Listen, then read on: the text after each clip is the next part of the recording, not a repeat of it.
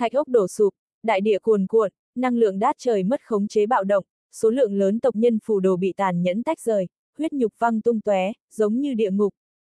chương 2980 tuyệt nhiên chịu chết một. Các cường giả bên ngoài bộ lạc nhao nhao rút lui về phía sau, có người còn hốt hoảng chạy đến trong rừng rậm. A a a, ta liều mạng với ngươi. Triệu Thiên khoát giận dữ bạo phát, số lượng lớn trưởng lão đều ngạnh kháng hỗn loạn kích phát phù đồ linh văn. Phù đồ, chi nhánh khởi nguyên đế văn, bọn hắn có được chiến khu tráng kiện thẳng tắp, có thể hình thành vòng xoáy phù đồ trong cơ thể, thôn vệ năng lượng trong thiên địa, hình thành phù đồ chiến hình, khởi xướng phản kích. Đang tại thời khắc khẩn cấp này, bầu trời hắc ám đột nhiên sáng rõ, lấp lóe tinh thần đầy trời, sáng chói mà lộng lẫy, vạn dặm dãy núi bị chiếu thấu. Tất cả mọi người kinh ngạc ngẩng đầu, nhìn qua tinh thần lập lòe mỹ lệ dạng dỡ. Tinh thần giống như trong lúc bất chợt cứ như vậy giải đầy bầu trời, lộng lẫy, thần bí khó lường, càng không thể tin hơn chính là, chùm sao đang nhanh chóng phóng đại, thanh âm ù ù từ phiêu miểu đến chân thực, vang vọng đất trời, lay động dãy núi rừng rậm. Ngay sau đó, tinh thần đầy trời đột nhiên bạo động, giao hội thành tinh thần cự kiếm, chảm diệt thiên địa, như ngân hà lao nhanh, từ trên trời giáng xuống. Sắc mặt đế tử hơi trầm xuống, hỗn loạn bộc phát, dễ như trở bàn tay vỡ nát tinh thần kiếm chiều tiểu sát tới. Kiếm chiều như ngân hà, hành tỷ tinh thần bạo động, thanh thế kinh khủng lay động trời đất, nhưng đế tử nghiêm nghị thần uy, lù lù bất động, xung quanh sen lẫn hỗn loạn, vỡ vụn tất cả thế công. Tinh thần tán loạn, vẩy xuống đầy trời, nhưng như là có được sinh mệnh, sau khi rơi xuống lại liên tiếp dâng lên, sen lẫn thành một mảnh tinh thần đại trận hừng hực mà phức tạp, không gian vặn vẹo, ánh sáng vô biên, chiếu thấu cả núi rừng rộng lớn. Đế tử. Bên trong tinh thần đại trận, lóe ra một thân ảnh nho nhã thanh tú, hắn nhìn lên không trung, gần như không dám tin tưởng vào đôi mắt mình.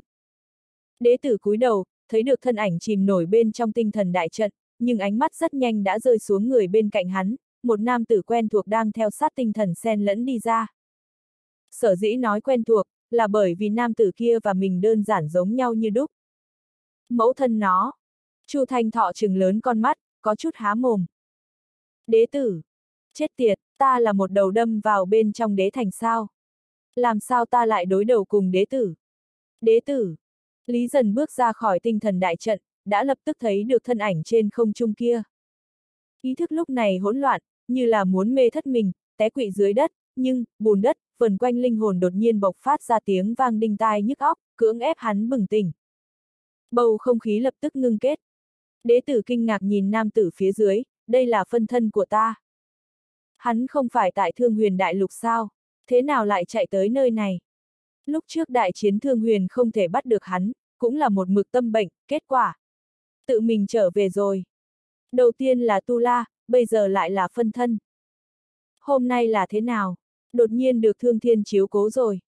Trái tim Chu Thanh Thọ đập loạn, rõ ràng tránh khỏi đế thành chính là muốn tránh khỏi đế tử, kết quả hắn kéo lấy lý dần, cứ như vậy, mạnh mẽ đâm tới trước mặt đế tử. Tu La đâu, Tu La bị đế tử bắt lấy rồi. Hôm nay là thế nào? Đột nhiên bị thương thiên tử bỏ sao? Trong ngoài bộ lạc phù đồ hồi hộp. Đầu tiên là sóng chiều bạo loạn, sau đó lại là ngôi sao rơi xuống đầy trời, cảnh tượng trước mắt hoàn toàn vượt quá phạm vi hiểu biết của bọn hắn. Hôm nay là thế nào? Trời sập sao? Sau khi yên lặng một lát, khóe miệng đế tử chậm rãi khơi gợi lên đường cong, đôi mắt sáng tỏ lóe ra tia sáng tham lam cùng kích động. Ngươi, trở về. Lý dần lại là gặp mặt kẻ thù, hết sức đỏ mắt, khuôn mặt anh Tuấn từ từ giữ tợn. Con của ta đâu? Hắn, là huyết mạch đế tộc, đương nhiên hẳn là ở lại đế thành. Ngươi là tên hèn hạ. Ngừng, sinh mệnh của ngươi đều là ta ban cho, ngươi hẳn là nên giữ vững tôn trọng tối thiểu nhất đối với ta. Trả nhi tử lại cho ta. Lý dần gầm thét, giờ khắc này hắn không biết đã chờ đợi bao lâu, lại đã huyễn tưởng trong đầu bao nhiêu lần. Đi thôi, ta dẫn người đi gặp hắn. Đế tử tùy tiện thưởng thức phân thân trước mặt, vui mừng, thật sự quá vui mừng, vậy mà đột phá đến cảnh giới thần linh. Phân thân có thể tu luyện tới thần linh. Lúc ấy hắn phân liệt thân thể, vẫn thật không nghĩ tới có thể chia ra tiềm chất như thế này. Nếu như dung hợp phân thân cuối cùng này, tiềm lực cùng thực lực của hắn nhất định có thể đột nhiên tăng mạnh, trong vòng một năm có thể đạt tới thần linh đỉnh phong. Chờ tên điên khương phàm kia lên trời, nói không chừng hắn cũng đã nhìn trộm bán đế. Ha ha, ha ha, thật sự là trời chiếu cố. Đừng xúc động, chúng ta cứu Tu La trước, chuyện hài tử giao cho Khương Phàm xử lý. Chu Thanh Thọ tranh thủ thời gian ngăn Lý dần lại, hô với đế tử. Đừng khoa trương, nếu đầu người bình thường, nên suy nghĩ thật kỹ tại sao chúng ta lại ở chỗ này. Làm sao lại chỉ có hai chúng ta? Khương Phàm ở đâu? Đế tử cười lạnh. Khương Phàm có thể ở đâu, cất giấu trong hang ổ thương huyền. Chu Thanh Thọ kiêu ngạo ngẩng đầu. Thực lực của chúng ta bây giờ, đã không cần cất. Ồ, hắn là xương đế sao? Ha ha! Chúng ta bây giờ có bốn vị siêu thần, hơn 20 vị thần tôn. Thật sao, thật lợi hại a. À. Đế tử cười, hiển nhiên không tin, siêu thần thứ hai ba bốn ở đâu ra. Nhân tộc vạn năm xuống tới mới ra một thiên quân đại thần tôn. Còn hơn 20 vị thần tôn. Khắp thiên hạ mới bao nhiêu thần tôn, thật coi thần tôn là muốn tạo nên thì có thể tạo nên sao. Bọn người Khương Phàm đã lao thẳng đến đế thành, nếu không có đoán sai, bây giờ không sai biệt lắm đã muốn đánh đi lên. Bốn vị siêu thần, hơn 20 vị thần linh, đủ để lật tung đế thành các ngươi. Chu Thanh Nghị chỉ tới đế tử, muốn đảo loạn tâm cảnh của hắn. Vậy thì chúc hắn may mắn, nhưng các ngươi giống như không may mắn như thế nữa. Đế tử nâng tay phải lên, chín khối đế cốt sáng long lanh nở rộ mê quang, vần quanh tại cổ tay. Mỗi viên đế cốt đều khuấy động hỗn loạn pháp tắc, chấn động kịch liệt như là để cả phiến không gian này đều muốn sụp đổ ở trước mặt hắn. chương 2981 tuyệt nhiên chịu chết hai. Trong ngoài bộ lạc, mấy vạn cường giả sợ hãi quỳ xuống đất, chưa bao giờ cảm nhận qua uy áp tuyệt vọng đến hít thở không thông như thế này. Nghĩ biện pháp rút lui. Chu Thanh Thọ nhỏ giọng nhắc nhở Lý Dần. Đế tử đó. Đánh không lại, cái này thật đánh không lại. Mặc dù bọn hắn cường hãn, nhưng bọn hắn cũng không phải loại biến thái như Khương Phàm, có thể săn sát thần ma, miệt thị đế tử. Ở trước mặt đế tử, bọn hắn càng giống như là con mồi. Đây không phải e ngại, đây là sự thật. Đây càng không phải bằng vào dũng mãnh và mưu kế có thể bù đắp tranh lệch. Giờ khắc này chúng ta đợi quá lâu, ta chính là chết ở đây, cũng sẽ không lui. Lý dần nắm chặt nắm đấm, lắc lắc cổ, lộ ra ác tướng dữ tợn. Đừng ngốc, chúng ta không phải đối thủ của hắn. Chu Thanh Thọ tranh thủ thời gian bắt lấy bả vai Lý Dần. Ta không liều mạng, chúng ta ai cũng đi không được. Tu La càng không đi được. Thế nhưng, không nhưng nhị gì hết, chúng ta là tới cứu Tu La. Nếu như tay không trở về thì bàn giao cùng sư phụ như thế nào? Bàn giao cùng mấy triệu chiến hồn đang trùng sinh như thế nào? Mệnh Tu La, so với chúng ta càng quan trọng hơn. Chúng ta có thể chết, hắn không thể chịu nhục. Lý dần hất tay Chu Thanh Thọ ra, linh văn tại trên trán nở rộ, thiên mệnh thần điểu phục sinh, dương cánh gáy to, chiến khu điêu luyện nhanh chóng bỏ đầy hỏa văn hoa lệ. Những năm này, hắn vẫn luôn trải qua rất uất ức, cũng không dám phát tác. Hôm nay, cho dù hắn chết ở đây, cũng muốn kéo chết cái tên đế tử này. Hắn muốn chính danh cho mình. Hắn phải cứu Tu La về. Hắn muốn cho hứa đan một cái công đạo. Ngươi muốn khiêu chiến ta, can đảm lắm, ta rất thưởng thức. Tuy nhiên, ngươi không có phần thắng. Ta có thể tùy tiện nghiền ép ngươi, cũng có thể giết người huynh đệ này của ngươi. Đế tử không muốn đánh cùng Lý Dần. Không phải không dám đánh, mà là không muốn đổ đần này làm mình bị thương, đến lúc đó hiệu quả dung hợp có thể không còn hoàn mỹ nữa. Thanh thỏ, tìm cơ hội. Lý dần khống chế hoàng nê đài, nhìn chằm chằm đế tử. Hắn không chỉ muốn liều chết chiến một trận, cũng nhất định phải liều chết chiến một trận. Ngươi cùng ta về đế thành, ta tha người huynh đệ này của ngươi. Nếu như ngươi ngoan ngoãn phối hợp với ta, ta sẽ còn cân nhắc. Thả tu la. Đế tử dơ cao tu la non nớt lên, tùy ý quơ trong tay. Nói nhảm quá nhiều, tại chiến trường thương huyền liên tục chạy trốn hai lần, quả nhiên trong lòng sợ chảy chết máu. Lời Lý dần nói, rốt cuộc cũng chọc giận đế tử. Nụ cười trên mặt đế tử dần dần biến mất. Không biết tốt xấu. Đến đây, đến đây. Lý dần đột nhiên tiếng gào thét lên dữ tợn.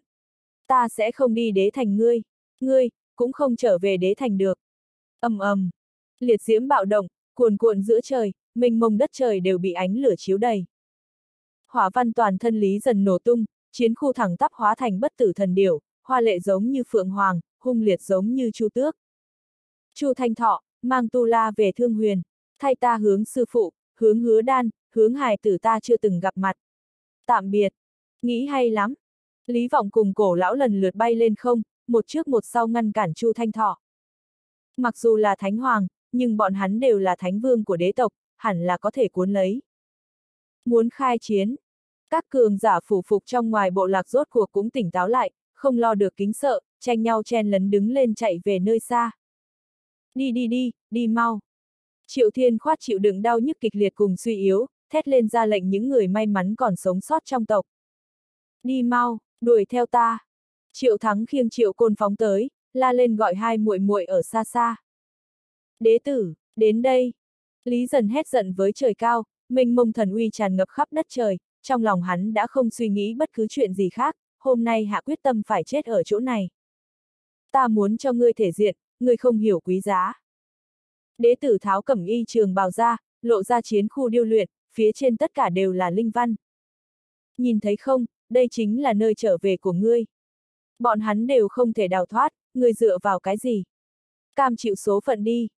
Mệnh của ta, ta làm chủ, cho dù có chết, cũng là chiến tử nơi xa trường. Ta, là đệ tử thân truyền của đế quân tương lai tại Thương Huyền, ta, là chiến thần Thương Huyền Đại Lục tạo nên.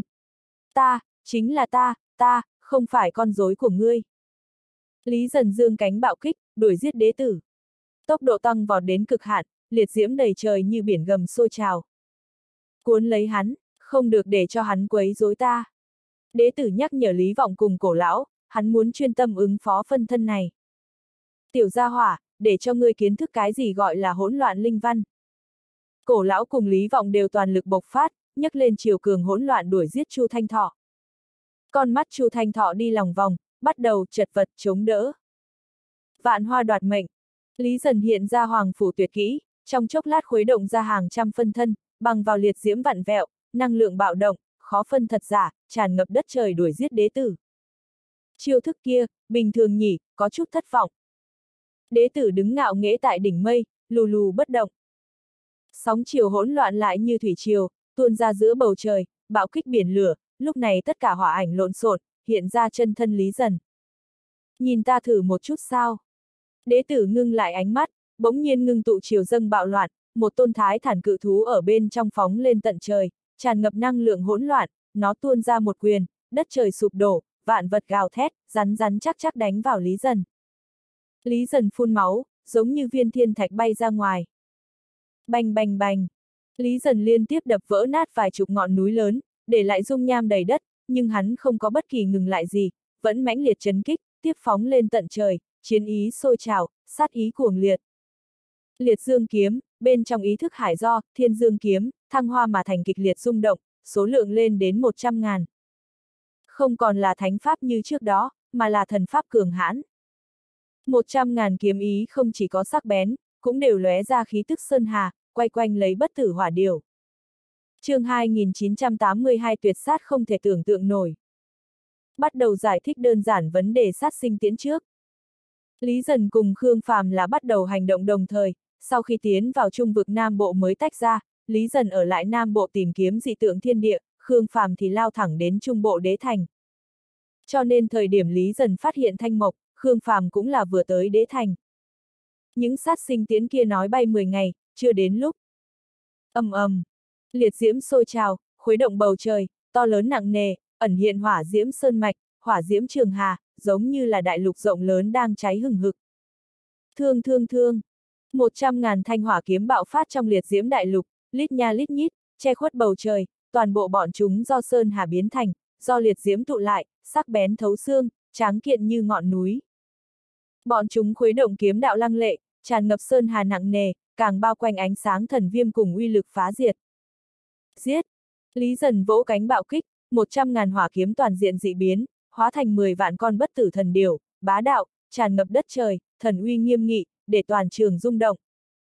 Các cường giả đang chạy trốn nhìn lại một màn này, đều sắp nứt cả tim gan, tuyệt vọng đến muốn hôn mê, có người còn vắt chân lên cổ chạy đi, hận không thể sinh ra thêm mấy chân. Ừm, không tệ lắm, cái này ngược lại còn có thể. Hai mắt đế tử tỏa sáng, ngước nhìn hỏa điều đầy trời, cảm nhận được khí thế đặc biệt đập vào mặt. Thế công bao trùm toàn diện giống như vậy hẳn là rất khó khống chế, nhưng trong nháy mắt Lý Dần lại có thể phóng xuất ra ngay, trong này khẳng định là có ảo diệu đặc thù gì đó. Giết! Lý dần thông qua ý thức hải khống chế toàn bộ một tảng ngàn hỏa điểu, một tiếng thét lên ra lệnh, vang vọng cả trời cao, biển lửa cuồn cuộn, chiếu sáng đất trời, một trăm ngàn hỏa điểu toàn diện bộc phát.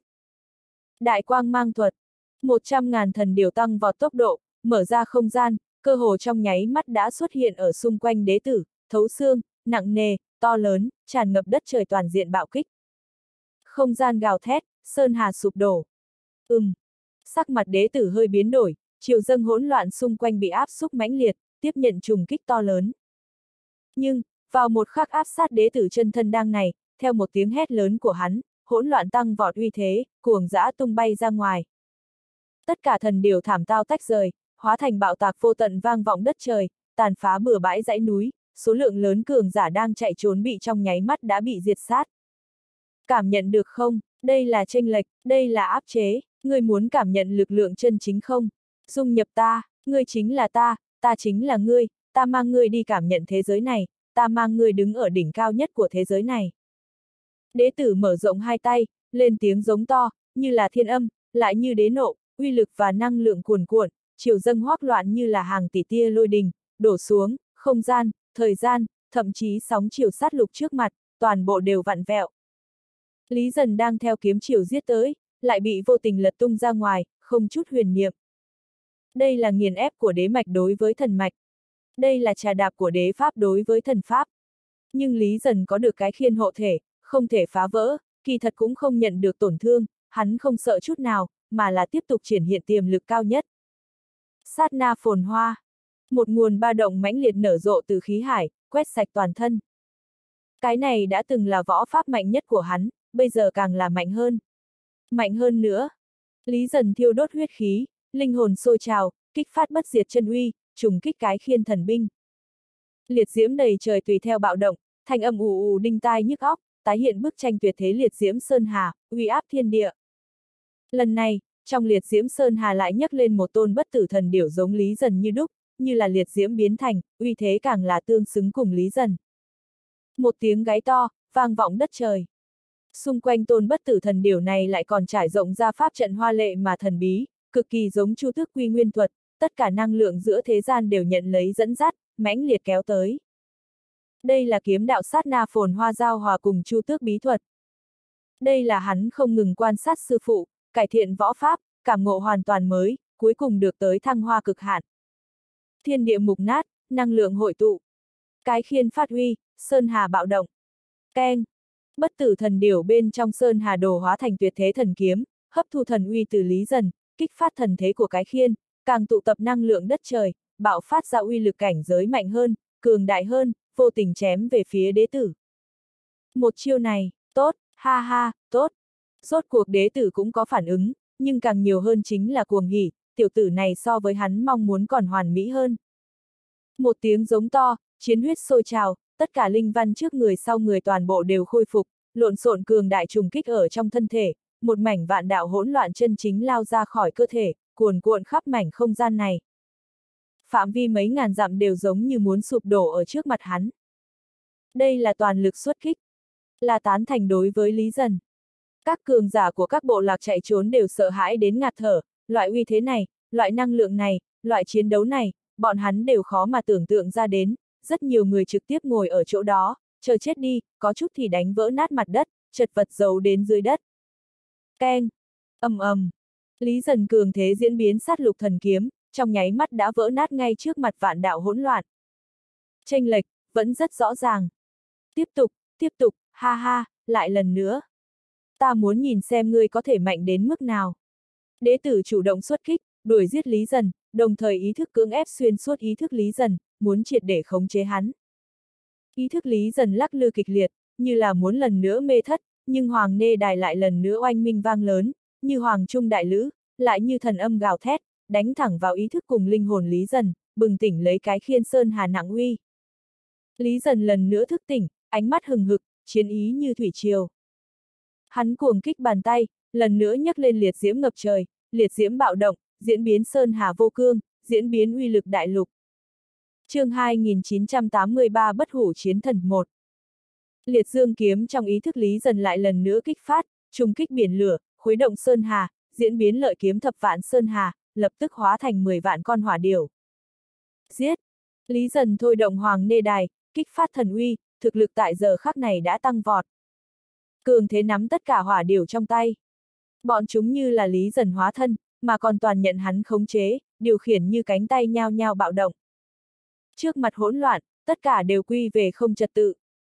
Đế tử kiêu ngạo cường thế, ngang nhiên lao về phía trước, hỗn loạn toàn diện bộc phát, đánh thẳng vào nghìn con hỏa điểu đang giết tới.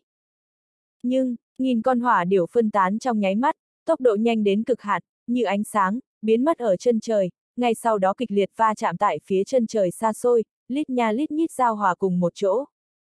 Một trăm ngàn hỏa điểu, hóa thành một. Uy thế tầng tầng tăng vọt, đạt đến trình độ khủng bố tuyệt luân.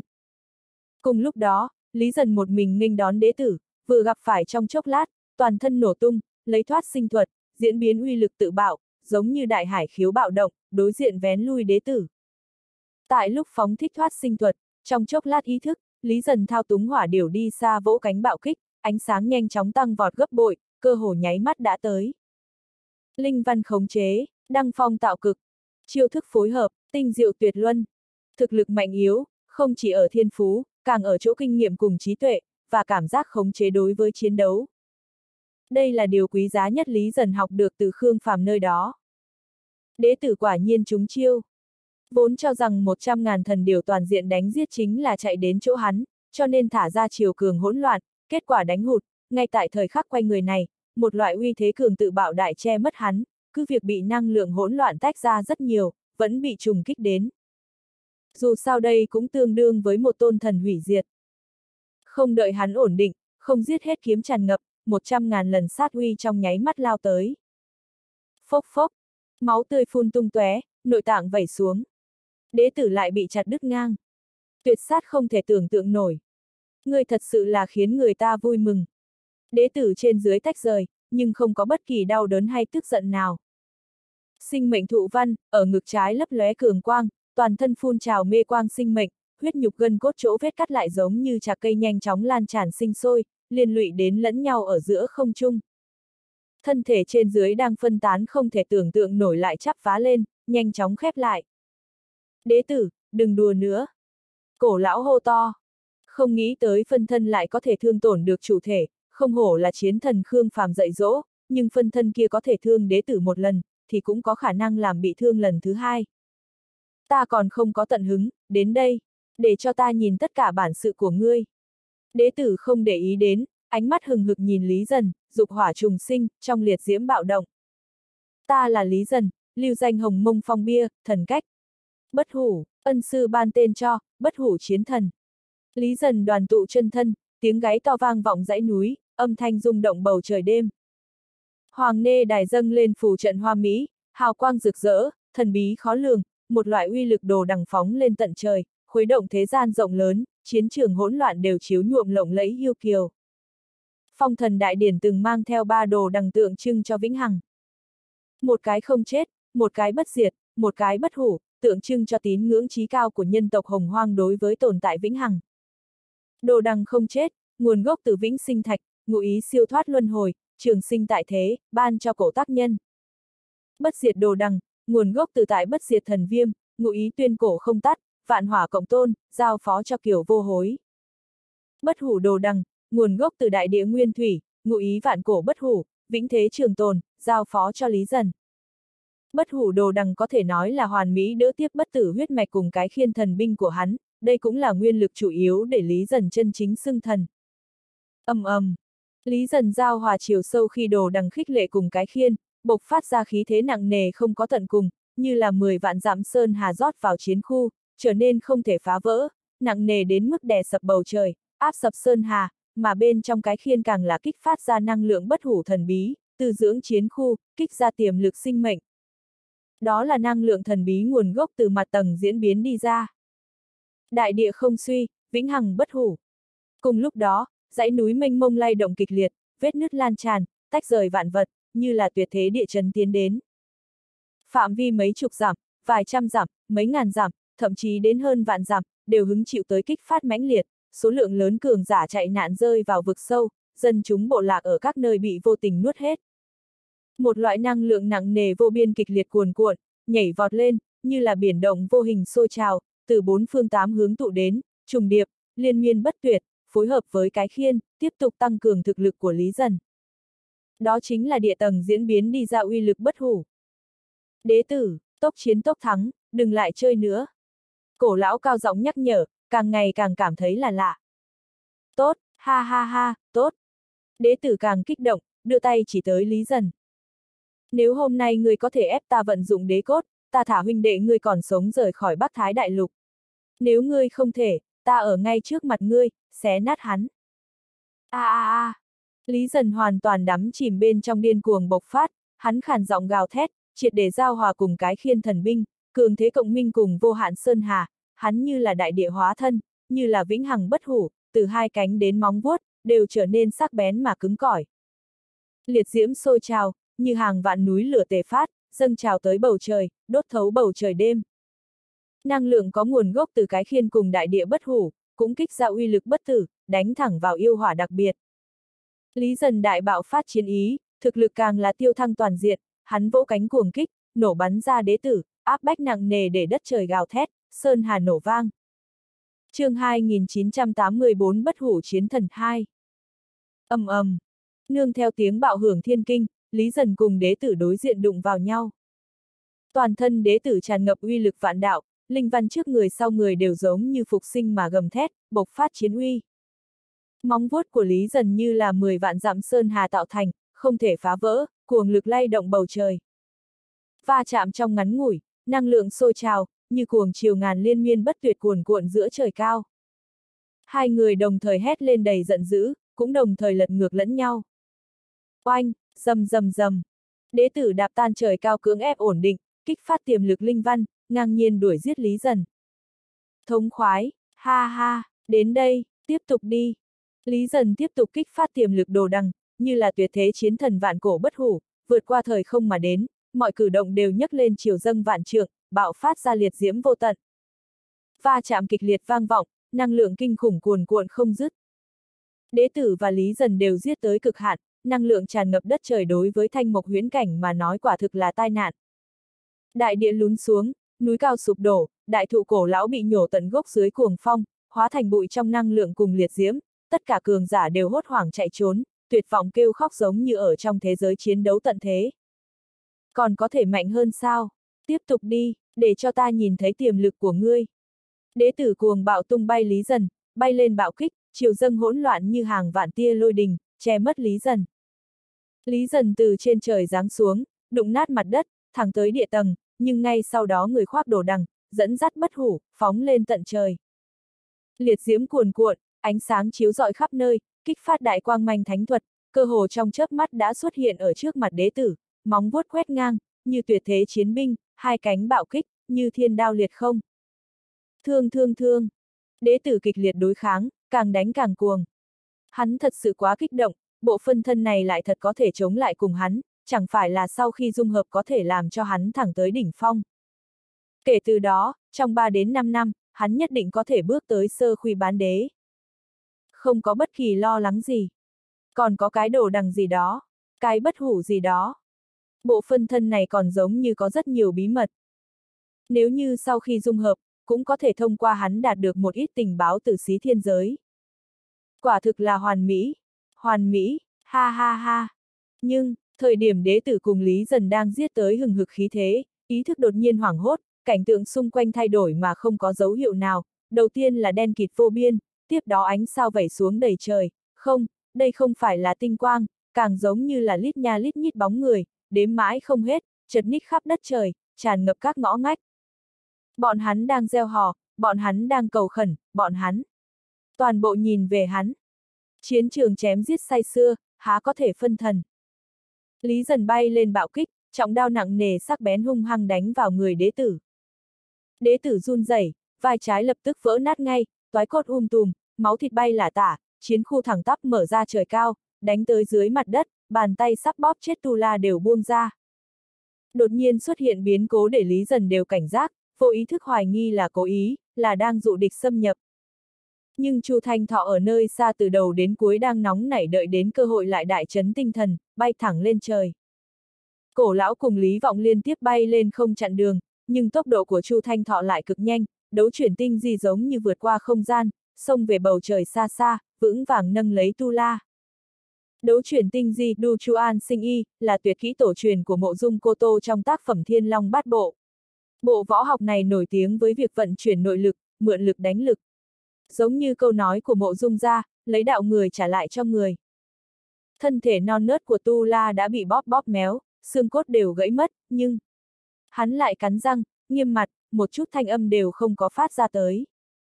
Ta là huynh đệ của Khương Phàm, Chu Thanh Thọ, ta nhất định sẽ mang ngươi về Thương Huyền. Chu Thanh Thọ thở phào một hơi, thu tu la vào tinh thần giới chỉ. Đế tử, đừng đùa nữa. Cổ lão đều nổi giận, nhất định phải thử thực lực của Lý Dần ở chỗ này sao? Mang về đế thành dung hợp chẳng phải là thuộc về mình sao?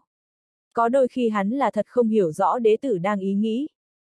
Đế tử không cần phải để ý đến nơi này. Cổ lão, cùng nhau lấy lại tu la. Lý vọng nhấc lên hỗn loạn, muốn cướp đoạt tu la. Đây là tâm huyết đời đời kiếp kiếp của bọn hắn, nếu để cho tu la đổi chủ ở trước mặt hắn, hắn chăm chết không đền được tội.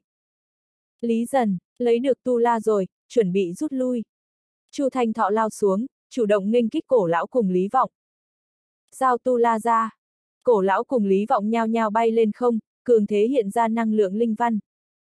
Nhưng, Chu Thanh Thọ đột nhiên nở rộ cường quang sáng chói, thân thể thẳng tắp từ trong tới ngoài đều trở nên trong suốt, như là hóa thành tinh hà hình người, khí tức tại giờ khắc này tăng vọt đến cực hạn. Ta giữ lại các ngươi là tránh cho đế tử chú ý ta quá độ, các ngươi thật đúng là đề cao bản thân mình rồi. Chết hết cho ta. Toàn thân Chu Thanh Thọ phun trào tinh thần vô hạn, ù ù tiếng vang, giống như tinh hà lao nhanh, lay động ra quỹ tích quanh co, trực tiếp xuất hiện ở trước mặt hai người bọn hắn. Nương theo bạo tạc mãnh liệt, Lý Vọng cùng cổ lão bị vô hình đánh bay ra ngoài, không có bất kỳ lo lắng gì. Chu Thanh Thọ không phải không đánh lại bọn hắn, mà là cố ý yếu thế dây dưa để đế tử không cần phòng bị hắn, hắn cũng tốt tìm cơ hội đột nhiên nổi lên. Không nghĩ tới, thật sự làm cho Lý Dần tranh thủ đến cơ hội cho hắn.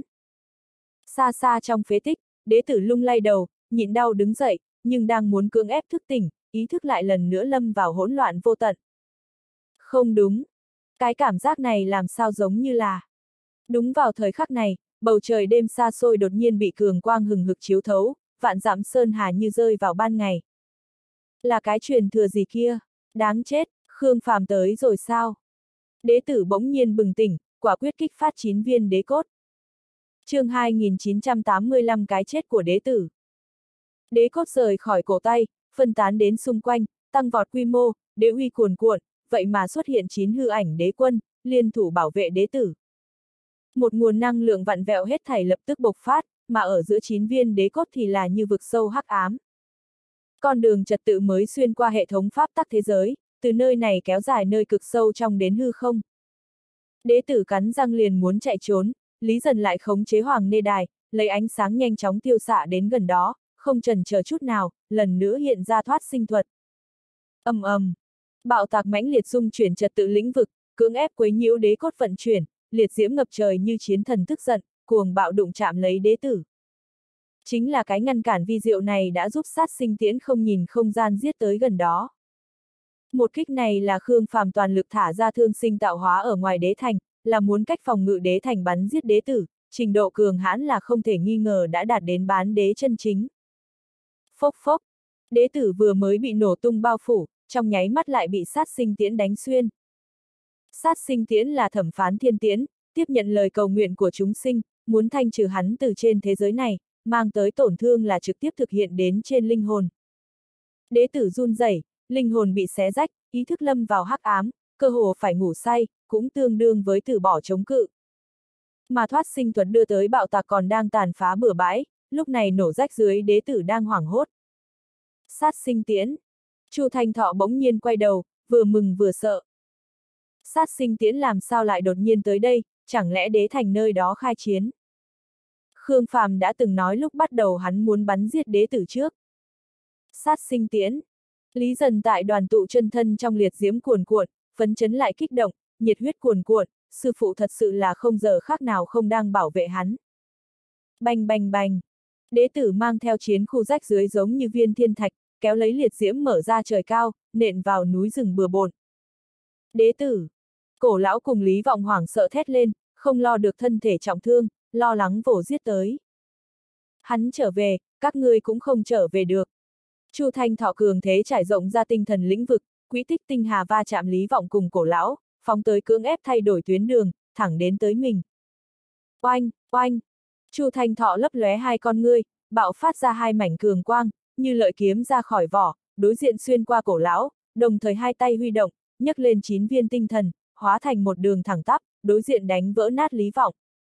Bây giờ Chu Thanh Thọ đã không còn là Chu Thanh Thọ năm đó, mặc dù không có hoàng nê đài, nhưng bằng vào hỗn thiên linh bảo cùng nhiều lần chiến tranh ma luyện đã vô cùng cường hãn.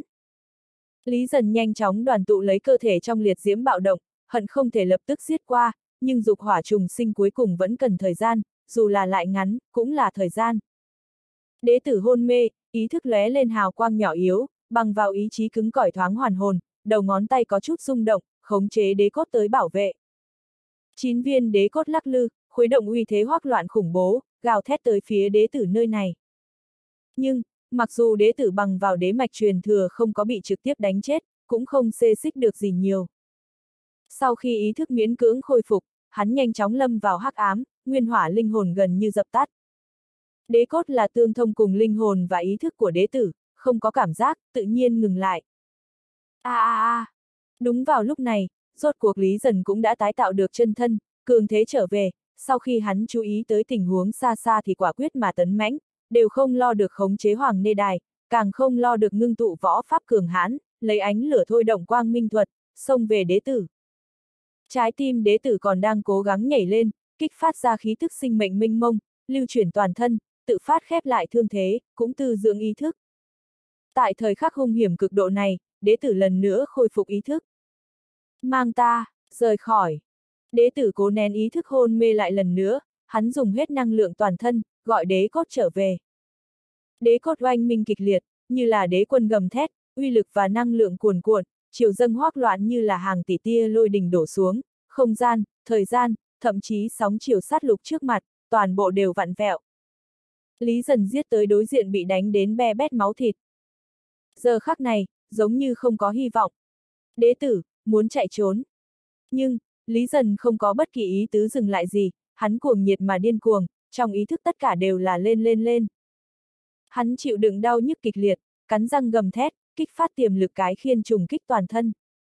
Nếu như là thần linh khác, có lẽ thật đúng là gánh không được chín viên đế cốt tạ đột nhiên bộc phát đế uy thời khắc này, nhưng Lý Dần dung hợp cái khiên, như là giao hòa cùng 10 vạn giảm sơn hà, càng là người khoác đồ đằng, lưu chuyển lên năng lượng vĩnh hằng bất hủ, cưỡng bức chống đỡ hủy diệt bạo kích. Tại thời khắc mấu chốt đế cốt hình thành vây quanh, Lý Dần hung hiểm giết tới trước mặt đế tử. Đế tử hoảng hốt, gần như hôn mê, nhưng khóe miệng tinh hồng vẫn hơi khơi gợi lên một đường cong. Đế cốt sắp thành hình. Hỗn loạn bạo động diễn biến trật tự thế giới mới. Lý dần xông tới, chẳng khác nào tự chui đầu vào lưới. Trật tự mới dung thực thế giới, hình thành lỗ đen, di chuyển hắn cùng Lý dần ra ngoài. Biện pháp phá giải duy nhất, chính là trong thời gian ngắn nhất đánh hắn một kích mất mạng, triệt để oanh sát. Nhưng, hắn là đế tử, là chiến khu đã trải qua đế quân tự mình rèn luyện, đừng nói ngạnh kháng một kích, ba kích năm đập đều có thể. Cho nên, kết thúc. Đế tử mông lung nhìn Lý Dần tức giận lao tới, từ từ nhắm mắt lại. Chờ đợi đế cốt di chuyển hắn, mang theo Lý Dần trở lại đế thành. Mặc dù chơi đập, nhưng kết cục không có khác nhau. Cái này, chính là số mệnh. Ai bảo hắn là chủ nhân cơ chứ? Lý Dần, trở về. Ngươi sống đủ rồi sao? Còn có cơ hội. Chu Thanh Thọ quá sợ hãi, hắn kích phát kiếm chiều dứt khoát quyết nhiên tiến lên. ầm ầm ầm, Lý dần giết tới trước mặt đế tử, gương mặt dữ tợn, sôi trào liệt diễm. chương 2986 mang đi toàn bộ. Nhưng, đế cốt tụ tập, vần quanh bạo động, đế uy vô tận cuồn cuộn, hỗn loạn kinh khủng tàn phá bừa bãi. Một mảnh sóng chiều hỗn loạn bạo động kịch liệt, diễn biến trật tự hoàn toàn mới, dung thực thế giới tạo nên lỗ đen, mắt thấy là phải mang theo Lý Dần cùng đế tử biến mất. Hỗn đàn, mở mắt ra nhìn ta. Lý Dần điên cuồng đến cuồng loạn, hai tay kịch liệt huy động, từ trong liệt diễm minh mông diễn biến ra một nguồn năng lượng hắc ám. Âm trầm, giá lạnh, để cho người ta dùng mình. Linh hồn đế tử rung động, mở hai mắt ra. Đây là, đại mộ bí thuật. Lý dần nhấc lên năng lượng hắc ám sen lẫn mộ bia màu đen, phía trên hiện lên chữ bằng máu tinh hồng, gầm lên giận dữ, đánh xuống đế tử. Không! Đế tử ớn lạnh toàn thân, muốn la lên, lại chỉ là phát ra thanh âm yếu ớt, hắn muốn ngăn cản, nhưng linh hồn mệt mỏi đã không chống đỡ được, hắn không thể đứng dậy hoạt động. Nương theo chấn động mãnh liệt, mộ bia màu đen nhuốm máu đánh vào trên thân đế tử. Không có thương tổn đến cơ thể, mà là trực kích đánh vào linh hồn. Có thể là chiến khu cường hãn của đế tử không nhìn thấy tổn thương, nhưng linh hồn suy yếu đến cực hạn làm sao có thể chịu đựng được bạo kích như thế này. Nương theo trọng kích trầm muộn, đế tử vô tình bị táng diệt ngay tại chỗ. Đế cốt đang diễn biến trật tự mới lập tức rối loạn, lỗ đen sắp thôn phệ đế tử cùng Lý Dần cũng theo đó khép lại. Đế tử, chết. Tại chính đại lục của hắn, tại chính lãnh địa của hắn, tại chiến trường mà hắn trưởng khống, tươi sống đùa chơi chết mình. Cho đến trước khi chết một khắc, hắn đều cao ngạo nhận định, mình đã nắm vững thắng lợi. Cũng cho đến trước khi chết một khắc này, hắn cũng không dám tin tưởng mình phải chết. Chu Thanh Thọ lo lắng bổ nhào vào nơi này, lại bị đế cốt ngăn cản ở bên ngoài. Tuy nhiên đế cốt đột nhiên rối loạn, lỗ đen cũng ngừng lại, để trái tim hắn nhảy lên đến cổ họng mà tái phát. Tên điên này, ngươi và cái tên sư phụ không may kia của ngươi thật sự là. Lý dần nhìn đế tử không có động tĩnh trước mặt, kịch liệt thở dốc, vẻ mặt phức tạp. Chết rồi. Đế tử, chết rồi. Lý dần hoảng hốt, lại có loại cảm giác không thật. Đây là người tạo nên hắn. Đây là hài tử của đế quân. Vậy mà lại chết trên tay mình. Đừng trở về chỗ, trước tiên khống chế đế cốt lại. Chu Thanh Thọ khẩn trương nhắc nhở, đế cốt là vũ khí đế quân tự mình rèn luyện, năng lượng vô cùng khủng bố, cũng khó nói ẩn giấu đi nguy hiểm gì. Nhưng Lý Dần là phân thân của đế tử, bất luận là cơ thể hay linh hồn, đều gần như giống nhau, hẳn là có thể khống chế đế cốt lại, chỉ ít có thể bảo đảm đế cốt đã không còn nguy hiểm. Tu La đâu? Lý dần nhìn đế cốt dần dần an tĩnh xung quanh. Tu La đã an toàn. Xử lý tốt đế cốt, chúng ta dẫn hắn về thương huyền. Người dẫn hắn rời khỏi trước, càng nhanh càng tốt. Ngươi là muốn, đi đế thành. Chu Thanh Thọ lập tức liền đoán được mục đích của Lý Dần, hắn vẫn nhớ mong con của hắn. Cùng là nhân phụ, Chu Thanh Thọ càng có thể hiểu được. Nhưng lần này, Chu Thanh Thọ không tiếp tục ngăn cản. Bởi vì đế tử đã chết, tới đó hẳn không có ai có thể ảnh hưởng đến Lý Dần. Ta muốn tiếp con của ta về nhà, ta nợ hứa đan một kết quả. Không thử trước một chút xem có thể dung hợp đế tử hay không. Mặc kệ trên tâm lý ta có chấp nhận hay không, trung quy hắn vẫn là chủ, trung quy ta vẫn là bộc, bộc nuốt chủ, nào có dễ dàng như vậy. Ta thử những đế cốt này một trước chút. Lý dần không có mạo hiểm, mà là thử nghiệm nắm chặt trước mặt một viên đế cốt, đế cốt run rẩy mãnh liệt, trong chốc lát kích phát sóng chiều hỗn loạn, lại khiến cho tay phải cứng rắn của Lý dần vỡ nát. Nhưng, sau khi máu tươi bắn tung tóe đến trên hai viên đế cốt khác, vậy mà không có bị xua tan, mà là từ từ thẩm thấu, lập tức nở rộ lên ánh sáng nhạt, sinh ra liên hệ vi diệu cùng ý thức Lý dần. Sau khi kinh ngạc, Lý dần nhịn đau từ cổ tay bước ra càng nhiều máu tươi, dần dần vung đến bên trên đế cốt khác. Đế cốt vậy mà đều không tiếp tục kháng cự, dung hợp máu tươi của hắn, tụ tập đến xung quanh hắn. Khống chế rồi. Chu Thanh Thọ trừng to mắt, dễ dàng như vậy sao? Không hổ là phân thân đồng căn đồng nguyên, huyết mạch hoàn toàn tương thông.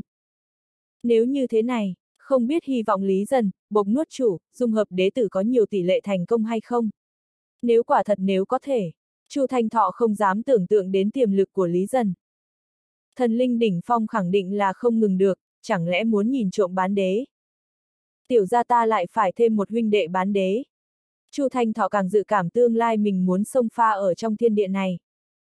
Mang tu la về, còn có bọn chúng. Lý dần khống chế toàn bộ khí tức chín viên đế cốt tụ tập, giao cho Chu Thanh Thọ, hắn cũng sẽ không ngốc đến mức mang theo đế cốt đi thẳng đến đế thành. Xác định không có nguy hiểm. Chu Thanh Thọ cảnh giác lui lại hai bước, nha, đế cốt A, nếu là có cái ngoài ý muốn, tiểu gia ta liền bàn giao. Đều ngủ say. Lý dần cố gắng nhét cho hắn, cuốn đế tử lên đi đến đế thành xa xôi. Không trung cuồn cuộn liệt diễm, lấp lóe cường quang, hắn hiện ra quang mang bí thuật, rất nhanh đã biến mất giữa đất trời đen nghịt. Hôm nay thật sự là kích thích. Chu Thanh Thọ đưa mắt nhìn Lý dần rời khỏi, nhẹ nhàng thở ra. Tu La, ngài lại nhẫn nại thêm mấy ngày, ta sẽ mang ngài về thương huyền. Chu Thanh Thọ truyền ý thức vào tinh thần không gian, cũng muốn rời khỏi nơi này. Tinh thần trong không gian, tu la non nớt, ea vài chục lần, mới phát ra rõ ràng thanh âm. Phụ mẫu! Phụ mẫu! Đúng nhỉ, quên cái này. Chúng ta phải đón về, hầu hạ thật tốt. Chu Thanh Thọ dừng ở giữa không trung, quan sát sơn lâm lún xuống, phế tích đầy đất. Bộ lạc này giống như đã bị triệt để phá hủy, phạm vi mấy ngàn dặm toàn bộ đều cuồn cuộn bụi mù, đất khô cằn khắp nơi, hố sâu dữ tợn cùng vết nứt thâm thúy nhìn thấy mà giật mình. Thần chiến kinh khủng đối với hạ giới mà nói chính là tai nạn tuyệt vọng giống như tận thế, toàn bộ sinh tử đều nhờ vận khí. Giờ khắc này, theo chiến tranh kết thúc, trong phế tích ở các nơi đều có thưa thất bóng người dẫy ruộng leo ra, bọn hắn chừng lớn con mắt, mặt mũi tràn đầy hoảng sợ, mặc kệ là bị thương hay là không bị thương, thân thể đều khống chế không nổi mà run rẩy. chương 2987 Mộ Tổ Tiên bốc khói xanh. Ai là phụ mẫu của Tu La tái thế? Chu Thanh Thọ hướng phía phế tích hô to. Phế tích an tĩnh, bụi mù cuồn cuộn, trừ từng đôi ánh mắt sợ hãi, run rẩy, không có bất kỳ người nào đáp lại. Đều đập chết rồi, xui xẻo như vậy sao? Chu Thanh Thọ nói thầm nói, tiếp tục hô to với xung quanh. Ai là phụ mẫu Tu La? Ai là phụ mẫu vừa mới sinh ra hài tử? Càng ngày càng nhiều bóng người từ trong hỗ đất phế tích leo ra, nhưng từ đầu đến cuối đều không có người lên tiếng. Bọn hắn vừa mới chứng kiến chiến đấu giống như tận thế, là bị dọa phát sợ thật, rất nhiều người đầu đều kêu loạn, huống chi người thần bí có tinh thần vần quanh trên không trung kia quá kinh khủng, khí tức tràn ngập đất trời đều ép tới bọn hắn thở không nổi, bên ngoài vài trăm dặm đều muốn nhịn không được mà quỳ xuống. Chu Thanh Thọ lại không hề hay biết mình có bao nhiêu đáng sợ, dù sao tại xí thiên giới trong hoàn cảnh loại cuồng nhân kia khắp nơi trên đất đều đã quá quen thuộc, luôn cảm giác mình không tính là cường đại, cũng không có gì đáng để kiêu ngạo. Ai là tu la phụ mẫu, cút ra đây cho ta. Mặt Chu Thanh Thọ đột nhiên lộ ác tướng, nhấc lên ngôi sao đầy trời, dọi khắp phế tích minh mông. Ta đếm tới ba, không còn ra, lão tử táng diệt vùng rừng rậm này của các ngươi. Đám người may mắn còn sống sót nhau nhau sợ hãi, triệt để tỉnh táo. Một, hai, không biết sống chết, đều xuống địa ngục cho lão tử. Chu Thanh Thọ hét lớn, tinh thần sáng chói nhau nhau chấn động, thanh chiều ù ù chấn thiên động địa, đánh xuống phía phế tích. Là ta. Ngoài mấy chục dặm truyền đến thanh âm. Triệu Thiên khoát đứng ra, lảo đảo đi trên tảng đá lớn phía trước, tóc tai bù xù, vết thương chẳng chịt, nhưng vẫn dũng cảm dương đầu lên. Phụ thân. Bọn người Triệu Thắng gắt gao ôm ở cùng một chỗ, sợ hãi lại sốt ruột. Chu Thanh Thọ nhanh chóng tản tinh thần ra, vò tới trước mặt Triệu Thiên khoát, trên dưới dò xét nam tử chật vật máu thịt be bét, lộ ra toái cốt này. Người tên gì? Triệu Thiên khoát không chịu nổi uy thế thánh hoàng đập vào mặt, kinh sợ lui hai bước, kết quả trượt chân, chật vật lăn đến trong phế tích. Phụ thân! Triệu Thắng cuống quyết lao ra, lấy dũng khí đứng trước mặt Triệu Thiên khoát. Đại ca, trở về. Triệu Huyên đang núp ở trong rãnh sâu, đỡ lấy mẫu thân đang hấp hối. Triệu Thiên khoát vội vàng giật Triệu Thắng ra, giấy ruộng đứng lên, dũng cảm đối mặt với Chu Thanh Thọ. Triệu Thiên khoát, tộc trưởng bộ lạc phù đồ, muốn giết cứ giết ta, không liên quan tới các tộc nhân của ta. Chu Thanh Thọ nhìn bọn họ một chút, lại nhìn rãnh sâu phía xa xa. Trong rãnh sâu tỉ muội Triệu Huyên máu me đầy mặt kinh hoàng ôm lấy mẫu thân, trong ánh mắt đung đưa sự sợ hãi cùng tức giận. Chu Thanh Thọ đột nhiên cười một tiếng, nói: "Thật có lỗi, mạo phạm, ta là vì tiết kiệm thời gian, mới cố ý kêu như vậy. Ta cũng không phải đồ tể, là phụng mệnh đến đây tiếp Tu La về nhà. Triệu Thiên khoát bọn hắn vẫn khẩn trương kéo căng thân thể, hô hấp lộn xộn mà gấp rút. Chu Thanh Thọ tranh thủ thời gian tản khí tức cường hãn ra, giải thích nói. Vừa mới bắt đầu tới đó là hỗn đản, phía sau hai chúng ta là bằng hữu Tu La. Bọn hắn đề cập tới thân phận Tu La chưa? Là huynh đệ sinh tử của Khương Phàm. Triệu Thiên Khoát và đám người khẩn trương lại hồ nghi nhìn hắn, vẫn không có buông lỏng cảnh giác. Chu Thanh Thọ thể hiện quái dị. Các ngươi, không biết Khương Phàm.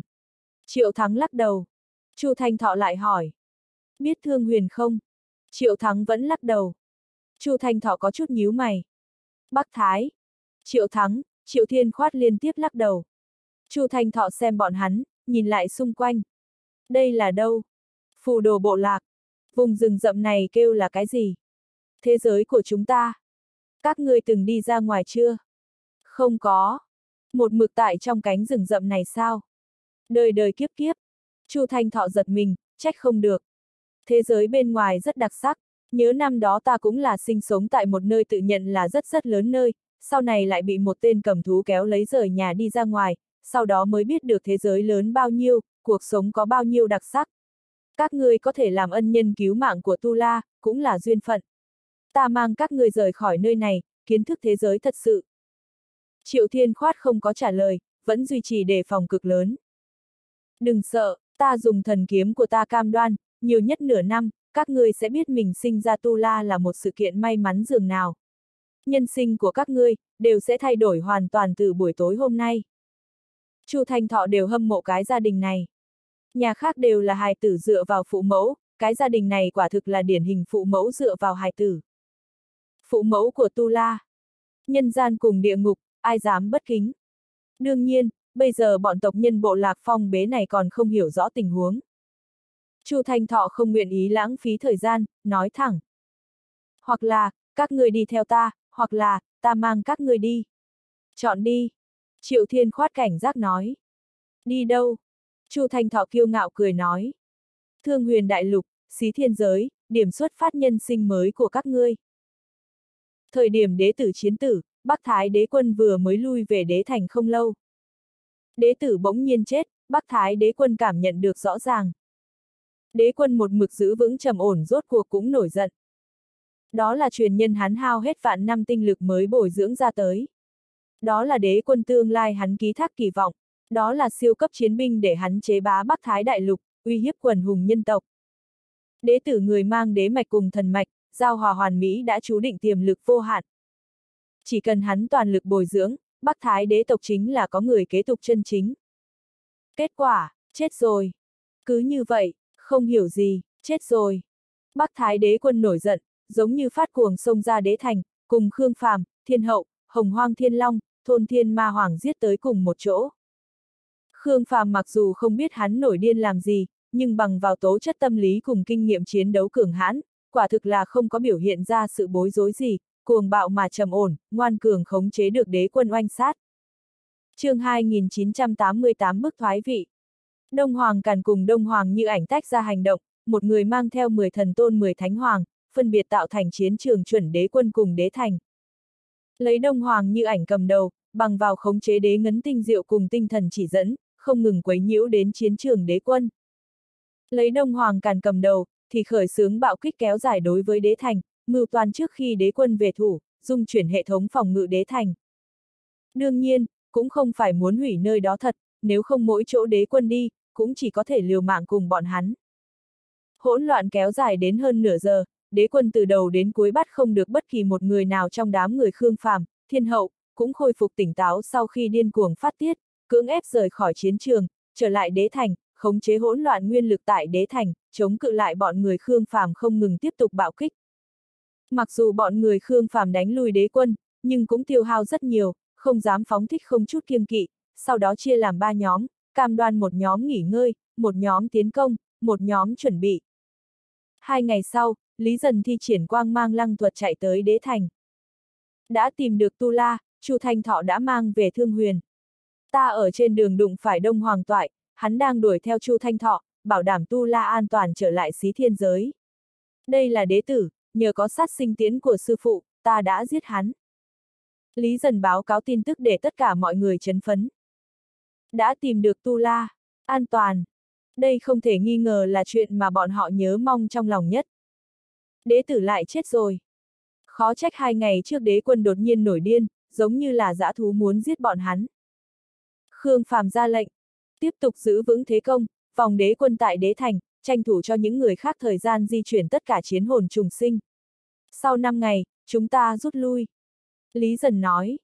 Sư phụ, hài tử của ta. Khương Phạm Trấn An nói. Không nên gấp gáp, sau 5 ngày bức đế quân giao ra. Tiến công tiếp tục bộc phát, tất cả mọi người không có chút lười biếng nào, đều là toàn lực ứng phó tấn công mạnh. Bọn hắn rất rõ ràng chỉ có thật sự lấy ra tư thế liều chết, mới có thể chấn trụ đế quân, cũng chỉ có tạo thành tổn thương cho đế thành, mới có thể đàm phán cùng đế quân tại hậu kỳ. Cùng lúc đó, Thánh Vương tại Thương Huyền được Đông Hoàng Lăng Tuyệt dẫn đầu xuống, phân biệt đến khu vực cố định, cũng lần lượt tìm được khu quần cư. Số lượng lớn phụ nữ có thai đã bắt đầu lâm bồn. Thời gian cấp bách, bọn hắn đều gần như thô lỗ kiểm tra đối chiếu mỗi một hài nhi. Chỉ cần làm ra đáp lại, lập tức mang đi. Điều tra phạm vi lớn như thế này kỳ thật rất dễ dàng bỏ sót, dù sao cũng không phải tất cả hài nhi sau khi sinh đều lập tức dung hợp ký ức, có chút ký ức của chiến hồn luân hồi cũng không toàn diện. Mà, cũng có rất nhiều phụ nữ có thai còn chưa tới lúc sinh. Nhưng, thân ở Bắc Thái Đại Lục, có thể kinh động đế quân đại lục khác bất cứ lúc nào, bọn hắn chỉ có thể thô sơ giản lược chọn lựa, có thể mang bao nhiêu thì mang bấy nhiêu. Về phần bỏ sót, chỉ có thể nhắc nhở bọn hắn giữ vững khắc chế, sau này lại từ từ tìm cơ hội rời khỏi.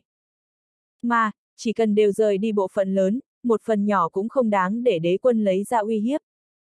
Bọn người Khương Phàm tiếp tục thế công mãnh liệt 5 ngày, rốt cuộc cũng vẫn dung chuyển được đế thành do đế quân tự mình đóng giữ. Tường thành đứng vững tại Bắc Thái Đại Lục gần 100.000 năm, bây giờ lại trải rộng hố cùng vết nứt. Cho đến lúc này, Khương Phàm ra mặt. Người giao hài tử lý dần ra, ta vòng qua con dân toàn thành ngươi. Nếu không lúc phá thành đi, ta đổ toàn thành đế tộc ngươi, không chừa mảnh giáp. Tiếp tục đánh. Bên trong đế thành truyền ra thanh âm uy nghiêm của Bắc Thái đế quân, nương theo hỗn loạn vô tận, cộng minh cùng hệ thống thế giới, tràn ngập khí tức tuyệt vọng cùng sụp đổ khủng bố. Đánh. Khương Phàm đáp lại cũng rất thẳng thắn, toàn thể thần ma tất cả đều bạo phát, nhiều loại năng lượng hội tụ dưới không gian đại đạo, ngưng tụ thành bạo kích gần giống như đế uy, liên miên bất tuyệt dung chuyển đế thành. Vạn dặm xung quanh đế thành toàn bộ đều sụp đổ, biến thành vực sâu hắc ám. Đối mặt với cường giả vạn thế liên tục bạo kích, đế thành tựa như là hòn đảo bên trong biển cả rộng lớn, thừa nhận mưa to gió lớn cùng biển động tiếp tục tàn phá. Đế quân tôn quý cao ngạo, không thể nào thỏa hiệp, nhưng các con dân bên trong đế thành lại thừa nhận áp bách to lớn. Chủ mẫu Trong đại điện đế thành, ba vị trưởng lão chủ sự vội vã tìm được cung như ngọc. Ai bảo các ngươi tự ý rời vị trí, cút về đóng giữ pháp trận. Cung như ngọc nghiêm khắc quát tháo, nàng đang chìm ngâm ở trong đau đớn tuyệt vọng. Đế tử chết rồi. Đó là hài tử mà nàng ký thác toàn bộ hy vọng. Chủ mẫu, đế thành hạ giới không giống với thiên khải, nơi này không cần đóng giữ, những người như chúng ta có ở đây hay không cũng không có bao nhiêu ý nghĩa. Đúng vậy, đúng vậy, đế thành phòng được hay không đều không do chúng ta, mà là đám người dã man bên ngoài kia. Chúng ta không muốn rụt rè, nhưng, bốn vị siêu thần, hơn 20 vị thần linh. Ba vị trưởng lão trực tiếp quỳ gối trước mặt cung như ngọc. Các ngươi có ý gì? Còn muốn mở thành đầu hàng? Cung như ngọc giận dữ đứng dậy, căm tức nhìn phía dưới ba vị trưởng lão. Đế quân trí cao vô thượng, tuyệt đối không thể nào thỏa hiệp, nhưng cục diện bây giờ, làm cho chúng ta không thể không thỏa hiệp. Như thế nào mới có thể để đế quân giữ vững tôn nghiêm, lại để cho bọn người Khương Phàm lui binh? Biện pháp duy nhất chỉ có thể là... Là cái gì? Giao hài tử ra. Làm càn, tôn nhi của đế quân há lại để cho các ngươi nói ném liền ném. Cung như Ngọc giận dữ đứng dậy. Đầu tiên là thiên mệnh thần tôn bị giết, sau đó lại là Khương Phàm vây công đế thành, bây giờ ngay cả nhi tử nàng kiêu ngạo nhất đều bị giết, nàng đã hận thấu xương đối với Khương Phàm, há có thể thỏa hiệp. Huống chi, đế tử chết rồi, hai tử này càng quan trọng hơn. Chủ mẫu, ta hiểu tâm tình của ngài, nhưng, một khi bọn người Khương Phàm công phá tường thành, ngàn vạn con dân toàn thành này, bao gồm cả ngài, đều sẽ bị thảm tao đổ sát. Đế quân bị bọn người Khương Phàm vây khốn, khẳng định khó mà cứu viện, chỉ có thể trơ mắt nhìn đế thành biến thành phế tích, nhìn con dân toàn quân đế tộc bị diệt. Đến lúc đó, đế quân tuyệt hậu, đế tộc liền xong rồi. chương 2989 kinh hồn nghĩ cách cứu viện. Ba vị trưởng lão đau khổ cầu khẩn, bọn hắn là sợ thật, không chỉ là sợ mình chết rồi, càng sợ đế tộc đi hướng hủy diệt. Mà, nếu thật sự là nháo đến cuối cùng không chết không thôi, đế quân đều có thể bị thương nặng. Sau khi đế tộc khác nhận được tin tức, khẳng định sẽ liên thủ trấn áp đế quân, ném vào thương huyền. Đến lúc đó thì toàn xong. Một đám hèn nhát, tại sao đế tộc lại có thể có loại trưởng lão các ngươi này? Đế thành của chúng ta là sâu chuỗi cùng hệ thống thế giới, hỗn loạn pháp tắc không tiêu tan, đế thành vĩnh viễn không hủy diệt.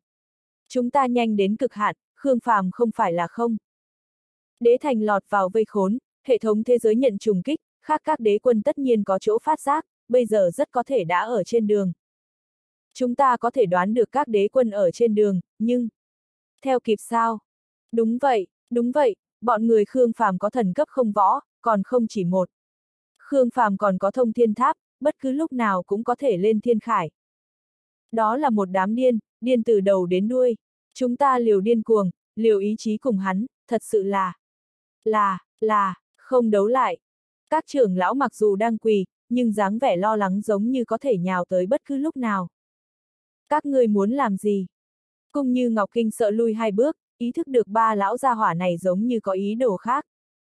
Một trưởng lão đột nhiên mặt lộ dữ tợn. Chủ mẫu, ngài phải biết, có một số việc, đế quân muốn làm, nhưng không thể làm. Chúng ta làm thuộc hạ, nên thay đế quân làm. Cung như Ngọc lấp lóe ánh mắt, đột nhiên hô to. Người đâu, đánh ba lão gia hỏa này ra ngoài. Chủ mẫu, đắc tội. Chúng ta là vì đế thành, vì truyền thừa đế tộc. Đế quân sẽ hiểu cho chúng ta. Ba vị trưởng lão hét lớn, không để ý cung như ngọc quát tháo, nhào vào phía sau tầm cung. Trong tầm cung, một hài tử chừng 10 tuổi đang nằm mê man trên giường, chính là hài tử của Lý Dần cùng hứa đan. Cung như Ngọc không muốn để cho hắn trải qua nguy cơ đế thành, để tránh tuổi nhỏ tâm lý sinh ra chất vấn đối với đế tộc, trí cao vô thượng, cho nên đã hạ thuốc mê cho hắn. Ba vị trưởng lão ôm lấy hài tử, cất vào xuyên vân toa chuẩn bị xong trước đó. Tránh thoát cung như ngọc dây dưa, rời khỏi cung điện, xông ra nội thành, lao thẳng đến khu ngoại thành. Lúc này bọn người Khương Phàm đang bộc phát thế công mạnh nhất, muốn bước đế quân đi đến khuôn khổ. Bắc Thái đế quân còn đang kiên trì, cũng không tin đám người này có thể bổ đế thành ra thật, có thể một mực kiên trì như vậy thật. Tại thời khắc nguy cơ khẩn trương này, từng tiếng thét cao vút gào xuất hiện tại tường thành Nam Bộ, vừa vặn tránh khỏi Đông Nam Bộ đang ác chiến, nhưng âm thanh chiến tranh quá cao, thật sự là không có người nào chú ý tới nơi này. Ba vị trưởng lão lo lắng đối mặt, một người cắn răng ôm lấy hài tử, xông ra khỏi đế thành. Cả tòa đế thành đều bao phủ trong cuồng chiều hỗn loạn, cuồn cuộn không dứt, hủy trời diệt đất. Khương Phàm, hài tử ở đây, mang theo hài tử, cút ra khỏi Bắc Thái Đại Lục. Vị trưởng lão kia bị triều dâng nghiền ép, còn không có chạy ra bao xa đã bị vô tình vỡ nát, hắn dùng hết sức lực cuối cùng, đánh xuyên vân toa ra ngoài. Xuyên vân toa thuộc về thánh binh, tốc độ cực nhanh, giống như thiểm điện xé rách hỗn loạn, đánh về phía nơi xa. Trước khi vỡ nát đã xông ra trọn vẹn hơn 10 dặm. Mặc dù vẫn không xa, nhưng đã đầy đủ kinh động hai bên. Xuyên vân toa vỡ nát, hai tử bên trong rơi ra, suýt nữa đã bị tách rời. Đế quân bên trong đế thành chú ý tới nơi này, quả quyết ngăn chặn hỗn loạn. Cường giả vạn thế bên ngoài thành bọn họ nhao nhao nhìn ra xa. Lúc này, hai vị trưởng lão ở tường thành Nam Bộ cũng hò hét. Đó là hài tử của các ngươi, mang theo hắn cút ra khỏi Bắc Thái Đại Lục. Ai cho các ngươi đảm lượng dám tự tiện chủ trương? Đế quân ở trong chủ thành giận dữ, hỗn loạn ở Nam Bộ như ác thú xuất huyên, vô tình vỡ vụn hai vị trưởng lão kia. Hài tử, thật hay giả? Bẫy trăng, chơi đến thế này. Đại vương, tặc điểu và các thánh hoàng, cùng Khương Quỳ trong đội ngũ thần cấp phía trước đều nhanh chóng kéo dài khoảng cách. Sợ rằng đây sẽ là cái bẫy. Giữ vững thế công, áp chế Bắc Thái đế quân. Thiên hậu đột nhiên hô to, toàn thân bộc phát kim quang, giống như là đằng xà nhảy vọt lên, lấy tốc độ cực hạn chống lại không gian, xông về phía hải tử. Lấy kinh nghiệm của nàng, đây không phải là bẫy. Cho dù là bẫy, cũng đáng buông tay đánh cược một lần. Bởi vì bọn hắn cũng đã thật đợi không kịp, lại không rút lui, một khi bị đế quân khác ngăn chặn, chắc chắn toàn quân sẽ bị diệt. Là hắn. Lý dần lúc này lớn tiếng kêu lên đầy sợ hãi, làm cường giả thần cấp, hắn rõ ràng đã nhận ra cảm giác huyết mạch quen thuộc. Nhưng làm sao hắn lại tới đây đã vào tới phía trước nhất, bây giờ còn trực diện tường thành Đông Nam, khoảng cách nơi đó quá xa. Thiên hậu đạt được xác định, tốc độ càng nhanh hơn. Giữ vững thế công, như ảnh, mang ta tới. Phía trước nhất, Khương Phàm lớn tiếng gào thét, sôi trào liệt diễm liền muốn phóng tới Nam Bộ. Chàng ở lại. Đông Hoàng như ảnh diễn biến đạo ngấn không gian, trực chỉ Nam Bộ. Dập tắt lửa con tin, nguy hiểm nhất, huống chi là loại sự kiện đột phát này không có chút dấu hiệu lại không có kế hoạch nào, một khi đế quân quyết định từ bỏ hài tử thì sao? Ai đi dập tắt lửa, ai sẽ đặt mình vào nguy cơ sinh tử? Khương Phàm tuyệt đối không thể mạo hiểm, tuyệt đối không thể có ngoài ý muốn. Nếu không, đế quân chắc chắn không có chế ước. Tất cả mọi người đều đặt mình vào nguy hiểm.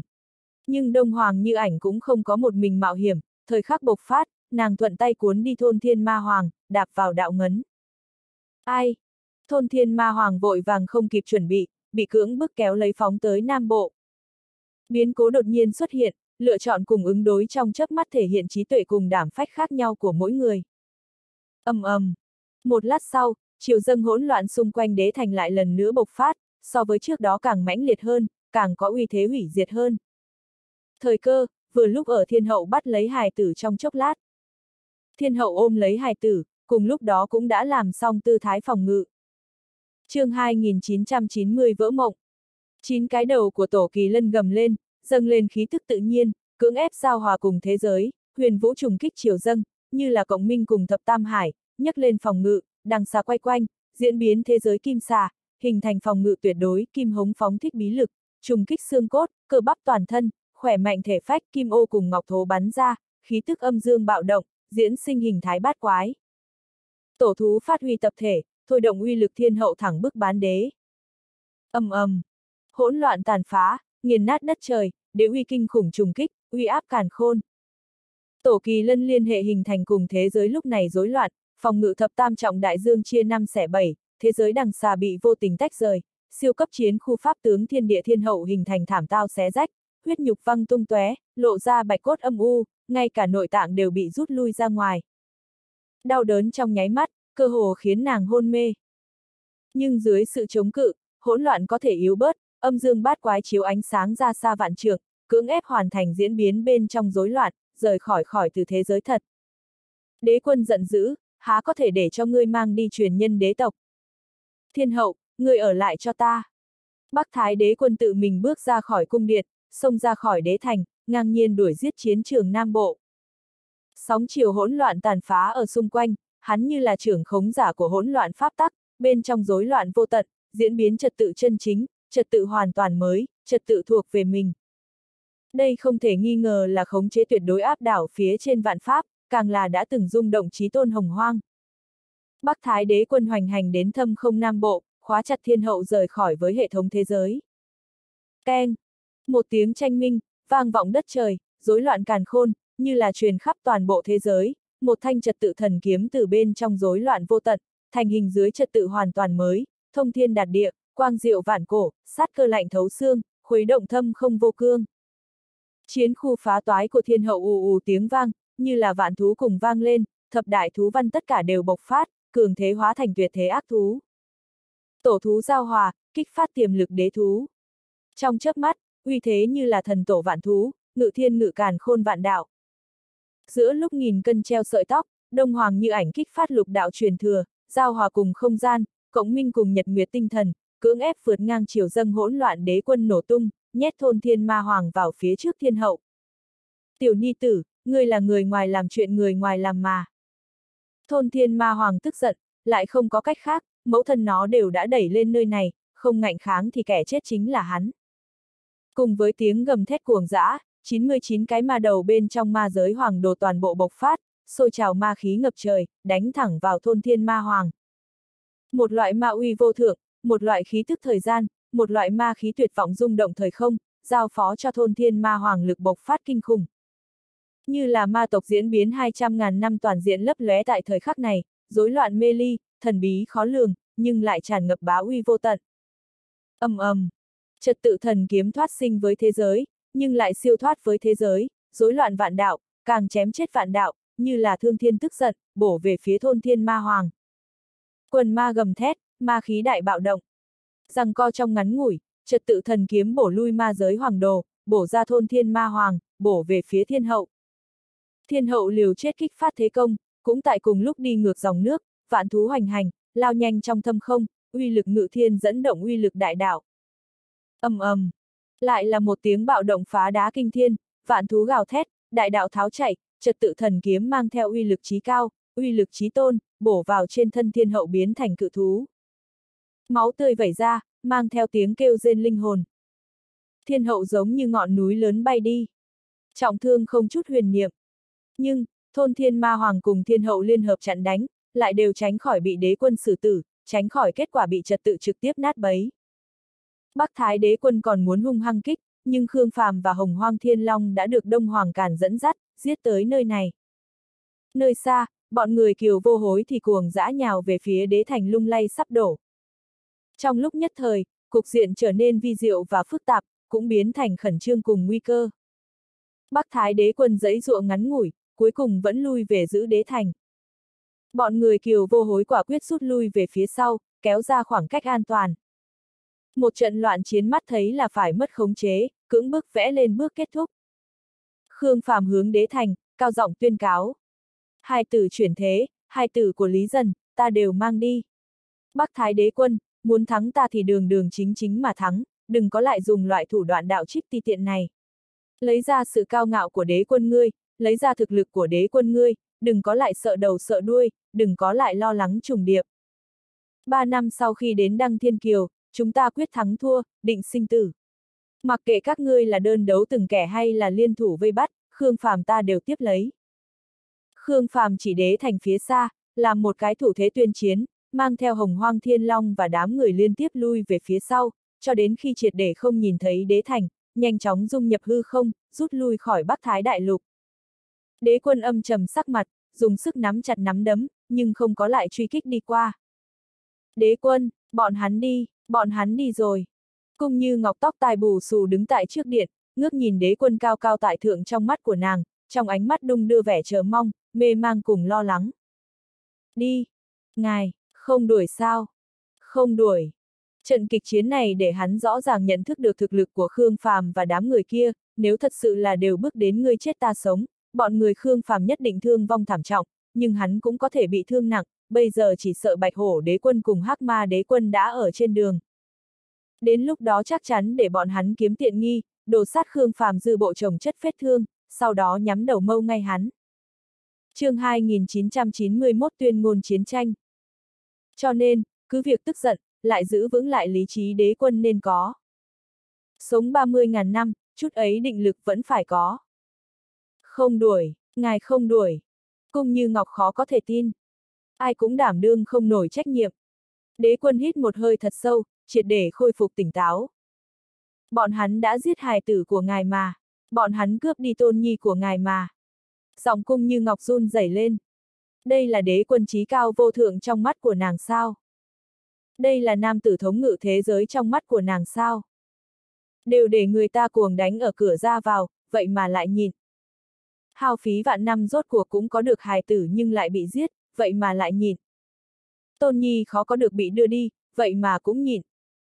Đây rốt cuộc là cực tỉnh táo, hay là sợ chết? Lần đầu tiên trong đời cung như ngọc mê mang. Phân thân vẫn còn, huyết mạch của ta sẽ không có chết. Nhưng bộ phân thân kia khẳng định sẽ dung hợp đế tử, đến lúc đó đế tử. Chính là đồ ăn. Phân thân há có thể dung hợp chủ thể, chỉ có thể chủ thể thôn vệ phân thân. Chủ thể vẫn còn, đế tử sẽ không chết được, sẽ còn bởi vì thôn vệ phân thân mới mà trở nên càng mạnh mẽ hơn. Nhưng, nhưng đó còn là đế tử sao? Vẫn là hài tử của ta. Còn có tôn nhi kia, một tay thiếp nuôi nấng. Báo thù, chưa hẳn nhất định phải lập tức, đợi đăng thiên kiều xử tử Khương Phàm, hai tử cùng cháu trai sẽ đều trở về. Thế nhưng, cung như Ngọc còn muốn nói điều gì, nhưng lại bị ánh mắt lạnh lẽo rủ xuống của đế quân làm cho ngậm miệng lại. Đăng thiên kiều, ta sẽ giải quyết triệt để Khương Phàm. Thanh toán tất cả. Bắc Thái đế quân ngẩng đầu, nhìn qua phương hướng Khương Phàm rời khỏi. Khai chiến ở nơi này, ràng buộc quá nhiều, nhưng cuộc chiến ở Đăng Thiên Kiều Thiên Khải, hắn không còn sợ hãi. Khai chiến ở nơi này, hắn cần một mình đối mặt với hơn 20 vị thần ma kia, nhưng ở cuộc chiến Đăng Thiên Kiều Thiên Khải, đám thần ma kia của Khương Phàm tự nhiên do từng nhóm cường giả đế tộc thu thập. Đăng Thiên Kiều, nơi đó sẽ là chiến trường thật sự của hắn cùng các đế quân. Về phần hài tử, chỉ cần là huyết mạch của hắn là được. Huống chi, nếu như đế tử dung hợp bộ phân thân kia, hẳn là có thể trở nên mạnh hơn, còn có thể bằng vào tài nguyên của Khương Phàm, bước lên sơ khuy bán đế. Đế quân, ba vị trưởng lão kia tự tiện chủ trương, nên làm xử lý ra sao? Đại trưởng lão đế tộc run rẩy quỳ ở trước mặt đế quân, hắn thực sự không nghĩ tới lại có trưởng lão làm ra lớn chuyện không ngờ như thế. Ngươi là ai? Hội trưởng lão đế tộc, đại trưởng lão. Giám thị bất lực, tả tội đi. Được, ta nhất định lấy cái chết tả tội. Đại trưởng lão đau đớn nhắm mắt lại, đã ngờ tới kết quả của mình. Các trưởng lão theo tới khác đều thật sâu cúi người, run lẩy bẩy. Ba vị trưởng lão kia xúc phạm tộc quy, nên xử tử. Nhưng nếu như là đã chết rồi, thì thanh ra ra phả. Cảnh cáo toàn tộc. Đế quân tự mình làm chỉ lệnh. Cần tuân chỉ lệnh của đế quân. Chư vị trưởng lão nhao nhao lĩnh mệnh, nhưng mặt mũi áp vào mặt đất cơ hồ đều hiện ra thể hiện phức tạp phi diệu. Ba vị trưởng lão đại nghịch bất đạo như vậy, cũng chỉ là thanh gia gia phả. Cho dù đối với con dân đế tộc mà nói, đây cũng đã là trừng trị cực kỳ nghiêm khắc, mang ý nghĩa không vào tổ từ, không còn là người của đế tộc. Nhưng, ngẫm lại đại trưởng lão đều trực tiếp xử tử, phần trừng trị này nói nặng cũng nặng, nói không nặng giống như. Bọn hắn đều hoảng hốt lấy bắt lấy cái gì, lại đều không dám nghĩ sâu xuống. Bọn người Khương Phàm rút lui, đồng thời sau khi đội ngũ các nơi siêu tập được một phận hài nhi, cũng nhanh chóng rút lui. Đối với một ít người còn không có xác định, thậm chí là còn chưa ra đời, bọn hắn chỉ có thể để lại một câu, ẩn nhẫn. Vẫn là nguyên nhân kia, chỉ cần di chuyển bộ phận lớn, một phần nhỏ không đáng để đế quân làm tiếp tiến hành đổ sát. Tại thời điểm Bắc Thái đế thành lọt vào vây bắt, hệ thống thế giới nhận trùng kích, Bạch Hổ đế quân cùng Hắc Ma đế quân đã phát giác được trước hết nhất, cũng xác định chính là Bắc Thái đế thành. Nhưng bọn hắn đều cảm thấy rất kỳ quái. Tình huống này là như thế nào? Hỗn loạn pháp tắc làm sao lại ba động kịch liệt? Bắc Thái, nổ. Làm cái gì? Bất luận bọn hắn nghĩ như thế nào cũng đều sẽ không nghĩ đến, là lẽ ra Khương Phàm nên trốn ở Thương Huyền, run lẩy bẩy, lại lần nữa phát khởi chiến tranh, mà còn là trực tiếp đưa chiến hỏa tiến lên đến Bắc Thái Đế Thành. Cho đến hai ngày sau đó, thế giới pháp tắc tiếp tục trùng kích, rốt cuộc cũng khiến cho Bạch Hổ Đế Quân, Hắc Ma Đế Quân cảnh giác, cũng vào tới đại lục các đế quân khác. Bạch Hổ Đế Quân cùng Hắc Ma Đế Quân dẫn đầu xuất phát, rời khỏi đế thành của bọn hắn, vượt qua đại lục minh mông, lại tiến vào hải vực, tới gần Bắc Thái đại lục. Mà hệ thống thế giới tiếp tục không ngừng bạo động, cũng làm cho bọn hắn bắt đầu gấp gáp. Loại biến cố này không bình thường. Không phải là đột phá, cũng không phải tu luyện. Càng giống như là đang phóng thích. Cho đến khi bọn hắn tới gần đại lục, loại kia dung chuyển mãnh liệt cuối cùng kết thúc. Bọn hắn đều có loại dự cảm thật không tốt, nhưng vẫn không dám cân nhắc tới vấn đề khoa trương nhất, cũng cuối cùng bỏ qua cơ hội vòng vây Khương Phàm tại Tân Hải. Bọn người Khương Phàm cũng không có ngốc đến mức trực tiếp rời khỏi từ hư vọng chi hải, mà là sau khi thay đổi quỹ tích tại Trung Vực, xuất hiện ở Tây Bộ Bắc Thái, từ nơi đó đợi đến khi tất cả không võ tập kết, bí mật đường vòng về thần hữu chi hải, lại tiến thần khắp chi hải, quanh đi quẩn lại, hai triệu giảm, cuối cùng đăng nhập từ Nam Bộ Tân Hải Thương Huyền. Bọn hắn có thần linh không gian, tốc độ nhanh, không sợ quấn đường xa. Cho đến khi đặt chân vào Thương Huyền, Khương Phàm hướng Thái Sơ Đại Lục, hướng toàn bộ thiên hạ, phát ra tuyên cáo. Ta, chủ nhân Thương Huyền, dẫn xuất bốn vị siêu thần Thương Huyền, 20 vị thần linh, cùng toàn thể thánh linh, tuyên cáo với cửu châu thập tam hải, tuyên cáo với dân chúng thiên hạ. Chư vị đế quân, chính là chủ nhân thế giới, trí tôn chúng sinh, nhận tám phương triều bái, các tộc kính sợ, lẽ ra nên chú trọng dáng vẻ, tuân theo đạo Pháp, làm gương mẫu, định tiêu chuẩn cơ bản cho vạn dân.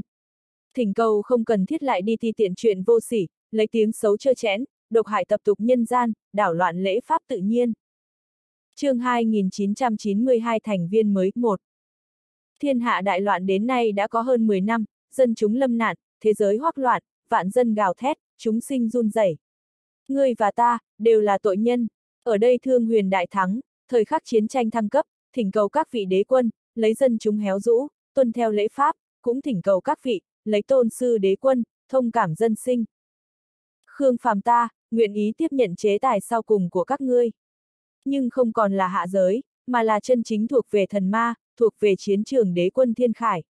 Ta nguyện dùng thân phận chủ nhân thương huyền bảo đảm, ba năm sau, tường định năm 26 tháng 1, tiến về đăng thiên kiều thiên khải. Đến lúc đó, mặc kệ ta cảnh giới như thế nào, tình cảnh như thế nào, đều trực diện các vị đế quân. Ta, nguyện xuất lĩnh toàn bộ cường giả thương huyền, tiếp nhận chư vị đế quân cùng đế tộc khảo nghiệm cuối cùng. Nếu như thất bại, chúng ta, mặc cho xử trí. Nếu như thất bại, ta, chắp tay nhường thương huyền cho. Nếu như thất bại, chúng sinh, cầu xin thiện đãi. Tuyên ngôn dưới sự vận hành của Đông Hoàng tộc, nhanh chóng truyền khắp hải vực, phóng tới đại lục. Đây là đang chính thức hạ chiến thư với đế tộc tám phương, đây càng là đang xin mời chúng sinh thiên hạ chứng kiến.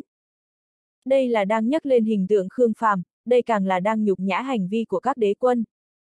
Nếu như các đế quân còn có tôn nghiêm, nhất định phải tiếp nhận.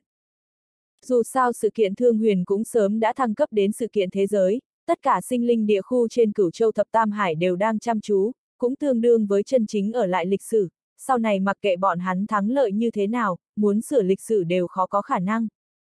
Bây giờ Khương Phàm công nhiên tuyên cáo, nếu như bọn hắn còn muốn khăng khăng lại đi tiến hành, ti tiện, thật đúng là có khả năng lưu lại cái danh trơ chẽn cho hậu thế, ảnh hưởng hình tượng đế tộc nghiêm trọng. Sau khi các đế quân nhận được tin tức, đều tương đối tức giận. Nhất là sau khi biết chuyện phát sinh tại Bắc Thái Đại Lục, càng là nén giận. Bọn hắn từ đầu đến cuối không có ngóng trông Bắc Thái cùng Thái Sơ có thể lợi dụng được sự kiện con tin, nhưng ít ra có thể tạo chút phiền phức cho Khương Phàm, giết chết một bộ phận thần ma của Khương Phàm, kết quả ngược lại thì tốt rồi. Còn chưa bắt đầu, vậy mà tên điên Khương Phàm kia lại trực tiếp dẫn người giết vào Bắc Thái Đại Lục. Một cử động điên cuồng này thật sự là điên đến cực hạn. Tất cả đế quân đều không có nghĩ đến, Khương Phàm cũng dám rời khỏi Thương Huyền, còn dám chủ động xuất kích đế tộc. Đường đường là đế quân, lại bị người ta ngăn ở cửa chính cuồng đánh. Nhưng, bọn hắn càng không có nghĩ tới Khương Phàm lại trong nửa năm sau khi đại chiến Thương Huyền kết thúc, liên tiếp tạo nên ra hơn 20 vị thần ma. Cái này so với bọn hắn mong muốn Khương Phàm bên trên Đăng Thiên Kiều còn nhiều hơn. Loại kia chính là thần ma nha, lúc nào có thể tạo nên số lượng lớn. Thiên hậu lại còn là sơ khuy bán đế rồi. Cái này không chỉ là bảy đại tổ thú cưỡng ép kích phát, càng mang ý nghĩa tiềm lực linh văn kia của thiên hậu cũng đủ lớn. Hồng hoang thiên long cùng thôn thiên ma hoàng vậy mà cũng là sơ khuy bán đế rồi. Mặc dù đều là đế mạch chân chính, nhưng bước vượt qua này khó khăn đến cỡ nào, đế tộc cao ngạo đều là vạn năm bồi dưỡng được một. Lần đầu tiên đế tộc sinh ra kiêng kỵ đối với thực lực thương huyền. Nếu thật sự là không chết không thôi hợp lại, Khương Phàm cùng đám quân kia bách chiến dưới trướng hắn thật có khả năng sẽ sống một tôn đế quân. Ngay cả thời điểm tinh linh đế quân nhận được tin tức đều mộng thật lâu. Nàng tuyệt đối không nghĩ tới Khương Phàm sẽ làm ra điên cuồng như vậy. Ra khỏi thương huyền, tiến về Bắc Thái, vây bắt đế thành. Đây chính là kết quả chọc giận cự thú chiến tranh Khương Phàm này sao? Nhìn lại vài vạn năm lịch sử, đây không thể nghi ngờ là lần đầu tiên thần linh khiêu chiến đế quân. Công nguyên năm 22, ngày 21 tháng 3. Sau khi Khương Phàm phát ra tuyên cáo hơn 10 ngày, Thái Sơ Đế Thành lại tuyên cáo đại lục, giải tán tất cả phụ nữ có thai bị tụ họp lại, không còn hạn chế, không còn can thiệp. Cùng lúc đó, Khương Phàm tự mình đến Đại Hạ Hoàng Triều, khẩn cầu thần Phật, tự mình dẫn Phật đồ vượt qua đại dương, quay về đại lục, tìm kiếm những chiến hồn chuyển thế kia. Mặc dù Thái Sơ không còn ước thúc những hài tử kia, nhưng không có thiện lương đến mức đưa bọn hắn rời khỏi.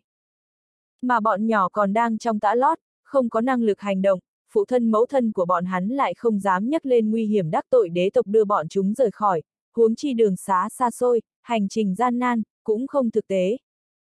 Có thể đi đến Thái Sơ, mà không bị làm khó dễ, trong thiên hạ chỉ có Phật môn. Cùng lúc đó, tất cả các đế quân đều làm ra cuối cùng quyết định. Để yên, chịu đủ. Cũng thật sự là không có cái chủ ý gì tốt để có thể chân chính làm bị thương Khương Phàm, hoặc là giết Khương Phàm bây giờ. Đi đăng thiên kiều đi. Ở nơi đó giải quyết triệt để, xong hết mọi chuyện. Năm 26, tháng 1, cách này còn có 3 năm rưỡi, thời gian nói ngắn cũng không ngắn, nói dài thật đúng là không dài. Lấy tốc độ Khương Phàm, hẳn là có thể hoàn toàn hư hóa. Nhưng bọn người thiên hậu, tuyệt đối không thể nào. Bọn hắn vừa vặn có thể lợi dụng hơn 3 năm này, an an ổn ổn tu luyện, tận tâm tận lực bồi dưỡng cường giả của bọn hắn. Một trận chiến đăng thiên kiều, bọn hắn một lần nữa thắng về mặt mũi đế tộc, chứng minh thực lực đế tộc. Xí thiên giới.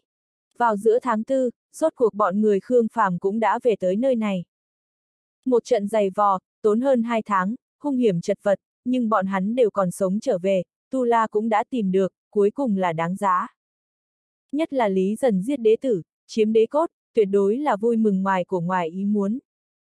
Bên ngoài xí thiên đại điện, mọi người tụ tập lại một chỗ, chờ đợi một người thức tỉnh Triệu Thanh Vi. Triệu Thanh Vi 10 tháng hoài thai bị Tu La hao hết sinh cơ, vừa mới sinh lại trải qua đại bi đại loạn, lang bạt kỳ hồ, cảm xúc khẩn trương cao độ, không đợi trở lại thương huyền đã ngất đi. Một lần không có hơi thở. Bởi vì thương thế quá nghiêm trọng, thêm nữa thân phận quá đặc thù, các luyện đan sư tại xí thiên giới đều không có dám tùy tiện cứu chữa, chỉ là làm chút dược liệu, miễn cưỡng ổn định tình huống. Cho đến khi bọn người Khương Phàm trở về, đan hoàng tự mình tiếp nhận. Đừng lo lắng, không có chuyện gì. Kiều Hình trấn an bọn người triệu thiên khoát rè chừng đến toàn thân căng cứng chương 2993 thành viên mới 2. Thật có thể được không? Nếu như sớm đi cứu chữa, khả năng còn có hy vọng, bây giờ. Hai nữ triệu huyên rất có ý kiến đối với việc dược sư nơi này kéo dài thời gian không cứu chữa. Thật không có chuyện gì, rất nhanh sẽ đi ra thôi. Kiều Hinh mỉm cười. Nơi này chính là xí thiên giới, y thuật đại biểu cho thương huyền, thậm chí cao nhất thiên hạ. Các luyện đan sư không có kịp thời nhúng tay, là có nắm chắc nàng có thể chống đến khi đan hoàng trở về, cũng càng có nắm chắc đan hoàng có thể cứu nàng. Chỉ mong vậy đi. Người của triệu gia vẫn rất lo lắng. Làm sao lại khẩn trương thành như thế này? Tiêu phượng ngô ở bên cạnh nói nhỏ, mấy người này lại toàn thân căng cứng, không ngừng run rẩy, đầu còn đầy là mồ hôi. Đây là khẩn trương sao? Khoa trương chút đấy. Là khẩn trương, cũng là bị ép tới. Chu Thanh Thọ nhún vai, không có cách nào cả, tất cả Thánh Vương, Thánh Hoàng cùng thần linh đều tới, cứ việc tận lực thu liếm khí thế, đối với bọn người triệu thiên khoát vẻn vẹn là linh hồn cảnh vẫn quá kinh khủng, đó là không bị khống chế mà run rẩy. Triệu thiên khoát là linh hồn cảnh thất trọng thiên, trước đó sửa lại nhiều lần, đều xóa cho ta, không biết lần này các ngươi có thể hay không. Trích lời tác giả. Bọn hắn tìm hiểu tình huống chưa? Biết hài tử bọn hắn sinh là ai chăng? Tiêu phượng ngô đánh giá mấy người này. Vậy mà có thể sinh ra tu la. Đây là mộ tổ nhấc lên khói xanh đi, lại còn là chủng loại ừng ực ừng ực kia. Nên giới thiệu đều giới thiệu, nhưng bọn hắn còn dừng lại trong rừng rậm, không biết gì về thế giới, đối với những gì ta giới thiệu không phải rất hiểu. Từ từ sẽ ổn thôi, dù sao cũng không trông cậy vào bọn hắn làm cái gì, ở chỗ này hưởng thanh phúc là được. Chu Thanh Thọ thuận miệng nói, khóe mắt không ngừng liếc qua nhìn trộm Triệu Du cùng Triệu Huyên, mặc dù có loại giã tính, tuy nhiên bộ dáng này, dáng người này, tính cách này, thật hăng hái. Có phải mình nên cân nhắc nạp nhị phòng rồi hay không? Sau này sẽ có huynh đệ tam đế quân, một nhạc phụ đế quân, thời gian kia. Thoải mái a. À. Na yêu, nam tử của ngươi muốn nạp thiếp. Tiêu phượng ngô không e rè một cuống họng, để ánh mắt xung quanh đồng loạt quét tới. Chu Thanh Thọ cứng đờ, toàn thân toát ra mồ hôi lạnh. Phượng nha đầu, ngươi chán sống. Tiêu phượng ngô hừ một tiếng. Ta biết ngươi nhiều năm như vậy, ngươi hất mông lên một cái, ta đã biết ngươi sẽ cho ra dạng phân gì. Ngươi cũng đã nhìn chằm chằm cái mông hai cô nương người ta nửa ngày. Ta, ta ta ta, ta là đang. Dù là Chu Thanh Thọ nhanh mồm nhanh miệng, nhưng lúc này lại cũng không nói ra lời.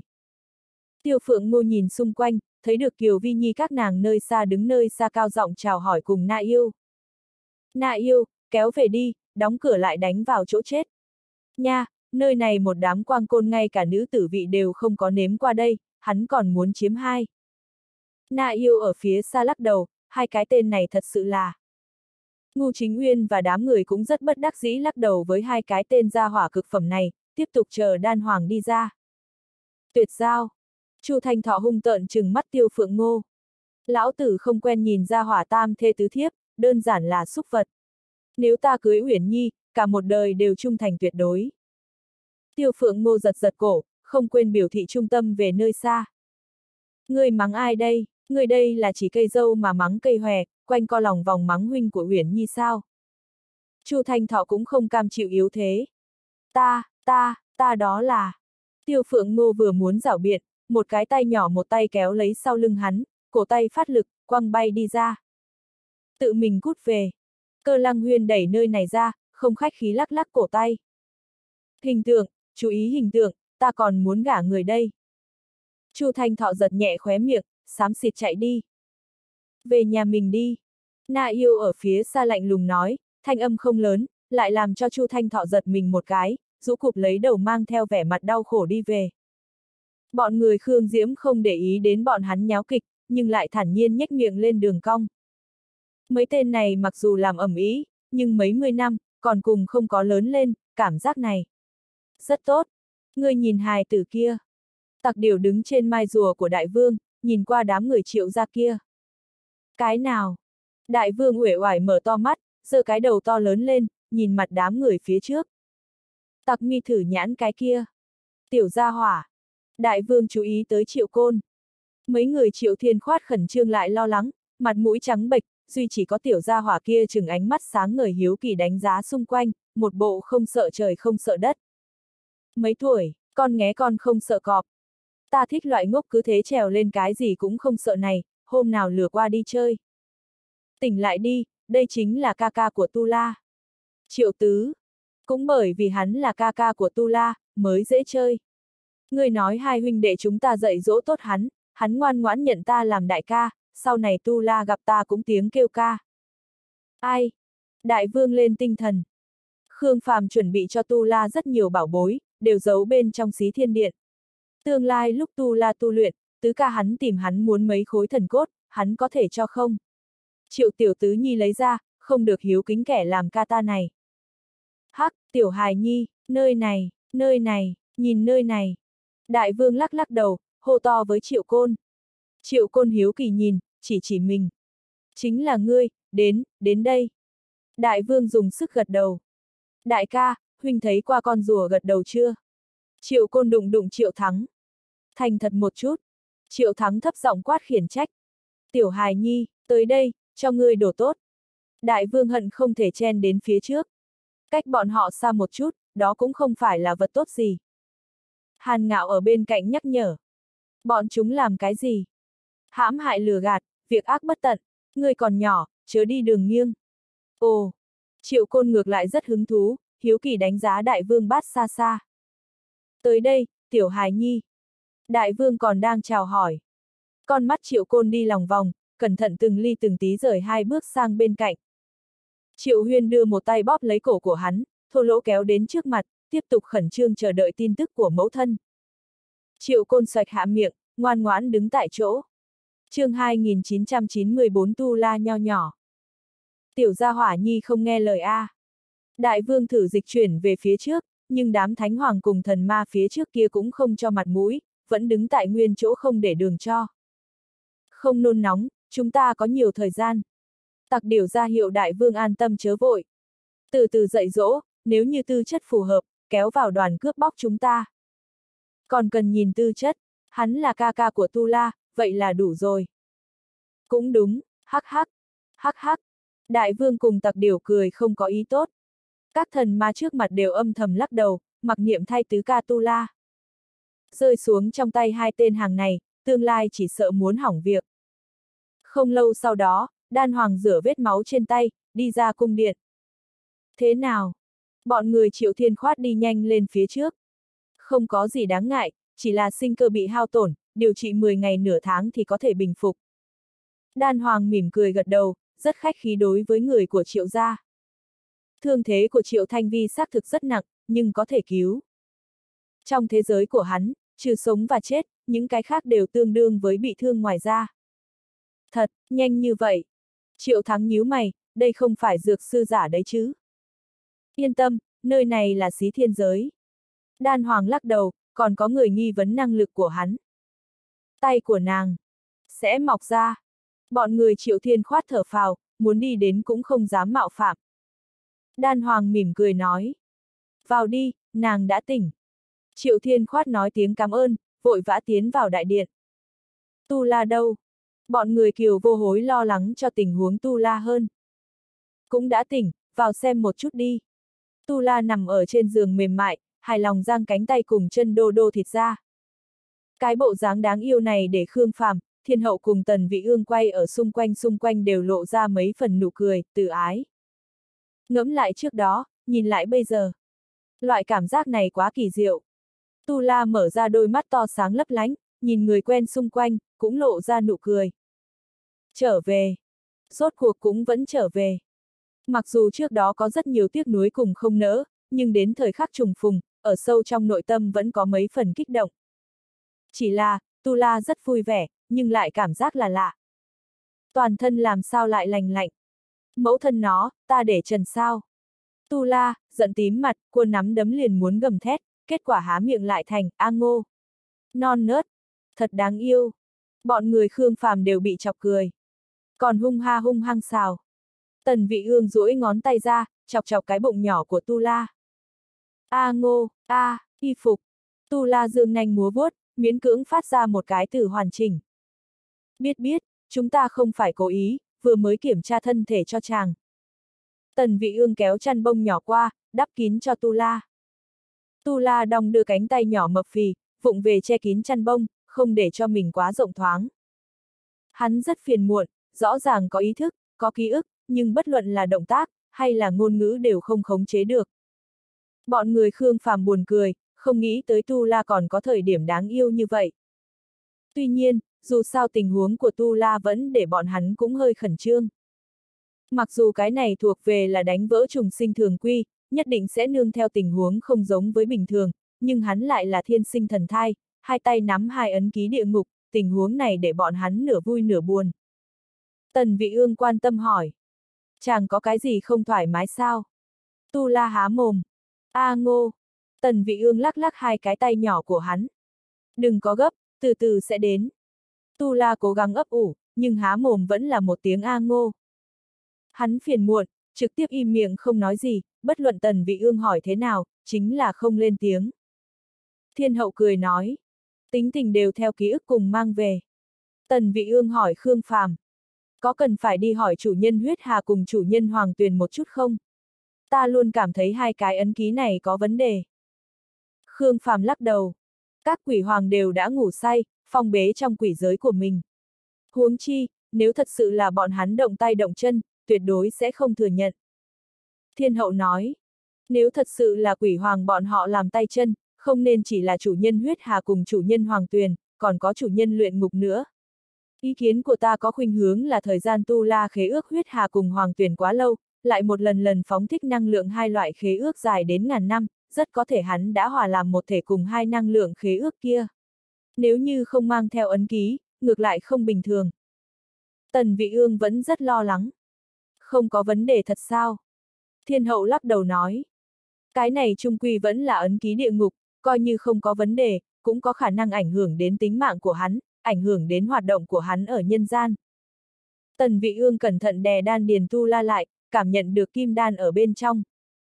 Cái này cùng loại với thần thai kim đan rất không ổn định, nghĩ biện pháp phong bế cho nó. Khương Phàm khuyên nhủ, tu la thể chất hơn hài nhi bình thường, kim đan lại là chính hắn thai ngén, tạm thời hẳn không có nguy hiểm gì. Ngươi cũng đừng quá khẩn trương, bây giờ chúng ta muốn thực lực có thực lực, các vấn đề cường giả đều có, muốn đan dược có đan dược, đan hoàng có thể nhắm vào luyện chế, nguy hiểm gì ứng phó không được. Ta thấy như vậy đi, trước hết để cho tu la tự mình tu luyện, tự mình trưởng thành, chúng ta không áp đặt can thiệp, phát hiện vấn đề gì, tính nhắm vào giải quyết vấn đề gì. A ngô, tu la vung tay nhỏ, phát biểu dụng tâm, hiển nhiên đồng ý đề nghị của Khương Phàm. Bọn người Khương Phàm đều bị chọc phát cười. Lúc này, bọn người kiều vô hối, Khương Diễm gión rén đi đến, nhìn thấy người bao quanh tiểu hoa nhi đều là hai mắt tỏa sáng, lộ ra nụ cười nghiền ngấm. Hồi tưởng sự tích anh hùng của Tu La, chứng kiến qua Tu La cường đại tại quỷ giới, lại nhìn tiểu gia hỏa trước mắt, tương phản mãnh liệt này quá thần kỳ. Rất nhiều người lắc đầu, trước đó rất chờ mong gặp mặt Tu La, không nghĩ tới sẽ là tình cảnh như vậy. Hắn có ký ức, có thể nói chuyện. Tiêu phượng ngô lại trở về, ra sức chen đến phía trước, tò mò hỏi. Hắn sao, vẫn là tu la ban đầu, tâm trí cùng đại nhân không khác, chính là vừa ra đời, biểu đạt có chút khiếm khuyết chương 2995 đặt tên. Tần vị ương cẩn thận ôm lấy tu la cho mọi người nhìn. Biểu tình mừng rỡ kiêu ngạo, cực kỳ giống biểu hiện ra con mình. Tu la rất phiền muộn, nhưng cũng không có cách nào, chỉ có thể gắt gao nắm lấy chăn bông, sợ mình bị lộ. Hắn, bú sữa mẫu thân sao? Tiêu phượng ngô tò mò hỏi. Gian phòng bỗng nhiên an tĩnh, bú sữa mẫu thân. Tần vị ương đều sửng sốt một chút, hỏi Khương Phàm. Cái này, uống sao? Khương phạm lúng túng nói. Ta nào có kinh nghiệm, hỏi Kiều Hinh. Kiều Hinh cũng lúng túng nói. Không uống đi. Tần vị ương kinh ngạc. Vì sao, dinh dưỡng theo không kịp sao? Kiều Hinh má ngọc ửng đỏ. Hắn, hắn cũng không phải tiểu hài nhi thật. Hắn, hắn hiểu chuyện, cái này, làm sao, khó trách là tình. Tiêu phượng ngô gãi gãi đầu. Đúng thế, một bên vén không ra y phục, một bên mở miệng không nổi, hai bên đều không có ý tứ. Đám người dở khóc dở cười, cái này còn giống như thật sự là một vấn đề. Tần Vị Ương nói. Không bú sữa mẫu thân, uống gì? Trung quy vẫn là tiểu hài nhi, cần phát triển thân thể. Thiên hậu nói, tìm đan hoàng, làm chút dược dịch, mỗi ngày cho ăn một chút. Tần vị ương khẽ động tu la đang ôm trong ngực, lo lắng nói. Từ nhỏ đã mớm thuốc, đan hoàng có thể khống chế việc đó sao? Dù sao chàng cũng là tiểu hài nhi, ăn hỏng thì phải làm sao bây giờ? Khương Diễm nói. Chút chuyện bao lớn, trước gạt ra lại uống. Khương qua nói. Ý kiến hay, qua bên kia chen tốt, cầm bên này lại uống. Ngu chính uyên nhíu mày, hỏi Tu La. Ngươi uống sữa sao? Sẽ có, có, uống chút hay không? Ta uống cái rắm. Tu La thực sự không chịu nổi, đường đường là Tu La chiến thần, côn lôn quỷ hoàng, lại bị một đám người vây quanh thảo luận chuyện bú sữa mẫu thân. Hắn nắm chặt tay, nghiêm mặt, phát ra một tiếng gào thét tức giận, kết quả. Thanh âm bất tranh khí. Há miệng, nhắm mắt lại, phun ra tiếng khóc. Tần vị ương luống cuống tay chân an ủi. Không khóc không khóc, khẳng định là đói bụng, làm sao bây giờ? Đi mời mẫu thân hắn đu, nhanh đi. Khương Diễm thúc giục An Minh Hề. qua a a. Tu La khóc càng hung, thân thể nhỏ dẫy rụa kịch liệt, không uống không uống, ta không uống. Đường đường Tu La, há có thể bú sữa mẫu thân. Cái này để mấy triệu chiến hồn của hắn nhìn hắn như thế nào. Tần vị ương cuống quyết trấn an. Đây là thế nào, đói tới tức giận. Chờ một lát, ta sẽ trở lại rất nhanh thôi. An Minh Hề nói xong liền muốn lui ra, lại bị hướng vãn tình ngăn lại. Cái gì đói đến tức giận, hắn là thẹn thùng. Lại nói, vị mẫu thân kia của hắn gầy yếu đến không chịu nổi, nào có sữa. Ta thấy như vậy đi, đi làm chút sữa thú. Sữa thú. Sữa thú có dinh dưỡng, cũng không thương tổn mặt mũi, hẳn là có thể. Vãn tình nói xong, lại lắc lắc ngón tay Tu La, cười nói. Đúng không, tiểu Tu La? Hai mắt tần vị ương tỏa sáng, cười nói với Tu La trong ngực. Xí thiên giới có mấy trăm ngàn yêu thú, sữa thú khắp nơi đều có. Sau này mỗi ngày ta tìm sữa thú cho chàng. Ta đi, ta đi. Cơ lăng huyên các nàng hào hứng đi ra ngoài tìm sữa thú cho Tu La. Tu La không còn cách nào khác, nghiêng đầu một cái, vờ ngủ. Cái này, mệt mỏi, tiểu hài nhi chính là tiểu hài nhi, nói ngủ liền ngủ. Tần vị ương còn không có biểu hiện ra đủ đâu. Chưa cho hắn chút mặt mũi đi. Khương Phàm cười lắc đầu, Tu La kiêu ngạo cả đời, biến thành bộ dáng này trong lòng vẫn rất uất ức. Cái này có là cái gì, từ từ sẽ lớn lên.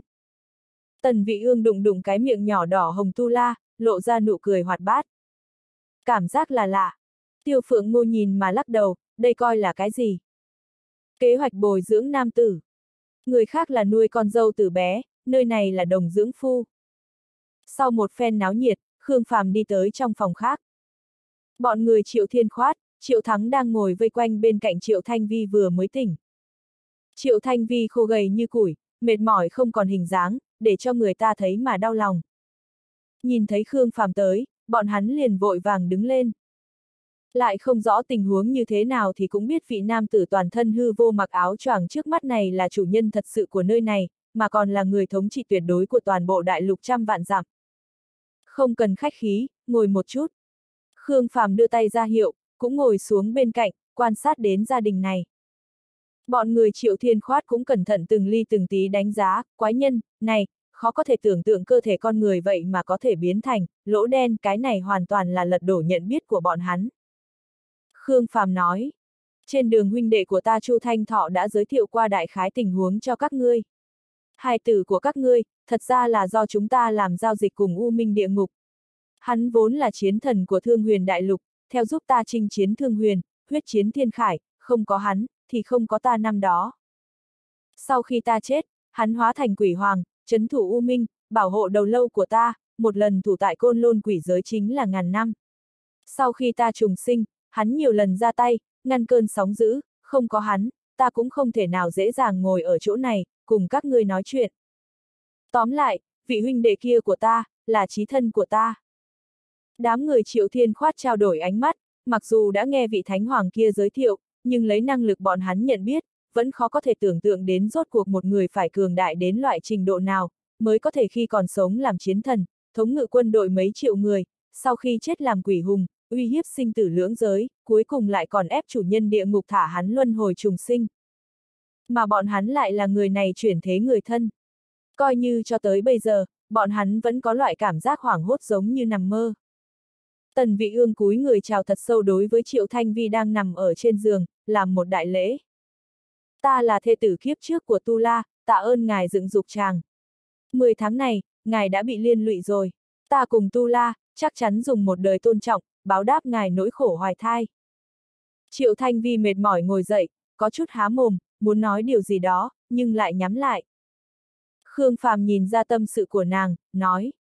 Đương nhiên, hắn vẫn còn của các ngươi, cũng vĩnh viễn là con của các ngươi, hắn sẽ mang họ triệu, tên do các ngươi định. chương 2996 quân võ viện. Từ nay về sau, các ngươi hãy nơi này xem như nhà mới của mình. Nơi này sẽ cho các ngươi cùng phù đồ bộ lạc đầy đủ tôn trọng, cũng sẽ cung cấp tài nguyên cùng vũ khí cần thiết để tu luyện. Tạ ơn ngài. Triệu Thanh Vi thở phào, dáng người mệt mỏi hơi nghiêng về phía trước, thì lễ một cái cho Khương Phàm. Trong lòng nàng, mặc kệ hài tử kia có thân phận gì, nhưng trung quy vẫn do nàng 10 tháng hoài thai sinh ra, chính là bởi vì 10 tháng này đau đớn quá mức, mấy lần đều muốn mệnh của nàng, nàng cũng càng quý giá hài tử này. Triệu Thiên Khoát cũng vội nói tạ ơn, không nghĩ tới vị cường giả này lại hiền lành hữu lễ như vậy. Khách khí, chúng ta đặc biệt đến giải thích thân phận Tu La, không phải tước đoạt nỗi khổ sinh dục của ngài, mà là để cho các người biết tầm quan trọng của hắn đối với chúng ta, cũng là để cho các ngươi có thể yên tâm ở chỗ này sinh sống. Ta còn có thể gặp hắn sao? Đương nhiên, còn muốn nhờ vất vả ngài chiếu cố hắn nữa đây. Không khổ cực, không khổ cực. Triệu Thanh Vi rốt cuộc cũng lộ ra nụ cười mệt mỏi. Phụ thân, đặt tên thôi. Triệu Côn đụng đụng phụ thân. Trực tiếp gọi là Tu La. Người ta cũng nói, họ Triệu. Triệu Tu La, giống như không thích hợp.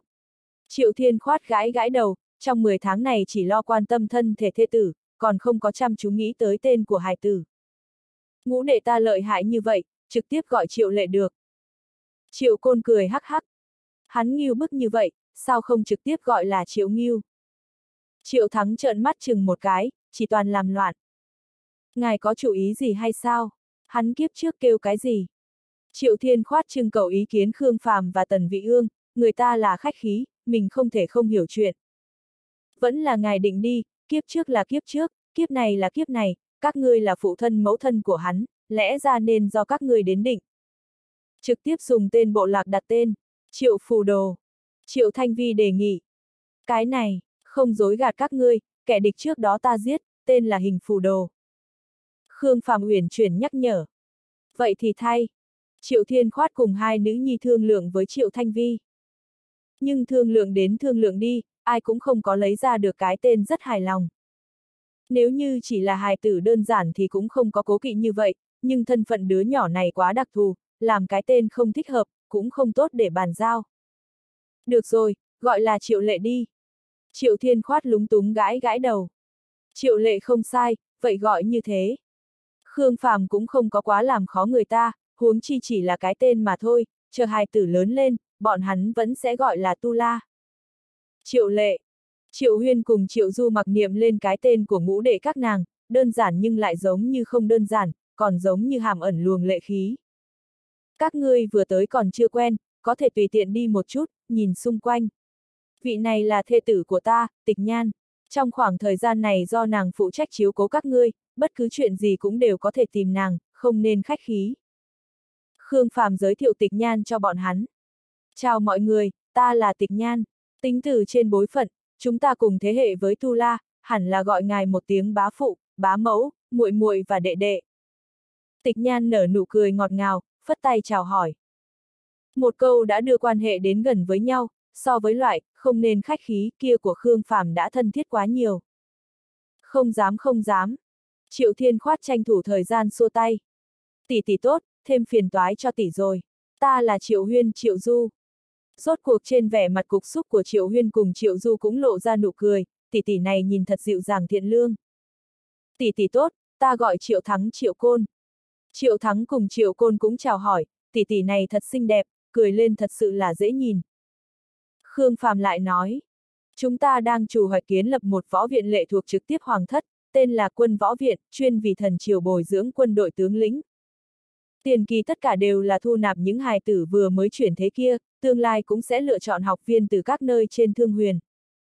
Viện trưởng đời đầu tiên của võ viện do trời sau đảm nhiệm, ngoài ra còn có Khương Diễm, Khương Qua, Khương Quỳ, đảm nhiệm vị trí phó viện trưởng, còn có Hứa Thiên Kỳ, Tô Triệt và số lượng lớn giáo viên đặc thù lại ưu tú. Nếu các người có hứng thú, có thể tới đó cùng theo học tập một lúc, nếu như không hứng thú, chúng ta còn có một ngũ hành học viện, cũng thích hợp để tu luyện. Tóm lại, hy vọng các người có thể ở chỗ này tìm tới định vị thích hợp với bản thân. Lần này đi Bắc Thái, bọn hắn thành công mang về 130.000 hài tử, còn có số lượng lớn hài tử không nguyện ý tách khỏi phụ mẫu, Thương Huyền cùng Hải vực hết thảy đã siêu tập hơn 22 vạn hài tử, chờ tương lai Thái Sơ Đại Lục, thậm chí là Bắc Thái Đại Lục, còn sẽ có tới càng nhiều hơn, cuối cùng số lượng đã có khả năng vượt qua 500 ngàn. Số lượng mấy triệu chiến hồn chân chính hoàn thành luân hồi, cũng không phải là toàn bộ, còn có một bộ phận thiếu thốn ký ức. Hơn 500 ngàn, đây cũng không phải là số lượng nhỏ. An bài bọn hắn như thế nào cũng sẽ là một vấn đề lớn. Những chiến hồn này trở về cũng đều là mang theo một phần ký ức, độ trung thành không thể nghi ngờ, cũng đều có kinh nghiệm chiến tranh, thêm chút bồi dưỡng, đến tuổi đã có thể một lần nữa tổ kiến thành quân đội, trở thành sư đoàn hổ lang. Nhưng, Khương Phàm há có thể chỉ là, thêm chút bồi dưỡng, những công thần kiếp trước này, khẳng định là phải cung cấp tài nguyên tốt nhất, từ lúc bắt đầu thức tỉnh linh văn thì đã phải nuôi nấng thật tốt, dốc lòng chăm sóc, không ngừng kích phát tiềm lực. Kể từ đó, thành tựu của mỗi người bọn họ đều viễn siêu kiếp trước, cũng nhất định trở thành một lực lượng kinh khủng. 500 ngàn trở lên, nếu như không thêm khống chế, rất dễ dàng dẫn phát phiền toái không cần thiết. Cho nên, sau khi Khương Phàm và Thiên Hậu thương lượng, hai người đã quyết định thành lập một quân võ viện. Lấy bọn hắn là thành viên tổ chức, vì tương lai chủ hoạch kiến lập thập đại quân đoàn, ngàn vạn đại quân cho thần triều. Nếu như ai kích phát linh văn đặc biệt ưu tú, hoặc là sinh ra dị biến phi phàm, còn có thể hủy đi trọng dụng khác. Những hài tử này, sẽ là nền tảng thần triều tương lai. chương 2997 bí mật kiếp trước.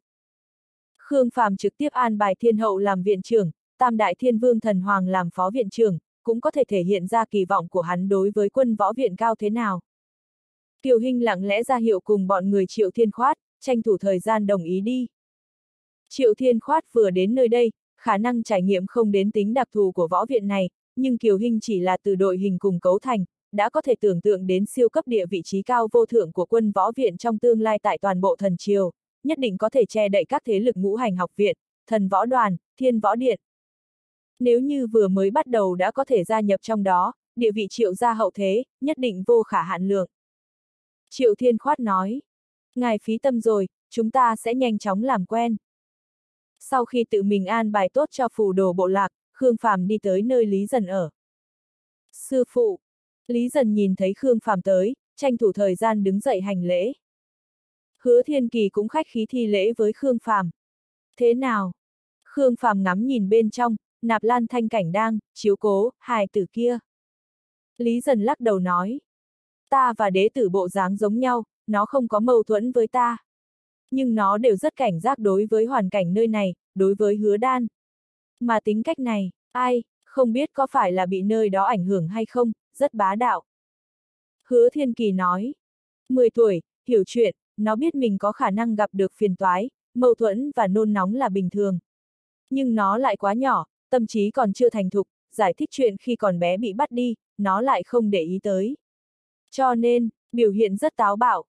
Lý Dần nói.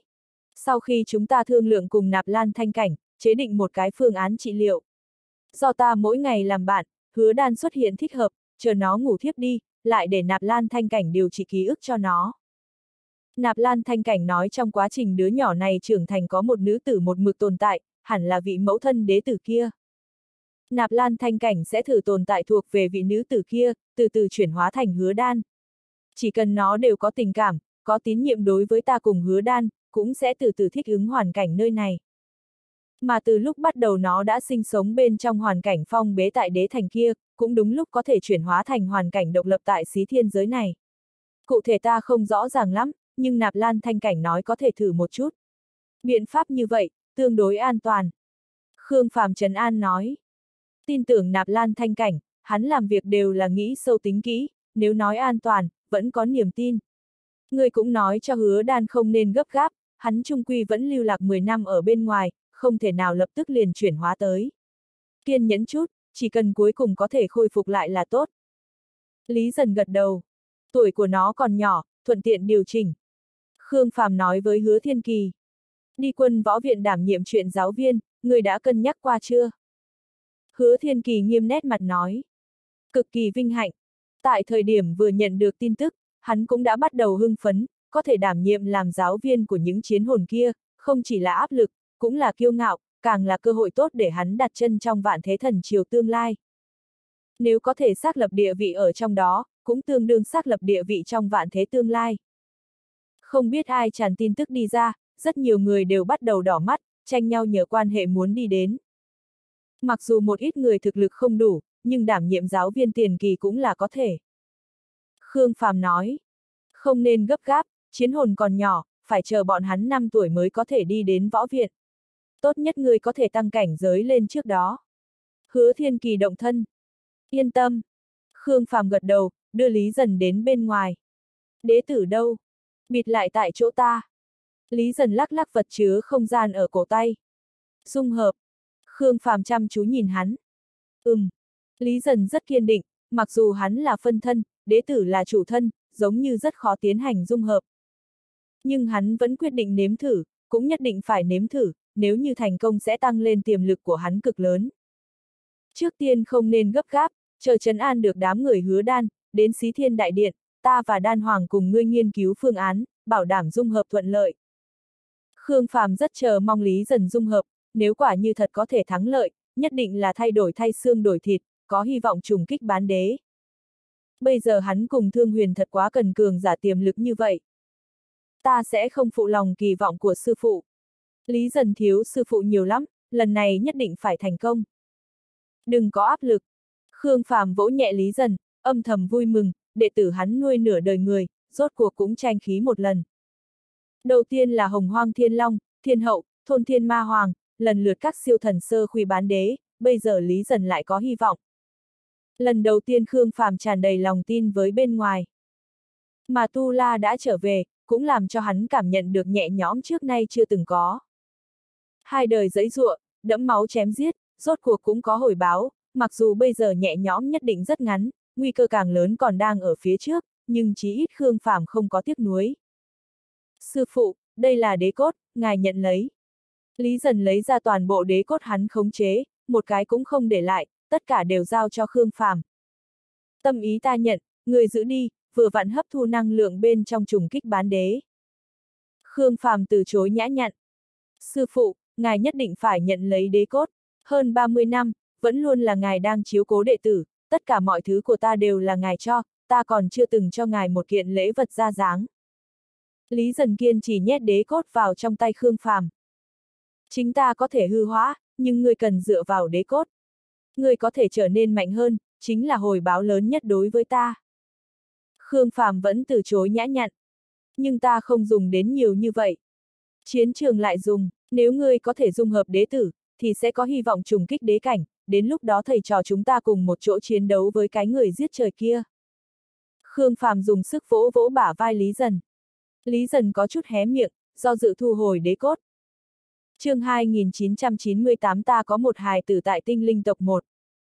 Tâm ý, ta nhận, hãy bồi hứa đan cùng hài tử thật tốt, ta cho ngươi thời gian nửa tháng, nửa tháng sau ta cùng đan hoàng chờ ngươi tại xí thiên điện.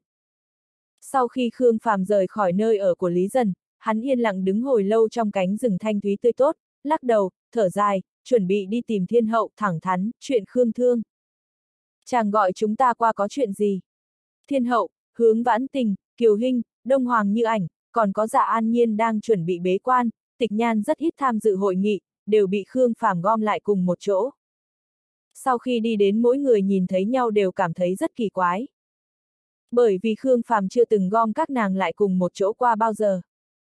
Các nàng đều là chút nữ tử thanh cao tự ngạo, trước khi quen biết Khương Phàm chưa từng nghĩ tới muốn cùng chung một phu quân, sau khi biết Khương Phàm mặc dù đã tiếp nhận, nhưng trong lòng vẫn có chút mâu thuẫn, cho nên bọn họ bình thường trừ phi là hội nghị chiến đấu thì cũng chưa từng có đơn độc chung đụng, chứ nói chi là tỉ muội tình thâm nói chuyện giao lưu, coi như ngẫu nhiên gặp mặt, cũng chỉ là giữ vững tôn trọng tương đối, chưa từng có thân mật giao lưu.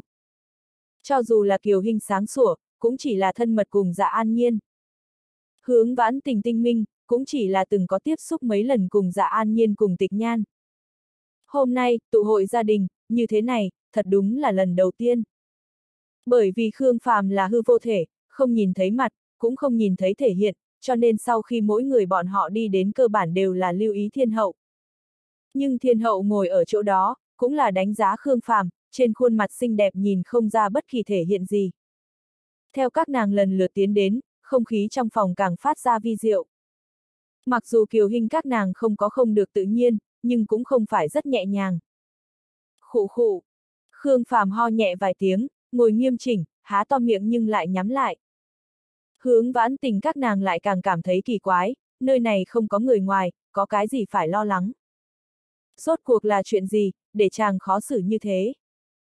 Chuyện tinh linh tộc. Thiên hậu mở miệng, ngữ khí bình tĩnh, nghe không ra bất kỳ gợn sóng tâm tình gì. Đúng. Khương Phàm cười khổ, vẫn là thiên hậu hiểu hắn. Nói đi. Thiên hậu vẫn đang chờ lời giải thích của Khương Phàm từ ngày hắn đơn độc rời khỏi, chỉ là sự kiện tu la bộc phát, tạm thời buông xuống. Chuyện bây giờ cũng đã giải quyết trọn vẹn, Khương Phàm cũng nên nói tình huống một chút. Dạ an nhiên các nàng giật mình, chuyện này sao? Đối với chuyện thiên hậu mâu thuẫn vị nữ hoàng tinh linh tộc tuyệt sắc kia, kỳ thật các nàng vẫn luôn rất ngạc nhiên. Thiên hậu đối với vấn đề Khương Phàm tìm nữ tử này kỳ thật vẫn luôn rất đại độ, nếu không các nàng đều chưa hẳn có thể cùng Khương Phàm tiến tới với nhau, duy chỉ có sau khi nhìn thấy thiên nghi nữ hoàng kia, thiên hậu giống như gặp kẻ địch. Lần này thậm chí minh xác nhắc nhở Khương Phàm, phải dẫn lấy các nàng cùng đi tinh linh đế tộc, kết quả Khương Phàm vẫn chạy một mình.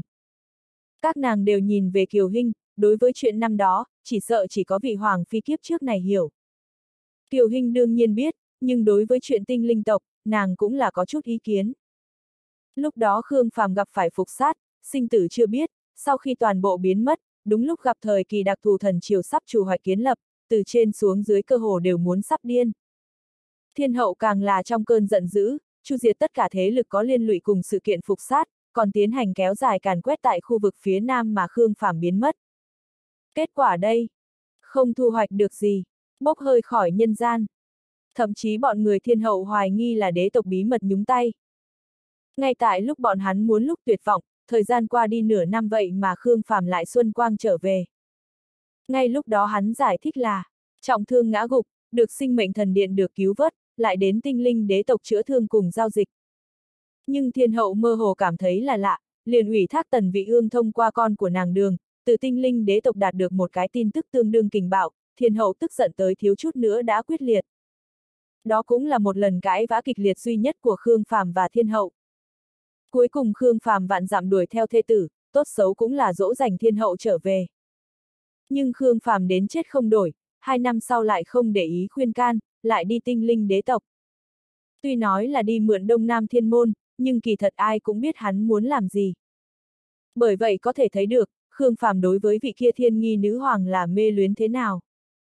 Mà lần kia thiên hậu cũng rất nghiêm túc, vạn dặm đuổi theo phu quân, mạnh mẽ xông tới tinh linh đế tộc, kéo Khương Phàm trở về ở ngay trước mặt tất cả tinh linh tộc, càng là giận dữ mắng mỏ thiên nghi nữ hoàng ở trước mặt mọi người. Khương Phàm thở dài, thản nhiên nói. Kiếp trước tại tinh linh đế tộc, ta để lại một hài tử. Chàng nói cái gì? Kiều Hinh nghẹn ngào kêu lên đầy sợ hãi. Hài tử. Hướng vãn tình các nàng đều không thể bình tĩnh. Không chỉ là, tình ngoài giá thú, còn có nợ phong lưu. Ai? Thiên hậu coi như an tĩnh, nhưng ánh mắt rõ ràng đã thay đổi. Tựa như là của thiên nghi. Khương Phàm khổ sở nói. Giải thích, cái gì gọi là giống như. Ngay cả Đông Hoàng như ảnh đều mở miệng. Sở dĩ các nàng còn có thể, bình an vô sự, một nguyên nhân rất phi diệu, chính là ai cũng không có hài tử.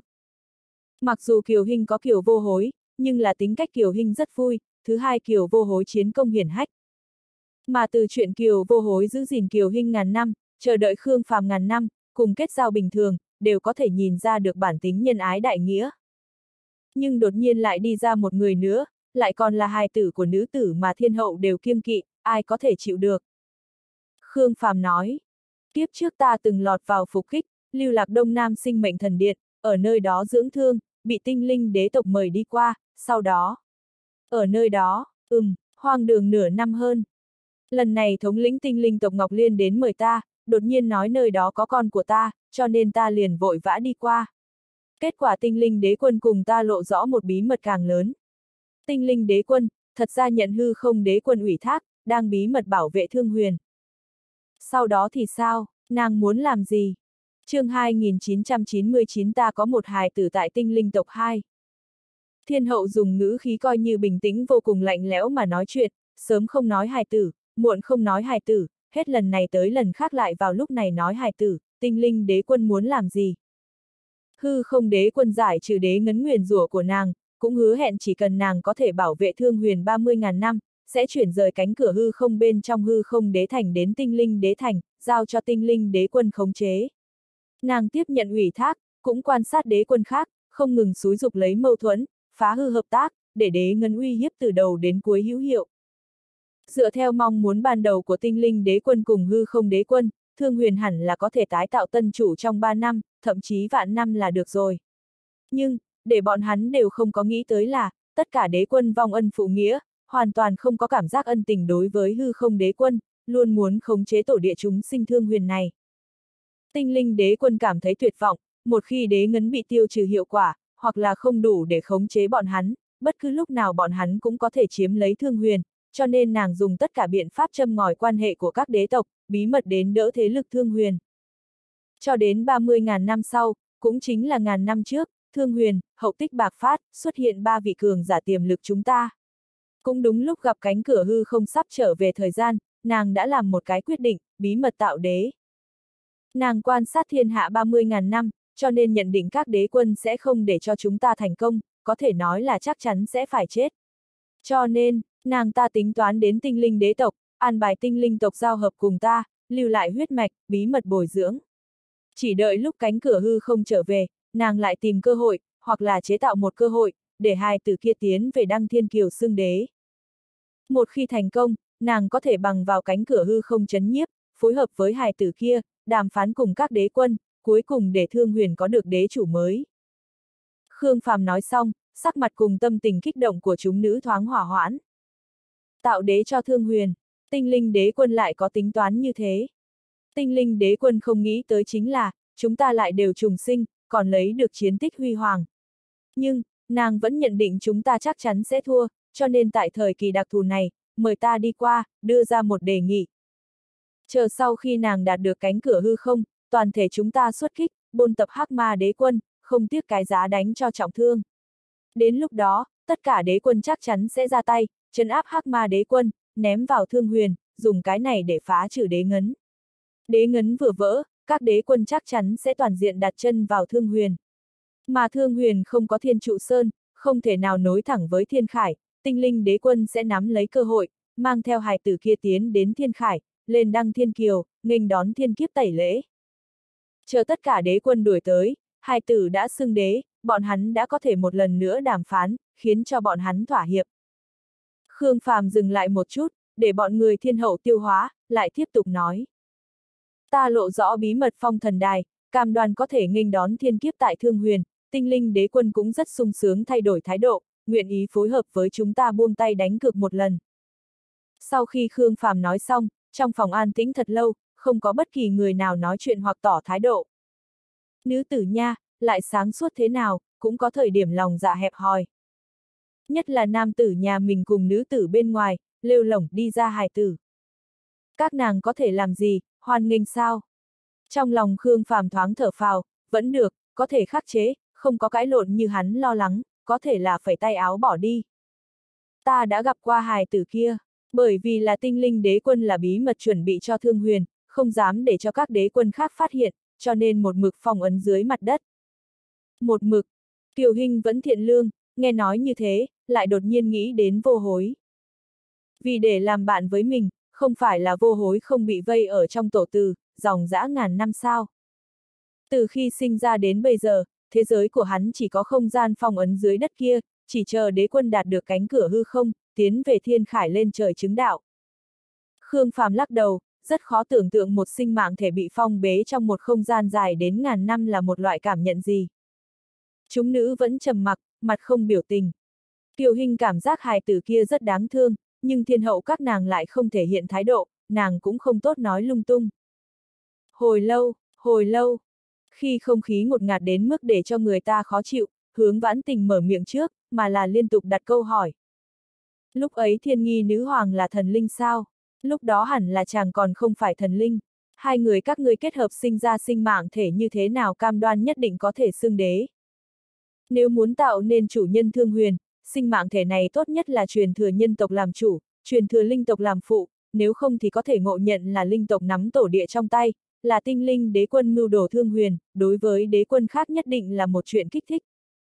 Nhưng chàng là chu tước linh văn, chu tước đặc thù, không thể nào kéo dài huyết mạch chu tước ở hậu đại, chỉ có thể là phượng hoàng. Một sinh mạng thể làm chủ phượng hoàng huyết mạch, xưng đế như thế nào? Vừa nói ra lời này, chúng nữ đều khẽ nhúc nhích đầu lông mày, ngay cả Khương Phàm đều nhìn về hướng vãn tình. Cũng không phải bởi vì vấn đề mà hướng vãn tình hỏi, mà là trong hội nghị đặc thù này, dưới hoàn cảnh vi diệu này, bất luận ai mở miệng, cũng liền mang ý nghĩa đang cho Khương Phàm lối thoát, cũng mang ý nghĩa dẫn đầu tha thứ cho hắn. Nhưng, bất luận là theo lý mà nói, hay là tại lễ mà nói, đều hẳn là thiên hậu sẽ là người đầu tiên, những người khác lại đuổi theo. Hướng vãn tình đột nhiên mở miệng, hiển nhiên có vượt qua hiểm nghi, cũng có ý tứ bức bách những người khác tỏ thái độ. Đơn giản mà nói, lần đặt câu hỏi này giống như là đang chất vấn Khương Phàm, kỳ thật nói bóng gió càng giống là hỏi thăm thiên hậu các nàng ta không có vấn đề, các ngươi thì sao? Hướng vãn tình mang theo vẻ mặt thành thật nhìn Khương Phàm, kỳ thật hai tay trong tay áo đã nắm chặt, thái dương có chút gặp mồ hôi. chương 3000 hội nghị gia đình. Lấy sự khôn khéo của nàng, làm sao không biết chỗ vi diệu trong này, nhưng, nếu như nàng không thể hiện thái độ, hôm nay sẽ càng nghiêm trọng hơn. Dù sao cảnh giác cùng mâu thuẫn của thiên hậu đối với thiên nghi là không che giấu chút nào. Mà mấy người các nàng đều không có trải qua chuyện năm đó, cảm nhận không phải rất mãnh liệt, thiên hậu làm người trong cuộc khẳng định là có khúc mắc, bây giờ lại có hài tử, càng không có khả năng tùy tiện tha thứ. Chẳng lẽ cứ một mực treo như vậy? Cũng không ai nói lời nào.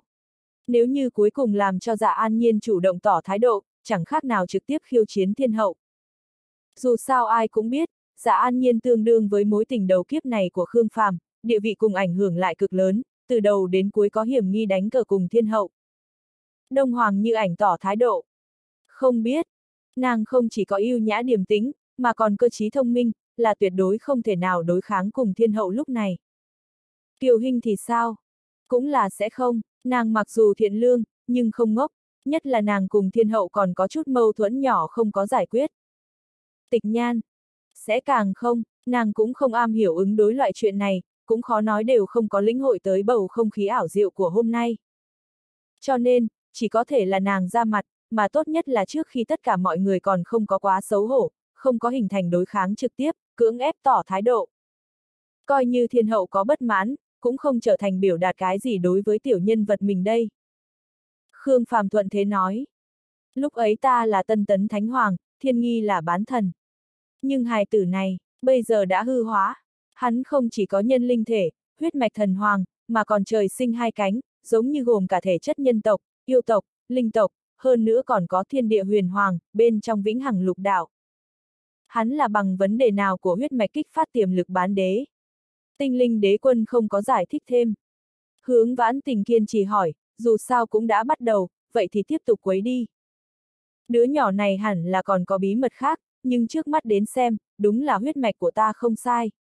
Tuy nhiên, Khương Phàm ra vẻ thông minh hơi dừng lại, hy vọng có thể khiến cho chúng nữ khác đáp lại, dù là chỉ là tiếp cái, tuy nhiên cái gì, bầu không khí đều có thể hòa hoãn không ít. Nhưng, không ai đáp lại.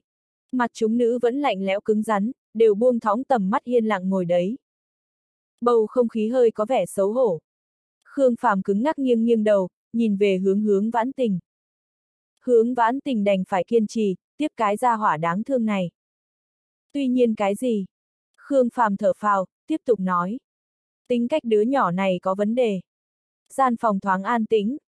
Vẫn không có ai đáp lại. Hướng vãn tình thầm nghĩ đại gia ngài cũng đừng dừng lại, thuận nói đi. Khương Phàm lại lần nữa nhìn về phía hướng vãn tình. Ta không. Hướng vãn tình có chút hé miệng, ra hiệu không còn đáp lời. Khương Phàm chưa từ bỏ ý định, nhìn chằm chằm vào hướng vãn tình, tiếp đi, tỷ tỷ, ta đây là đang cố gắng hỏa hoãn không khí nha, nếu không phải vậy thì tự mình nói đến không có ý nghĩa gì. Ta không. Hướng vãn tình có chút nghiêng đầu, không nhìn tới hắn.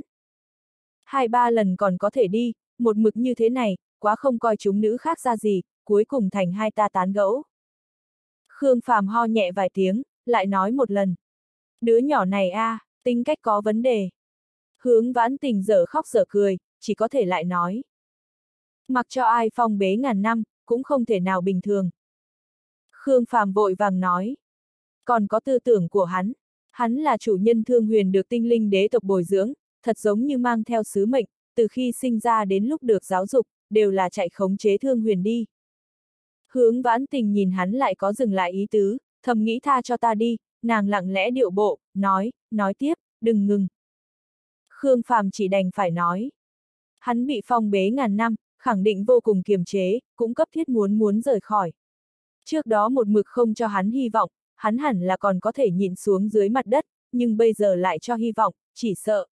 Sẽ không an phận như vậy. Chàng định xử lý hài tử này như thế nào? Lúc này, dạ an nhiên đột nhiên mở miệng, phá vỡ bầu không khí sắp sụp đổ trong phòng. Chỉ là, mặc dù lời nói ra khỏi miệng, nhưng vẻ mặt lại hơi có vẻ ảm đạm. Nàng cùng Khương Phàm cố gắng nhiều lần như vậy, đều không thể thành công, cho nên tại chuyện hài tử, vẫn luôn có tiếc nuối, kết quả vậy mà Khương Phàm lại ở bên ngoài vụng trộm để lại hài tử. Nói không khó chịu đó là không thể.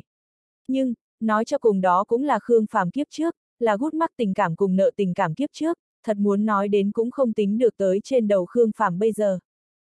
Cho nên kỳ thật nàng cũng không có mâu thuẫn mãnh liệt như thiên hậu. Chỉ là rất không thoải mái mà thôi. Hướng vãn tình nhìn dạ an nhiên, thở phào thay Khương Phàm. Vị này mở miệng xem như cho Khương Phàm một lối thoát đến, không đến mức để hội nghị hôm nay quá tệ. Vị này mở miệng, nếu như như ảnh, Kiều Hinh bọn họ muốn mở miệng, cũng không có lo lắng như vậy. Rốt cuộc Khương Phàm cũng đợi đến đáp lại, nhưng lại trần chờ. Cái đáp lại này, còn không bằng không trả lời đâu. Nhìn hỏi thăm rất bình thường rất đơn giản, nhưng lại đâm thẳng bản chất, để kế hoạch còn muốn tiếp tục thuyết minh hài tử đáng thương cùng tinh linh cưỡng bách của hắn thất bại. Khương Phàm âm thầm thở dài, nói.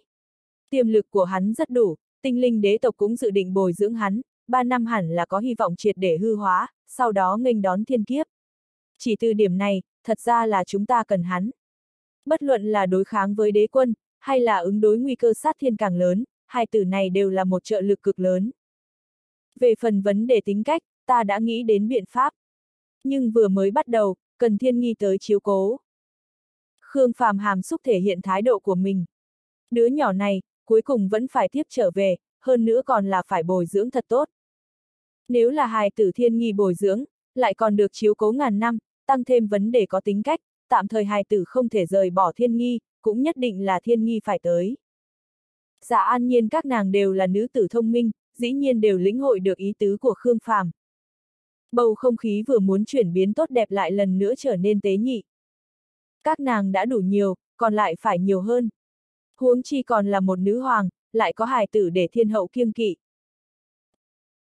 Audio điện tử võ tấn bền chương 3001 xoắn xít.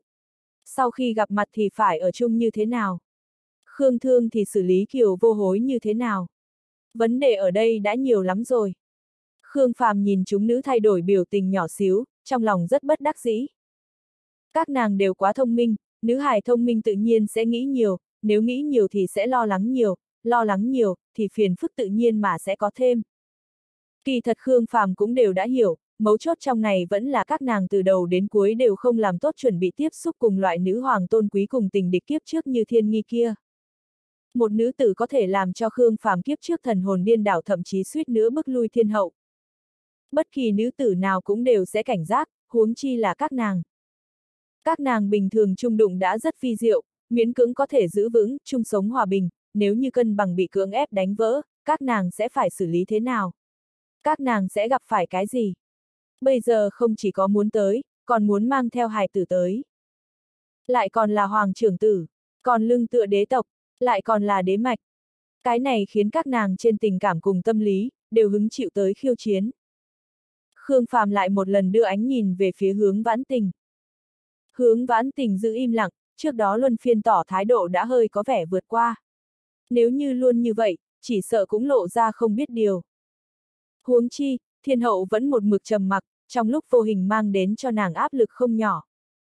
Lấy sự rộng lượng cùng lòng dạ của thiên hậu, hoàn toàn có thể tưởng tượng đi ra, thiên hậu mâu thuẫn đối với chuyện này đến cỡ nào. Khương Phàm lại nhìn tịch nhan ngồi tại cạnh góc. Tịch nhan chú ý tới ánh mắt Khương Phàm, cũng rất quả quyết trực tiếp lắc đầu. Thật ra là nàng không để ý chuyện này nhất, nhưng nàng không thích nhúng tay cái gọi là hậu cung xung đột, càng không muốn đắc tội ai, bây giờ Khương Phàm muốn mang hài tử cùng thiên nghi đến, dính đến cũng không chỉ là thiên hậu, còn có kiểu hình, nàng cũng sẽ không một hơi đắc tội cả hai. Trong lòng Khương Phàm đắng chát, chỉ có thể kiên trì giải thích nói. Ta vì hành vi kiếp trước của ta, xin lỗi các nàng, ta sẽ không giải thích cái gì, chỉ có thể cam đoan sau này sẽ ta tận hết khả năng đền bù. Nhưng đứa nhỏ này trung quy vẫn tồn tại, ta nhất định phải đi đối mặt. Mà, chúng ta bây giờ thật sự rất cần cường giả như vậy. Ta có thể bảo chứng trong vòng 3 năm ta hoàn toàn hư hóa, nhưng... Những người khác thì sao? Từ sơ khuy bán đế, đến hoàn toàn bán đế, cần tài nguyên cực lớn, cũng cần thời gian lắng động, càng là đến hậu kỳ, trưởng thành càng khó. Đối với việc trong vòng 3 năm xí thiên giới tái hiện vị bán đế thứ hai, ta cũng không ôm bao nhiêu hy vọng. Đến lúc đó, các đế quân bị kích thích, thế tất toàn lực đột kích. Ta sức một mình, gánh không được bọn hắn, cho dù tinh linh đế quân nhúng tay, cũng chỉ là chia sẻ áp lực. Nhưng nếu mà có được hắn, cục diện sẽ hoàn toàn khác nhau. Lần này Khương Phàm không tiếp tục dừng lại, tiếp tục nói. Đừng quên, chúng ta còn có một man hoang đế tổ. Chúng ta có thể lợi dụng thời điểm toàn bộ các đế quân đang lâm thiên khải khẩn cấp lên trời tại Thương Huyền, cũng có thể thành công trước khi bọn hắn đuổi tới, nhưng đừng quên, Thương Huyền còn có một man hoang đế tổ. Chờ ta dẫn động thiên kiếp, hắn bị kinh động, lại đuổi tới, chỉ cần hai ba ngày mà thôi, đến lúc đó. Ai có thể ngăn cản? Một phen nghiêm túc nói cho hết lời, không khí trong phòng vẫn rất phi diệu, cơ hồ không có bất kỳ thay đổi nào. Dạ an nhiên, đông hoàng như ảnh đều buông thóng tầm mắt, giữ im lặng ngồi đấy. Các nàng trung quy vẫn là nữ tử, giờ phút này cần không phải đúng sai, cũng không phải lợi và hại được mất. Mặc dù Khương Phàm nói rất nhiều, nhưng kỳ thật các nàng cũng không có nghe vào bao nhiêu, giờ phút này trong đầu càng nhiều hơn chính là tình cảnh thiên nghi nữ hoàng mang theo hài tử bán đế của nàng tới. Khương Phàm thở dài trong lòng, mở ra trận hội nghị gia đình này thật là mệt mỏi, rất khó tưởng tượng đời trước của hắn vậy mà tam cung lục viện, cơ bản còn đều có thể ứng phó. Không khí ngột ngạt cực kỳ lâu, khi Khương Phàm đều muốn từ bỏ, chuẩn bị cho các nàng chút thời gian, hôm nào bàn lại, thiên hậu có chút nhắm mắt, nói. Khi nào bọn họ đến? Cái âm thanh đột nhiên tra hỏi này, đối với Khương Phàm mà nói như là thanh âm tuyệt vời nhất thế gian, cơ hồ là theo bản năng đứng thẳng lên, vội vàng nói. Hai năm sau, chờ ta triệt để hư hóa, cũng chờ hắn mau chóng trưởng thành. Thiên hậu cụp tầm mắt xuống, cảm xúc cuồn cuộn, nhưng cuối cùng vẫn đè xuống, nàng yên lặng đứng dậy, rời khỏi phòng. Khương Phàm đứng dậy muốn đuổi theo, nhưng nhìn những nữ tử khác trong phòng, lại không biết có nên đi ra hay không. Mặc dù hôm nay thiên hậu là mấu chốt chủ đề, nhưng nếu như không quan tâm đuổi theo, dạ an nhiên các nàng sẽ nghĩ như thế nào? Trong lòng ngươi thật chỉ có thiên hậu sao? Chúng ta không cần an ủi sao? Hướng vãn tình dương mắt, nhìn Khương Phàm cục xúc bất an, sốt ruột lại do dự một chút, ngầm cười khổ, biết mình không thể không lại ra mặt. Hơi tỏ thái độ, dẫn dắt hắn người khác cũng tỏ thái độ, cho Khương Phàm một lối thoát, để hắn ra ngoài đuổi theo thiên hậu. Nhưng, biểu đạt xảo diệu như thế nào đây? Hướng vãn tình đều cảm giác nhức đầu, thay Khương Phàm mệt mỏi. Lúc này, Đông Hoàng như ảnh lại nhẹ giọng một câu. Đi thôi, thiên hậu không phải người sắt, cũng có nơi mềm mại. Không nên thấy nàng kiên cường, nhìn thành, nàng chính là như vậy, là chuyện đương nhiên, nếu không có bị bất đắc dĩ, nữ hài nào nguyện ý không thể phá vỡ. Khương Phàm cảm động nhìn về phía Đông Hoàng như ảnh, nhưng Đông Hoàng như ảnh lại buông thóng tầm mắt, không nhìn tới hắn. Bầu không khí thoáng an tĩnh, nhưng không có tiếp tục quá lâu, dạ an nhiên không có để Khương Phàm khó coi khó làm, lắc đầu, cũng nói. Ta không biết kiếp trước các ngươi xảy ra chuyện gì, nhưng nên giải quyết cuối cùng là phải giải quyết.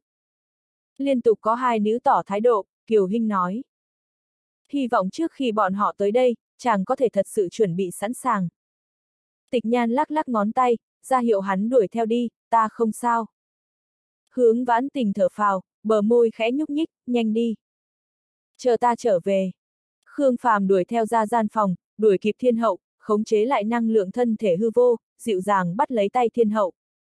Thiên hậu không có giấy ruộng, mặc cho Khương Phàm nắm lấy, yên lặng đi trong cánh rừng tươi mát. chương 3002 có lỗi với. Kiếp trước có rất nhiều hoang đường, là ta xin lỗi nàng. Nhưng ta có thể bảo đảm, bất luận là kiếp trước, hay là kiếp này, trong lòng ta nàng vĩnh viễn là người tốt nhất, cũng là thật sự nhất. Khương Phàm thâm tình khẽ nói, biểu đạt tình cảm sâu nhất trong lòng. Có lẽ kiếp trước không có dỗ ngon dỗ ngọt như thế, lại là thuyết minh chân thành nhất. Thiên hậu không nói gì, chỉ là đi lên phía trước lấy. Bất luận là kiếp trước, hay là đương thời, kỳ thật nàng cũng không yêu cầu gì nhiều, một ít chuyện cũng không quan tâm. Nhưng trận nguy cơ tình cảm kiếp trước kia, lại là đau nhức lau không đi trong nội tâm nàng, cũng là nơi nàng không cách nào tha thứ cho Khương Phàm. Vốn cho là hai người chuyển thế trùng sinh, vết thương kiếp trước xem như đi qua, vết rách cũng có thể khép lại, mà biểu hiện kiếp này của Khương Phàm cũng làm cho nàng đầy lòng chờ mong. Cho nên khi thiên nghi nữ hoàng xuất hiện lại, nàng biểu hiện ra bất mãn mãnh liệt, chính là để Khương Phàm biết, nàng còn nhớ rõ chuyện năm đó, nàng còn canh cánh trong lòng, nàng không muốn để cho đau đớn năm đó, ảnh hưởng đến tình cảm thuần túy kiếp này của bọn hắn. Nhưng, đột nhiên xuất hiện hài tử này, không chỉ có cưỡng bức xé mở vết sẹo kiếp trước, còn hung hăng rắc một nắm muối. Cái này không chỉ có để nàng bị ép ôn lại đau đớn năm đó, cũng làm cho tình cảm của nàng và Khương Phàm kiếp này lại bị ảnh hưởng. Nàng rất yêu Khương Phàm, rất yêu rất yêu, kiếp trước yêu thâm trầm, kiếp này yêu thuần túy. Nhưng nàng cũng là nữ hài tử, cũng cần đáp lại, nàng rõ ràng yêu cầu không nhiều, kiếp trước hay kiếp này đều dung túng hắn tình cảm cùng người khác, nhưng vì sao ông trời vẫn phải nhiều lần tổn thương nàng. Thiên hậu đi tới, ánh mắt mông lung, khóe mắt thấm ra giọt nước mắt óng ánh. Trong lòng Khương Phàm run lên, giữ chặt thiên hậu, dịu dàng ôm vào trong ngực, thiên ngôn vạn ngữ, chỉ hóa thành một tiếng xin lỗi trầm thấp. Thật xin lỗi. Thiên hậu dựa sát vào nhau trong ngực Khương Phàm, cứ việc ủy khuất đắng chát, nhưng vẫn duy trì nhất quán tỉnh táo cùng tha thứ. Chính ta điều tiết, chàng chuyên tâm tu luyện đi. Khương Phàm càng ôm chặt hơn, đối với thiên hậu, hắn thật sự thua thiệt rất rất nhiều. kiếp trước bởi vì quá trương dương và tùy tính, rất nhiều chuyện làm quá bản thân, trùng sinh lại đến, lấy thân phận người đứng xem xem những kinh nghiệm kia, mới biết được mình nhiều hỗn đản nhiều hoang đường trên chuyện tình cảm, cho nên hắn rất hy vọng kiếp này có thể đền bù. Nhưng, dày đặc chiến tranh, tạp nhạp nguy cơ, để hắn thực sự ốc còn không mang nổi mình ốc, thế trước làm nghiệt, càng cần kiếp này đến hoàn lại hơn, đến mức hắn đều có chút phân thân thiếu phương pháp, mỏi mệt không chịu nổi. Khương Phàm ôm lấy thiên hậu, dịu dàng khẽ nói. Sai lầm kiếp trước, ta sẽ cố gắng đền bù, kiếp này, ta sẽ không lại để cho nàng lưu một giọt nước mắt. Tin tưởng ta, cho ta một cơ hội, ta dùng quãng đời còn lại của ta để chứng minh. Ngày thứ ba, Khương Phàm tìm được dạ an nhiên, cẩn thận từng ly từng tí trấn an. Mặc dù trong lòng dạ an nhiên không thoải mái, nhưng không phải không biết chuyện nữ tử. Chính như lời nàng nói trước đó, cuối cùng là phải giải quyết. Nguyện vọng duy nhất của nàng là muốn một hài tử. Vì tình cảm của nàng cùng Khương Phàm có thể có một cái chứng kiến, vì có thể thực hiện nguyện vọng ân sư. Hai ngày sau, Khương Phàm tìm được Đông Hoàng Như Ảnh, cũng là cẩn thận từng ly từng tí chân an. Kỳ thật Đông Hoàng Như Ảnh có chút mê mang. Mê mang ở chỗ nàng vậy mà lại để ý chuyện này như vậy. Mê mang ở chỗ tình cảm của nàng đối với Khương Phàm lại thay đổi vi diệu. Lại qua hai ngày, Khương Phàm tìm được Kiều Hinh. Kiều Hinh có thể sống lại một lần, đã không phải là rất để ý Khương Phàm có nhiều hay ít nữ tử, chỉ cần có thể một mực bồi bạn là tốt rồi. Lo lắng duy nhất chính là, Khương Thương đến sẽ ảnh hưởng đối với Kiều Vô Hối. Cũng may nàng đã sớm đi tìm Kiều Vô Hối, Kiều Vô Hối biểu đạt rất trực tiếp đời này đến tận đây, ta đã vô hối. Sau đó chính là tịch nhan. Tịch nhan còn như đó điệu thấp, quái gở, cũng độc lập giống như năm đó. Nàng cố gắng tu luyện, trưởng thành, nàng cũng thỏa mãn tình trạng bây giờ. Khương Phàm phát hiện chỉ có bên cạnh nàng, mới có thể thật nhẹ nhõm tùy ý, cũng hoảng hốt có thể cảm nhận được phần thuần túy thời kỳ thuở thiếu niên kia. Cuối cùng là hướng vãn tình. Khương Phàm là thật yêu chết nữ tử thông minh càng hiểu chuyện này. Hướng vãn tình cũng không có oán trách, không có chỉ trích, giữa lúc cười nói còn vì hắn phân tích một ít lo lắng xử lý sự kiện Khương Thương. Liên tiếp nửa tháng, Khương Phàm quanh đi quẩn lại, cuối cùng là trấn an cảm xúc chúng nữ, cũng miễn cưỡng tránh khỏi một trận nguy cơ hậu cung. Ai, Khương Phàm một mình đứng tại đỉnh núi, ngửa mặt lên trời thở dài. Mệt mỏi thật, thật sự là quá mệt mỏi. Nữ tử thật đúng là không thể trêu chọc quá nhiều. Hắn là thật không ứng phó qua nổi. Mặc dù thời điểm thoải mái xác thực rất thoải mái, nhưng lúc mệt mỏi cũng thật là mệt mỏi. Cứ như vậy đi, không thể nhiều hơn nữa. Ngày mùng 3 tháng 5, dưới sự chứng kiến của Khương Phàm cùng Đan Hoàng, Lý Dần đã bắt đầu thử dung hợp đế tử. Nhưng như những gì Khương Phàm lo lắng, từ lúc bắt đầu dung hợp đã không thuận lợi.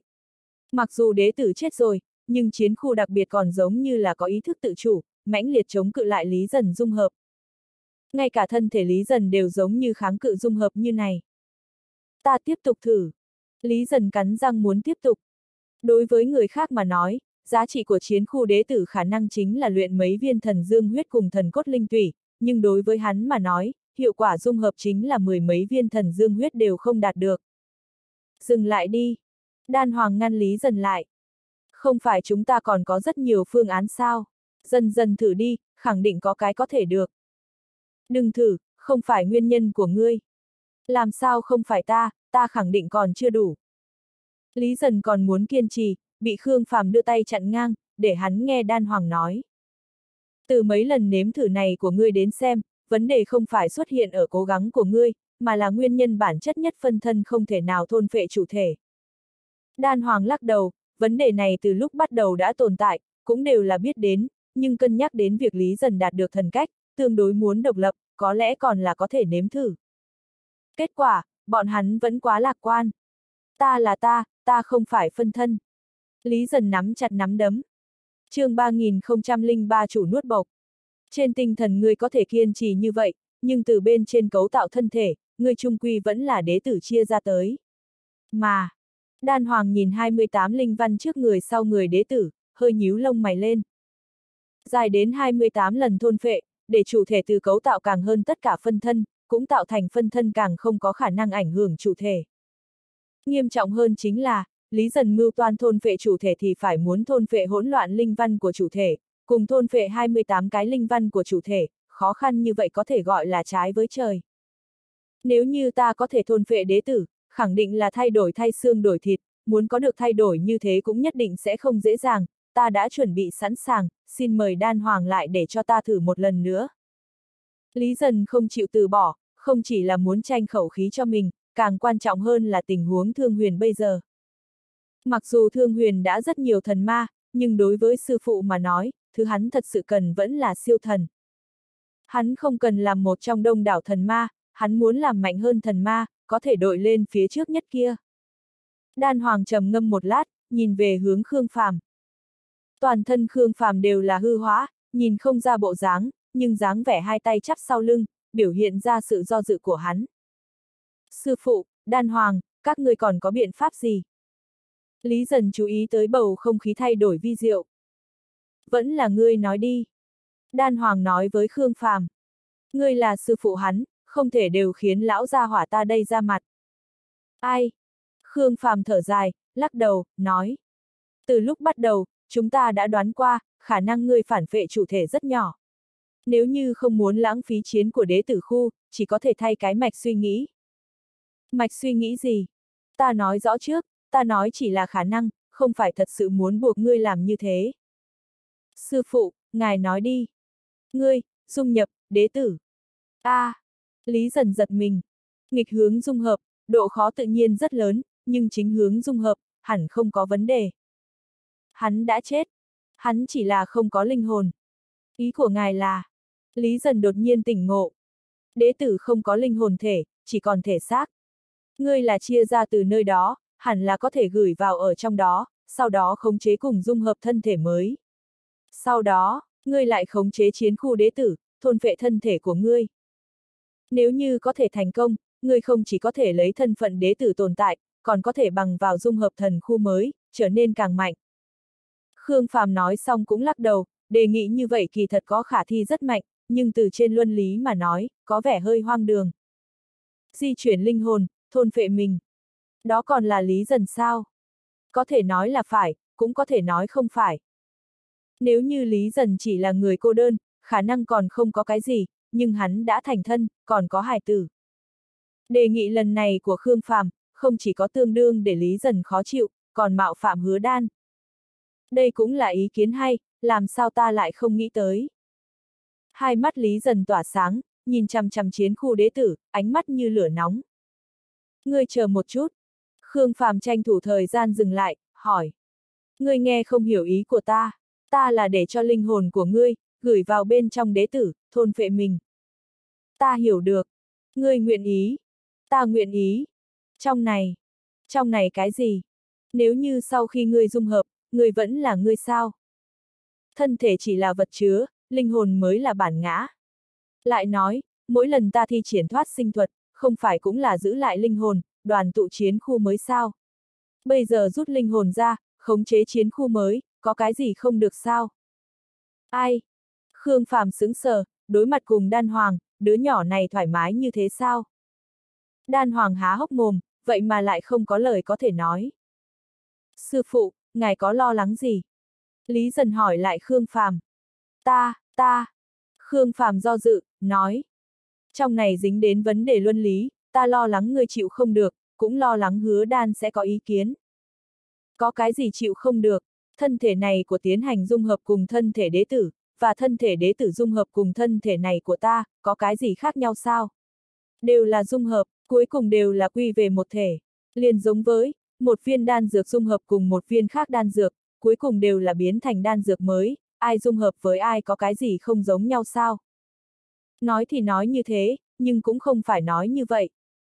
Sư phụ, ngài không cần lo lắng, ta không quan tâm những thứ này. Không không không, người có thể không quan tâm, nhưng ngươi không thể không cân nhắc hứa đan. Hứa đan không có vấn đề. Hứa đan là hứa đan, ngươi là ngươi, ngươi không thể nào tùy tiện thay người yêu của ngươi làm quyết định, ngươi nên tự mình đi trưng cầu ý kiến của nàng, đây là tôn trọng. Ngài chờ một lát. Lý dần quay đầu rời khỏi xí thiên đại điện. Đơn giản như vậy. Đan Hoàng cùng Khương Phàm hai mặt nhìn nhau, hai người bọn họ trước đó còn xoắn suýt thật lâu trên vấn đề này. Nếu như Lý Dần không dung hợp được đế tử, bọn hắn thật hy vọng Lý Dần có thể vào chú đế tử, dung hợp phân thân.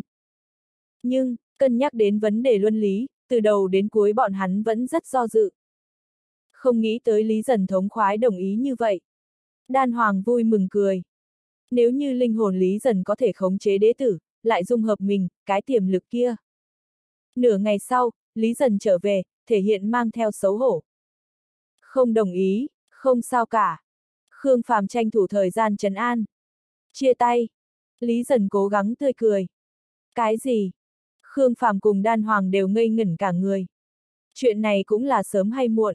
Từ sau khi trạng thái tinh thần của nàng khôi phục, đã không có loại cảm giác như trước kia đối với ta, lúc ấy ta đang bận tu luyện cùng chiến đấu, cũng thực sự không có thời gian làm bạn cùng với nàng, kỳ thật quan hệ của chúng ta đã sớm phai nhạt. Trước đó ta chấp nhất mang hài tử về, chính là muốn cho nàng một cái đền bù. Bây giờ hài tử đã trở về, trong nội tâm nàng đã có ký thác mới, đối với ta không có hận ý, nhưng cũng không có tình cảm. Lý dần nhún nhún vai, trong lòng buồn vô cớ, nhưng vẫn thoải mái cười nói. Lúc ta vừa mới hỏi thăm, nàng chỉ nói câu, chuyện của ta chính ta làm chủ. chương 3004 suy nghĩ khác nhau. Đan Hoàng nhíu mày. Sau đó ngươi liền nói chia tay. Hờn dỗi sao? Không phải hờn dỗi, là những ngày này khi ta chiếu cố hài tử đã thảo luận qua cùng với nàng. Lý dần rất rất không nỡ rời xa hứa đan, cũng rất áy náy với hứa đan, nhưng bây giờ hắn có chuyện quan trọng hơn phải làm, chính là nghênh chiến đế quân, nghênh chiến người giết trời mà sư phụ nói. Nếu như hắn muốn lựa chọn dung hợp đế tử, nhất định phải toàn tâm toàn ý đầu nhập tu luyện, tương lai cũng nhất định sẽ đội lên phía trước nhất. Chiến tử, cơ hồ là số mạng của hắn. Hắn đều phải chết, sớm chia tay miễn khiến cho hứa đan thương tâm trong tương lai. Nếu như hắn có thể chiến tử tại trận đại quyết chiến cuối cùng, cũng coi là công thần của xí thiên giới cùng thương huyền, đám người may mắn còn sống sót khẳng định sẽ chiếu cố mẫu tử các nàng rất tốt. Như vậy, không tiếc. Khương Phàm cùng đan hoàng trầm mặc, vậy mà không biết trấn an như thế nào. Lý dần cố gắng tươi cười, nói với Khương Phàm, Ta không sao. Tới. Khương Phàm mở rộng hai tay, ôm lấy Lý dần. Hắn chỉ lo thúc giục Lý dần tu luyện, chưa từng thật sự quan tâm tới cuộc sống của Lý dần. Mà Lý dần cũng chưa bao giờ có lời oán giận, có thể nói là từ khi theo Khương Phàm đến nay, ngoại trừ tu luyện chính là tu luyện, duy chỉ có sân bãi ngục hành kia có đoạn tình cảm thuộc về mình. Sư phụ, ta bồi ngài lên đăng thiên kiều, ta bồi ngài. Nghênh chiến người giết trời. Lý dần ôm Khương Phàm, kiên định tỏ thái độ. Đồ đệ tốt. Khương Phàm không nói thêm gì, nhưng trong lòng âm thầm thề, nhất định phải cam đoan Lý dần sống sót.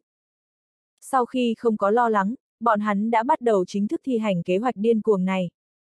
Khương Phàm mời Khương Diễm đang bế quan tới, trọn vẹn dùng 5 ngày, dọn dẹp hồn khí lưu lại bên trong chiến khu đế tử, bảo đảm tuyệt đối không được xảy ra sai lầm, không để bất cứ tai họa ngầm gì. Sau đó Khương Diễm trợ giúp chuyển rời linh hồn lý dần đến trong thân thể đế tử, bảo vệ dung hợp toàn bộ hành trình. Khương Phàm cùng Đan Hoàng đều khẩn trương hầu ở hai bên, nhắc nhở Khương Diễm cẩn thận quan sát, xuất hiện bất kỳ vấn đề nào cũng đều phải rút linh hồn lý dần đi ra, tuyệt đối không thể mạo hiểm. Một trận dung hợp linh hồn kéo dài đến 8 ngày 8 đêm, không chỉ có Khương Phàm khẩn trương cao độ, bọn người Chu Thanh Thọ nhận được tin tức đều tấp nập tiến đến thăm. Sốt cuộc, tại sáng sớm ngày thứ 9, đế tử chậm rãi mở hai mắt nhắm chặt ra, con mắt chuyển động, nổi lên sáng rực. Khương Phàm cùng đan hoàng toàn bộ nhìn về phía Khương Diễm. Bây giờ, hắn, là ai? Khương Diễm đè đầu, đế tử, lại, nhíu mày định thần, cẩn thận dò xét, lặp đi lặp lại dò xét. Khương Phàm cùng đan hoàng khẩn trương chờ đợi. Mặc dù đã rất cẩn thận, nhưng đây trung quy vẫn là đế tử, là đế quân tương lai mà đế quân dốc hết toàn lực bồi dưỡng mấy chục năm, bên trong cũng là có khả năng ẩn giấu đi một ít năng lượng bọn hắn không biết. Nếu như Lý Dần không có, đế tử sống, vậy nhưng thật sự là chuyện cười cho thiên hạ. Khương Diễm cũng không dám chủ quan, vô cùng cẩn thận kiểm tra. Cuối cùng, thể hiện nghiêm trọng của Khương Diễm dần dần nhẹ nhõm. Là Lý Dần, hẳn là không sai được. Sư phụ, Đan Hoàng, Diễm Bá, là ta. Đế tử, mở miệng, thanh âm rất giống đế tử, nhưng thần thái ngữ khí lại là Lý Dần không sai. Cảm giác thế nào? Khương Phàm thở phào. Miễn cưỡng có thể khống chế thân thể, nhưng linh văn. Không dễ khống chế. Từ từ sẽ được thôi. Bây giờ ta dung hợp thân thể của ta, hay là chờ một chút. Không nôn nóng, trước tiên hãy thích ứng một chút. Được Khương Phàm cùng Đan Hoàng làm bạn, và Khương Diễm hiệp trợ, Lý Dần dùng trọn vẹn ba ngày, miễn cưỡng khống chế thân thể mới. Sau đó, Lý Dần bắt đầu dung hợp quan trọng nhất. Linh hồn mình, khống chế thân thể hoàn toàn mới, dung hợp thân thể mình. Quá trình phức tạp chậm chạp. Dung hợp như này không chỉ có liên quan đến thân thể, còn có thuộc về linh văn của Lý Dần, thể chất, thậm chí là đồ đằng. Bọn người Khương Phàm khẩn trương cao độ, sợ xảy ra vấn đề gì, thất bại trong gang tấc. Cũng may Lý Dần biểu hiện rất không tệ, mấy lần nguy cơ đột nhiên đều ngạnh kháng đi qua, rốt cuộc cũng tại dài đến 10 ngày cố gắng sau khi, hoàn thành độ sâu dung hợp. Cường hãn thân thể, hoàn toàn mới linh văn, cùng đặc biệt bất hủ đồ đằng, cũng kích phát kích phát tiềm lực chiến khu của đế tử.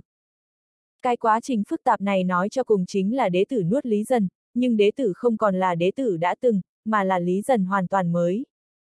Lý dần hoàn toàn mới, thực lực hoàn toàn mới. Khương Phàm đi đến ngoài điện, điều chỉnh tiêu điểm nói cho bọn người Chu Thanh Thọ đang gấp rút chờ đợi. Lý dần không sao, Đan Hoàng và Khương Diễm sẽ đích thân trông coi, tất cả mọi người tản đi đi. Mặc dù Lý dần nắm đế tử trong tay, nhưng muốn quen thuộc bộ thân thể kia, quen thuộc hỗn loạn đế văn, quen thuộc tất cả năng lượng thần bí sau khi dung hợp, còn cần bế quan chiều sâu, quá trình này sợ rằng sẽ càng dài dằng giặc. Chu Thanh Thọ sốt ruột nói. Lý dần thật sự khống chế được bộ thân thể kia rồi. Hắn có hy vọng nhìn trộm bán đế sao? Khương Phàm nói. Chiến khu của đế tử là đế quân tự mình dạy dỗ, tiềm lực cực lớn, nhìn trộm bán đế cơ hồ là chắc chắn. Bây giờ lại dung hợp linh văn hoàn toàn mới của Lý Dần, đạt được bất hủ đồ đằng, nhìn trộm bán đế càng không có vấn đề. Mọi người hãy đợi đến tin tức tốt của hắn đi. Sau này hắn sẽ là linh văn gì? Có lẽ còn là hỗn loạn. Đó là một trong những áo nghĩa cấp cao nhất thế gian, linh văn khác hẳn là không ảnh hưởng được tới nó, nhưng dung hợp những linh văn kia đều cần tồn tại chân thực, ảo diệu trong này cần Lý Dần tự mình khai phát. Bây giờ Khương Phàm đối với tương lai của Lý Dần tràn đầy hy vọng cùng chờ mong, chiến khu của đế tử vốn là hỗn loạn đế mạch cùng thiên mệnh thần mạch dung hợp, lại dung hợp linh văn phức tạp, tiềm lực khẳng định lớn hơn. Bọn người tiêu phượng ngô nghe thấy thì đau đầu, rất không hiểu. Nhưng ngẫm lại đó là, hỗn loạn, linh văn, hỗn loạn cũng là bình thường, cũng chỉ có, hỗn loạn, có thể khống chế hỗn loạn.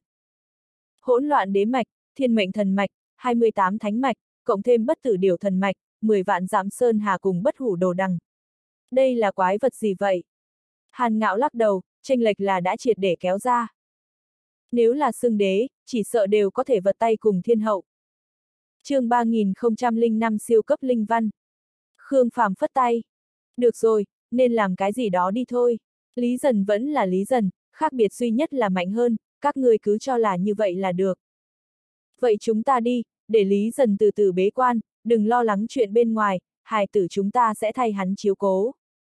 Chu Thanh Thọ phất phất tay, phóng khoáng rời khỏi. Chiếu cố hắn hài tử.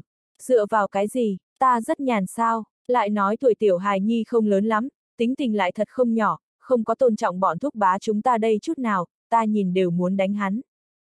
Tiêu phượng ngô trợn trắng mắt, gặp qua hài tử kia, thật sự là nghiêu bức. Tiểu hài nhi mà, đều muốn ăn đòn, đánh mấy trận sẽ trung thực. Khương Bân lãnh đạm nói. Theo ta, tiểu hài nhi phải có người sợ sệt, khi còn bé để lại ám ảnh, trưởng thành cũng sợ. Hàn Ngạo đồng ý với cách nhìn của Khương Bân. Ai, đi đi đi, xác lập uy tín đi. Tiêu Phượng Mô tỉnh táo tinh thần. Để na yêu nhà ngươi đẩy hứa đan ra, ra tay độc ác. Chu Thanh Thọ nhanh chân phóng tới. Tai họa tiểu nhi tử kia của Lý Dần. Ai, ta chỉ là tùy tiện nói một chút. Khương Bân tức giận.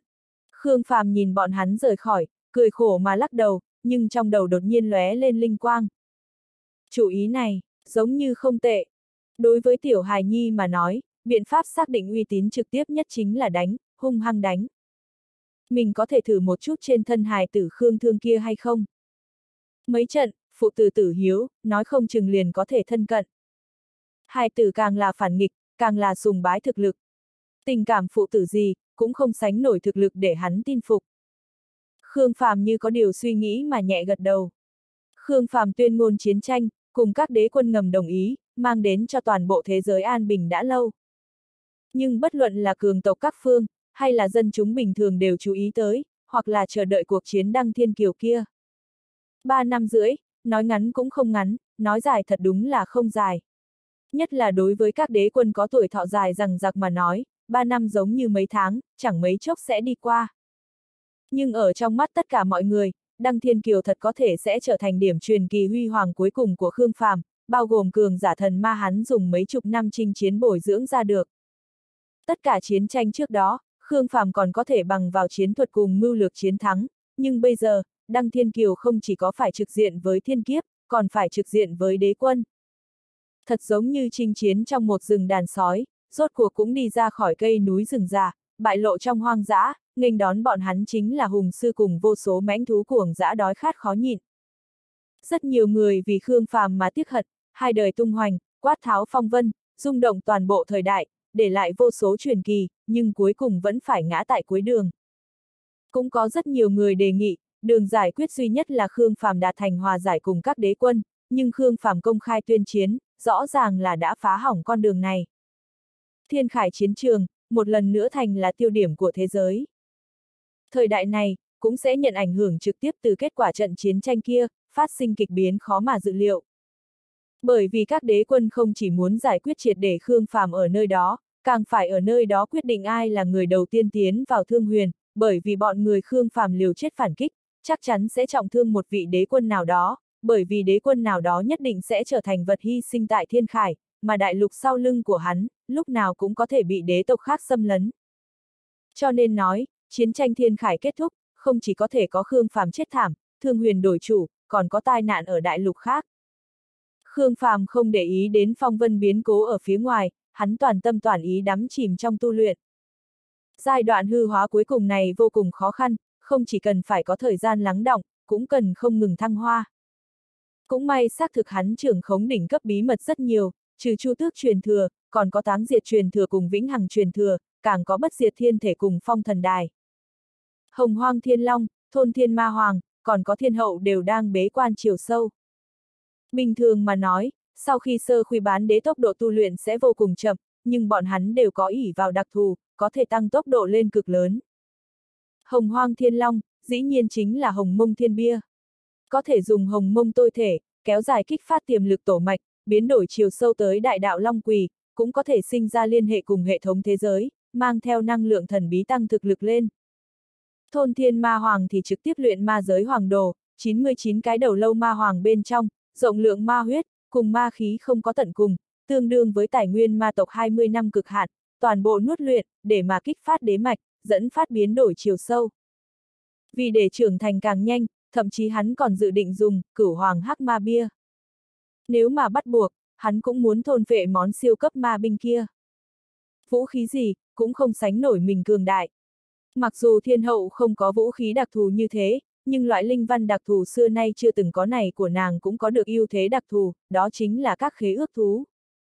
Nàng không chỉ có thể thông qua bọn chúng tu luyện tăng thực lực lên, cũng có thể thông qua khế ước thú trưởng thành, thôi động nàng trưởng thành. Cho nên mục tiêu là nàng muốn mê điệp, huyết sư, tô lăng ngoài bảy đại tổ thú toàn bộ biến thành thần thú. Một khi khế ước thú thành công, nàng cũng sẽ thành công. Nhưng cho dù là như thế này, quá trình này cũng cần thời gian. Cũng may thời điểm Khương Phàm nhắc đến tuyên chiến rất khéo. Từ lúc bắt đầu tuyên ngôn là khoảng tháng 3, đến ước định đăng lâm thiên khải là khoảng tháng 1 năm 26, thật muốn nói đến, không sai biệt 4 năm lắm, nhưng cẩn thận tính toán, cũng đúng là hơn 3 năm. Người nói với các đế quân, sau 4 năm nữa khai chiến. Các đế quân sợ rằng sẽ cảm giác thời gian rất dài, đêm dài lắm mộng, chưa hẳn thật có thể tiếp nhận, cũng sẽ lặng lẽ động tâm. Nhưng ngươi nói 3 năm sau tái chiến, các đế quân sẽ cảm giác thời gian còn có thể, miễn cưỡng có thể tiếp nhận, cũng trực tiếp bế quan, chờ đợi quyết chiến cuối cùng. Cho nên thời gian thật sự cho bọn người Khương Phàm bế quan, kỳ thật dài đến hơn 3 năm rưỡi. chương 3006 xí thiên giới sao động.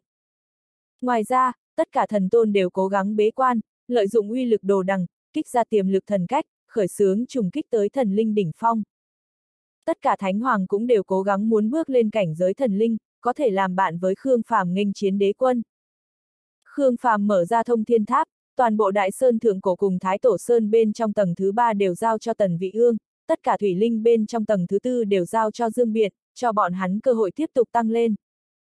Đầu tháng 7, đại vương bế quan triều sâu rốt cuộc cũng đột phá hàng rào, bước vào cảnh giới thần linh, trở thành vị thần linh thứ 27 của xí thiên giới. Rốt cuộc xí thiên giới cũng có được huyền vũ thần thú danh xưng phòng ngự tuyệt đối. Mà lực phòng ngự của huyền vũ mạnh bao nhiêu, đối với tất cả mọi người trải qua cuộc chiến Minh Tôn Sơn mà nói, đều là biết rõ rành rành. Khương Bân, Hàn Ngạo bị kích thích mạnh nhất. Cùng đều là chủ nhân của hỗn thiên linh bảo, ba vị khác đều đã đột phá, bọn hắn lại không đột phá, thật sự rất mất mặt. Ngắn ngủi ba ngày, vạn độc huyết long ngủ say cũng đã thức tỉnh, biến đổi cực hạn, đột phá cực hạn, siêu cấp độc long cực đoan nhất trong lịch sử long tộc, bây giờ tái thế tại xí thiên giới. Năng lượng khủng bố ăn mòn vạn vật, độc hại chúng sinh, để xí thiên giới đều tiếp nhận áp lực thực lớn, ép Khương Phàm không thể không thả nó về thương huyền đại lục, chọn đến khu vực đất hoang vạn giảm tại trung vực giao tiếp cùng đông bộ.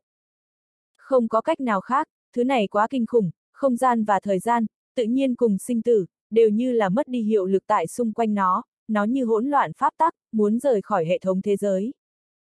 Thậm chí bọn người Khương Phàm hoài nghi, gia hỏa này có thể trực diện đối kháng với kẻ thống trị tuyệt đối của Long tộc, tử kim cự Long, hơn nữa còn sẽ không rơi vào thế hạ phong. Cuối tháng 10, dựa theo Thái Dương đồ đằng cùng huyết mạch kim ô, tặc điều đột phá hàng rào, kiêu ngạo bước lên cảnh giới thần linh. Chọn vẹn hai tháng yên lặng, cuối tháng 12 kỷ nguyên năm 22, thiên hậu được khế ước khích lệ cùng huyết mạch kích phát, côn bằng hoàn thành đột phá, cũng lột xác thành siêu cấp thần thú. Tại thời khắc năm 22 sắp kết thúc, tổng số thần linh tại xí thiên giới cũng đạt tới số lượng 30 kinh người, đạt tới tổng số 2 phần 3 thần linh trên toàn thế giới thời kỳ hòa bình. Thời gian đi đến năm 23. Những hài tử mới sinh tại Thái Sơ Đại Lục kéo thành đàn đến Thương Huyền, cũng có một bộ phận đến từ Bắc Thái Đại Lục và Hải vực mới sinh về tới Thương Huyền. Số lượng hài nhi bên trong xí thiên giới dần dần đạt đến con số chưa từng có, 600 ngàn. Số lượng này còn hơn những gì Khương Phàm mong muốn ban đầu. Mắt thấy nhiều thuộc cấp như vậy trở về, Khương Phàm và bọn người thiên hậu đều kích động không thôi. To rõ tiếng hài nhi khóc thật lớn cũng thành thanh âm vang dội tuyệt vời nhất nhất tại xí thiên giới. Khi Khương Phàm đứng tại vách núi, vung tay hô to hoan nghênh trở về, cái âm thanh, oa ngô, đều nhịp kia đã đáng yêu lại phấn chấn. Nhưng số lượng mấy chục vạn hài nhi, cũng mang đến vấn đề khó giải quyết đám yêu thú gánh không được. Mặc dù có rất nhiều mẫu thân đi theo hài tử đến đây, nhưng số lượng có hạn, không đến 5 vạn người, làm sao có thể thỏa mãn 600 ngàn hài tử. Huống chi, bọn nhỏ cũng không ăn. Mặc cho những mẫu thân kia khó chịu, hài tử là sống chết cũng không há mồm. Cứ như vậy, toàn bộ, gánh nặng, đều đặt ở trên thân mẫu thú trong xí thiên giới. Thời điểm vừa mới bắt đầu, bọn người Tu La còn rất kháng cự, nhưng bọn hắn không chịu nổi cái đói.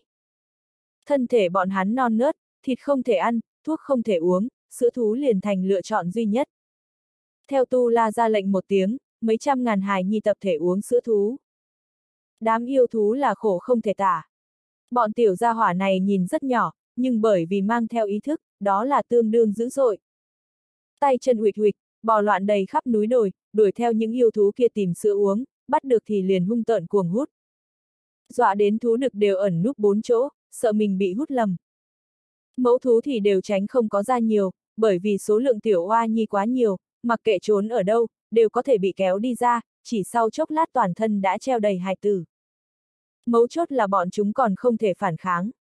Ngay cả khổng tước yêu tộc, kim hống, địa long, kỳ lân và các loại yêu tộc cao quý đều không thể may mắn thoát khỏi cái khó. Không phải bọn chúng không chỗ tránh, mà là vị thần tần vị ương này mỗi ngày xác định định thời gian vị trí khiêng thùng tới muốn sữa. Thật sự là không tiện từ chối. Chọn vẹn hơn nửa năm, toàn bộ xí thiên giới đều vang vọng tiếng hài nhi kêu khóc cùng yêu thú kêu rên. Nhất là cảnh tượng sớm muộn mỗi ngày, Tu La ra lệnh một tiếng, 600 ngàn hài nhi giống như vui chơi nhào vào rừng rậm bao la hùng vĩ, thành phong cảnh tịnh lệ, nhất xí thiên giới. Cơ lăng huyên các nàng thấy lấy lít nha lít nhít hài tử mà đều nhếch miệng, bọn tiểu hoa nhi này như lũ sói con. Cuối cùng đám yêu thú khổ không thể tả đều dứt khoát không giao hợp. Lão nương ta không thụ thai, không có sữa, người hút cái rắm. Khương Phàm chỉ có thể hạ lệnh, đi ra bên ngoài siêu tập mẫu thú, mà còn là tìm kiếm số lượng lớn. Dù sao đó cũng là 600 ngàn, không phải 60, mà là vạn. Số lượng sữa mỗi ngày, thật sự là, khó có thể tưởng tượng. Cũng may thể chất của bọn người tu la vẫn được, quát lên điên cuồng hơn nửa năm, miễn cưỡng có thể ăn chút thứ khác. Nguy cơ lương thực cuối cùng là không có đại bạo phát. Nếu không mấy trăm ngàn chiến hồn không đợi, quật khởi, đã chết đói trước tại xí thiên giới, Khương Phàm không phải khóc chết mới lạ. Tại năm 23 sao động lại bình tĩnh này, bọn người Khương Phàm nghênh đón an bình đã lâu. Tạm thời không cần lo lắng nguy hiểm, cũng không cần ứng đối chiến tranh, cơ hồ tất cả mọi người đều đầu nhập vào trong tu luyện. Bọn hắn lắng động kinh nghiệm chiến tranh tích lũy những năm gần đây. Bọn hắn dọn dẹp tai họa ngầm lưu lại để tiếp tục trưởng thành. Bọn hắn kích ra tiềm lực huyết mạch, tìm hiểu đồ đằng ảo diệu, truy tìm thăng hoa cực hạn. Bọn hắn ngẫu nhiên rời khỏi xí thiên giới, đi ra bên ngoài đại lục luận bàn giao phong, tôi luyện kỹ nghệ, tăng lên thực lực. Vào khoảng tháng 5, hướng vãn tình bằng vào thái âm đồ đằng, thành công trùng kích cảnh giới thần linh. chương 3007 mưu đồ đế thành 1. Khoảng tháng 6, rốt cuộc Khương Bân cũng đã đột phá, lấy huyết mạch tử Kim Thiên Long, biến đổi thành thần cấp chiến thú. Khoảng tháng 9, Dạ An Nhiên tiếp tục bế quan, rốt cuộc cũng tái tạo thế giới ngũ hành thuộc về mình, cũng bước vào cảnh giới thần linh chờ mong đã lâu. Cũng tại tháng 9 này, Kim Ô đột phá hàng rào, bước lên cảnh giới thần linh. Đến tận đây khế ước thú của thiên hậu đã có bốn thần thú, ngoài ra đằng xà, huyền vũ, kim hống, đều tại Thánh Hoàng Đại Viên mãn tìm kiếm thời cơ đột phá. Sau 3 tháng, vào cuối năm 23, Hàn Ngạo đã không phụ kỳ vọng, bằng vào Đại Long đao đột phá hàng rào, hóa thân phong bão hắc long, tấn cấp thần linh cảnh, trở thành vị thần linh thứ 35. Tháng 1 sang năm, Chu Thanh Thọ hoàn thành đột phá, hóa thân thành tinh hà thần tôn. Đến tận đây, hỗn thiên linh bảo toàn bộ thần hóa. Bên trong xí thiên giới không ngừng truyền ra tin vui, để tất cả mọi người phấn chấn, cái này không chỉ là tăng lên thần linh mới, càng quan trọng hơn là thời gian mới qua một nửa. Đến đầu tháng 5 năm 24, rất nhiều thánh vương trải qua dài 2 năm bế quan, lần lượt đột phá đến cảnh giới thánh hoàng, cũng có chút thánh hoàng bước vào thánh hoàng đỉnh phong. Trong hơn 2 năm trưởng thành này, làm cho người ta mong đợi nhất vẫn là các thần ma. Kiều vô hối không phụ cái danh hoàng tử, dẫn đầu tăng lên tới thần linh đỉnh phong. Mặc dù thần hoàng huyết mạch vô vọng trùng kích đế cảnh, nhưng có thể tới thần hoàng đỉnh phong, lại bằng vào thiên phạt kiếm cùng bất diệt đồ đằng, vẫn là cường giả đứng vị trí thứ năm bên trong xí thiên giới. Sau đó chính là Đông Hoàng Như Ảnh, cũng tăng lên tới thần linh đỉnh phong. Tuy nói không võ trưởng thành cực chậm, nhưng bằng vào nghiên cứu vạn cổ thiên thu, cảm ngộ hư không đồ đằng mang tới, cùng linh trụ và hồng hoang chiến đồ khích lệ, nàng vẫn phát triển đến cảnh giới đã từng như cửu thiên thần tôn. Lại có ngu chính uyên, tăng lên tới thần linh đỉnh phong trước bọn người Khương Diễm, cái này là ngoài ý liệu, cũng nằm trong dự liệu. Hỗn độn chiến khu có tiềm lực to lớn, chỉ cần đạt được đầy đủ năng lượng hỗn độn thì có thể trưởng thành vô hạn. Bằng vào hỗn độn đồ đằng, cùng năng lượng hỗn độn bên trong xí thiên giới tiếp tục kích phát, thực lực của hắn tiếp tục tăng vọt. Cuối cùng là Lý Dần, tại thời điểm xuất quan đầu năm 24, đã bước đến cảnh giới thần linh đỉnh phong. Dài đến một năm rưỡi dung hợp, để hắn triệt để nắm huyết mạch hỗn loạn trong tay, cũng dung hợp bất tử truyền thừa, để tiềm lực cùng thực lực của hắn còn cao hơn đế tử ngay lúc đó, lại bằng vào chín viên đế cốt, thực lực của hắn tấn mãnh tiêu thăng, mạnh hơn kiểu vô hối. Tiếc nuối duy nhất là giới chủ. Kéo dài đột phá, không ngừng cố gắng, cuối cùng vẫn không thể hư hóa, mặc dù còn không chịu từ bỏ, vẫn đang tiếp tục tu luyện, nhưng nhìn tình huống hẳn là rất khó thực hiện đột phá trước khi cuộc chiến Đăng Thiên Kiều bộc phát. Tháng 5, năm 2014 Khương Phàm xuất quan, hư hóa biến đổi đã đạt hơn 9 phần, khoảng cách hư hóa toàn diện còn nửa bước. Sau khi hắn cẩn thận kiểm tra tất cả mọi người bế quan, hiểu rõ tình huống các nơi, thì lại mời thiên hậu, đông hoàng như ảnh, dạ an nhiên, hướng vãn tình, tịch nhan cùng kiều hình đang lúc bế quan ra. Hắn muốn đi tinh linh đế tộc, nhìn hài từ nơi đó một chút, giải quyết phiền phức nơi đó. Đương nhiên, còn có nhiệm vụ quan trọng hơn, chứng kiến cánh cửa hư không trở về, tìm kiếm hư không đế thành. Lần tùy hành này, còn có đan hoàng, đông hoàng càn, đông hoàng toại, kiều vô hối, lý dần cùng phụ tử tần vị ương. Các người đây là muốn làm gì đi? Thành đoàn đến tinh linh đế tộc ăn cướp. Trước sinh mệnh thần điện, thiên bảo thánh thụ kinh ngạc nhìn một đoàn người khương phàm đột nhiên giáng lâm. Thiên hậu lại phủ thêm áo choàng, đầu cùng hai tay lộ ra ngoài cũng bắt đầu hư hóa. Cái này hiển nhiên là biểu tượng mạnh hơn thần linh, nhìn trộm bán đế. Những người vậy mà trừ thánh hoàng thì chính là thần linh. Đi đâu? Khương Phàm cẩn thận cảm nhận được năng lượng trong sinh mệnh thần điện lưu động, tìm kiếm lấy cái nguồn năng lượng thần bí kia. Ngài nhất định phải như thế chấp nhất sao? Thiên bảo thánh thụ im lặng. Không cần thiết phải trốn, ta đã biết thân phận của ngươi. Khương Phàm nhìn quanh rừng rậm, nhìn lên bầu trời, thanh âm vang dội. Thân phận ai, ngài đang nói ai? Thiên bảo thánh thụ rõ ràng vừa căng thẳng. Thời điểm ta thỉnh giáo phong đô quỷ hoàng, hắn đều nói tình huống của ngươi cho ta biết. Hắn do tử vong pháp tắc thai ngén, ngươi do sinh mệnh pháp tắc tạo nên. Không chỉ là ngươi, hắn còn giới thiệu tình huống của U Linh đế quân cùng man hoang đế tổ với ta. Khương Phàm trực tiếp bán phong đô quỷ hoàng đi. Nói như vậy hẳn là càng có thể tin, nói không chừng có thể bức nữ tử thần bí kia xuất hiện. Ngài là ma chướng sao? Nơi này thật không có thứ ngài muốn. Nếu ngài là không thuận đi ít đồ không thoải mái, vậy ngài ta mang đi đi. Thiên bảo thánh thụ là thật sự xuất sắng, phong đô quỷ hoàng. Nếu như thế gian có ai biết thân phận của nàng, thật đúng là chỉ có thể là chủ nhân phong đô kia. Khương Phàm trực tiếp uy hiếp, nói. Lần này ta đi tinh linh đế tộc, dự tính khoảng hai tháng. Chờ ta trở lại, hoặc là ngươi xuất hiện cùng ta gặp mặt, thẳng thắn nói một chút, hoặc là ta chuyển thiên bảo thánh thụ cùng toàn bộ sinh mệnh thần điện đến xí thiên giới. Thiên bảo thánh thụ khẽ giật mình, ta chỉ là nói một chút mà thôi, không đến mức làm thật đấy chứ. Còn lại một năm rưỡi, thương huyền lại phải biến thành chiến trường, nếu như ngươi thật có ý bảo vệ thương huyền, cũng hẳn là nên cùng ta gặp mặt. Sau khi nói xong, Khương Phàm lần nữa vẫn ngắm nhìn xung quanh, không có phát hiện năng lượng ba động, liền dẫn bọn người thiên hậu đi đến tế đàn, tiến về tinh linh đế thành. Chỉ là năng lượng của bọn hắn quá mạnh, tế đàn mở ra qua nửa giờ, đế thành nơi đó mới tiếp nhận bên này liên thông. Cho đến khi bọn người Khương Phàm rời khỏi hồi lâu, tế đàn không gian mới khôi phục bình tĩnh, dây leo sen lẫn sâu trong thần điện mới hiện ra một hư ảnh phiêu miểu thần bí, thanh âm thanh lãnh quanh quẩn tại cung điện. Phong đô quỷ hoàng, ngươi vượt biên giới. Tinh linh đế thành. Tế đàn không gian đột nhiên xuyên suốt, đánh thức các tinh linh chấn thủ. Tòa tế đàn này là trực tiếp xuyên suốt đến sinh mệnh thần điện ở Đông Nam Bộ Thương Huyền, theo lý mà nói hẳn không có vấn đề gì, nhưng trình độ dung chuyển của tế đàn quá khoa trương, cường quang sôi trào, như là như cơn lốc quét sạch trời đất, cuồng dã nhấc lên, mênh mông năng lượng xuyên thấu qua tế đàn khuấy động dãy núi, các tinh linh đều kinh hãi thấp thỏm lo âu chương 3008 Mưu đồ đế thành 2 Giống như có đế quân muốn từ bên trong đi ra. Các tinh linh cưỡng ép ngăn chặn tế đàn. Chỉ cần nơi này không tiếp nhận xuyên suốt, con đường không gian sẽ không thành hình, cường giả nơi đó cũng sẽ không thể vượt qua không gian tới đây.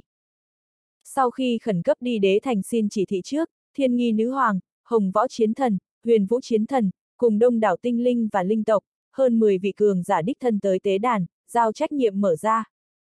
Hai nơi tế đàn xuyên suốt, Khương Phàm mang theo bọn người thiên hậu vượt qua trăm vạn dặm vũ trụ, giáng lâm đến tinh linh đế thành. Chỉ là hai bên vừa gặp mặt, rõ ràng đều run lên. Thiên nghi bên này không nghĩ tới Khương Phàm lại mang theo nhiều người như vậy, còn đã số là nữ tử. Khương Phàm càng không có nghĩ tới thiên nghi lại trực tiếp đứng ở bên ngoài tế đàn, nghênh đón. Phần thiên thần hoàng, người đây là... Hồng võ chiến thần cũng không có cách nào, cái này là mang người nhà đến nhận thân. Ta tính toán thời gian, cánh cửa hư không cũng đã nên tới, ta đến xem. Toàn thân Khương Phàm đều hư vô, nhìn không ra bộ dáng, cũng không thấy sự lúng túng. Chỉ là nhìn. Đó là đương nhiên, ta còn có thể cướp đi hay sao? Khó mà nói được. Ta không phải thổ phỉ. Khương Phàm lắc đầu, đây là lưu lại ấn tượng cho người ta từ lúc nào. Hồng võ chiến thần từ chối cho ý kiến, tỉ mỉ quan sát các nữ tử sau lưng Khương Phàm, trong lòng âm thầm than thở. Đưa mắt nhìn khắp thiên hạ đều không có mấy nữ thần tôn, Khương Phàm ngược lại thì tốt rồi, nữ tử cơ hồ tất cả đều là thần. Dạ an nhiên các nàng thì đều đánh giá thiên nghi nữ hoàng ở khoảng cách gần, mặc dù mang theo mạng che mặt, nhưng vẫn có thể cảm nhận được loại phong tình khác hẳn với nhân tộc kia. Tinh linh là thần linh tự nhiên, lộ ra tinh khiết cùng duy mỹ mà nhân tộc không có, loại khí chất đặc biệt mê người này trên người thiên nghi nữ hoàng càng là đột xuất, như là sự vật xinh đẹp nhất, tinh khiết nhất mỹ ngọc nhất thế gian. Dạ an nhiên cùng Đông Hoàng như ảnh đều sinh ra ý nghĩ phức tạp, cái này thật đúng là không thể nào toàn trách Khương Phàm. Nếu như các nàng là nam tử, có người tuyệt lệ như vậy chủ động tới gần, cũng sẽ cầm giữ không được mất.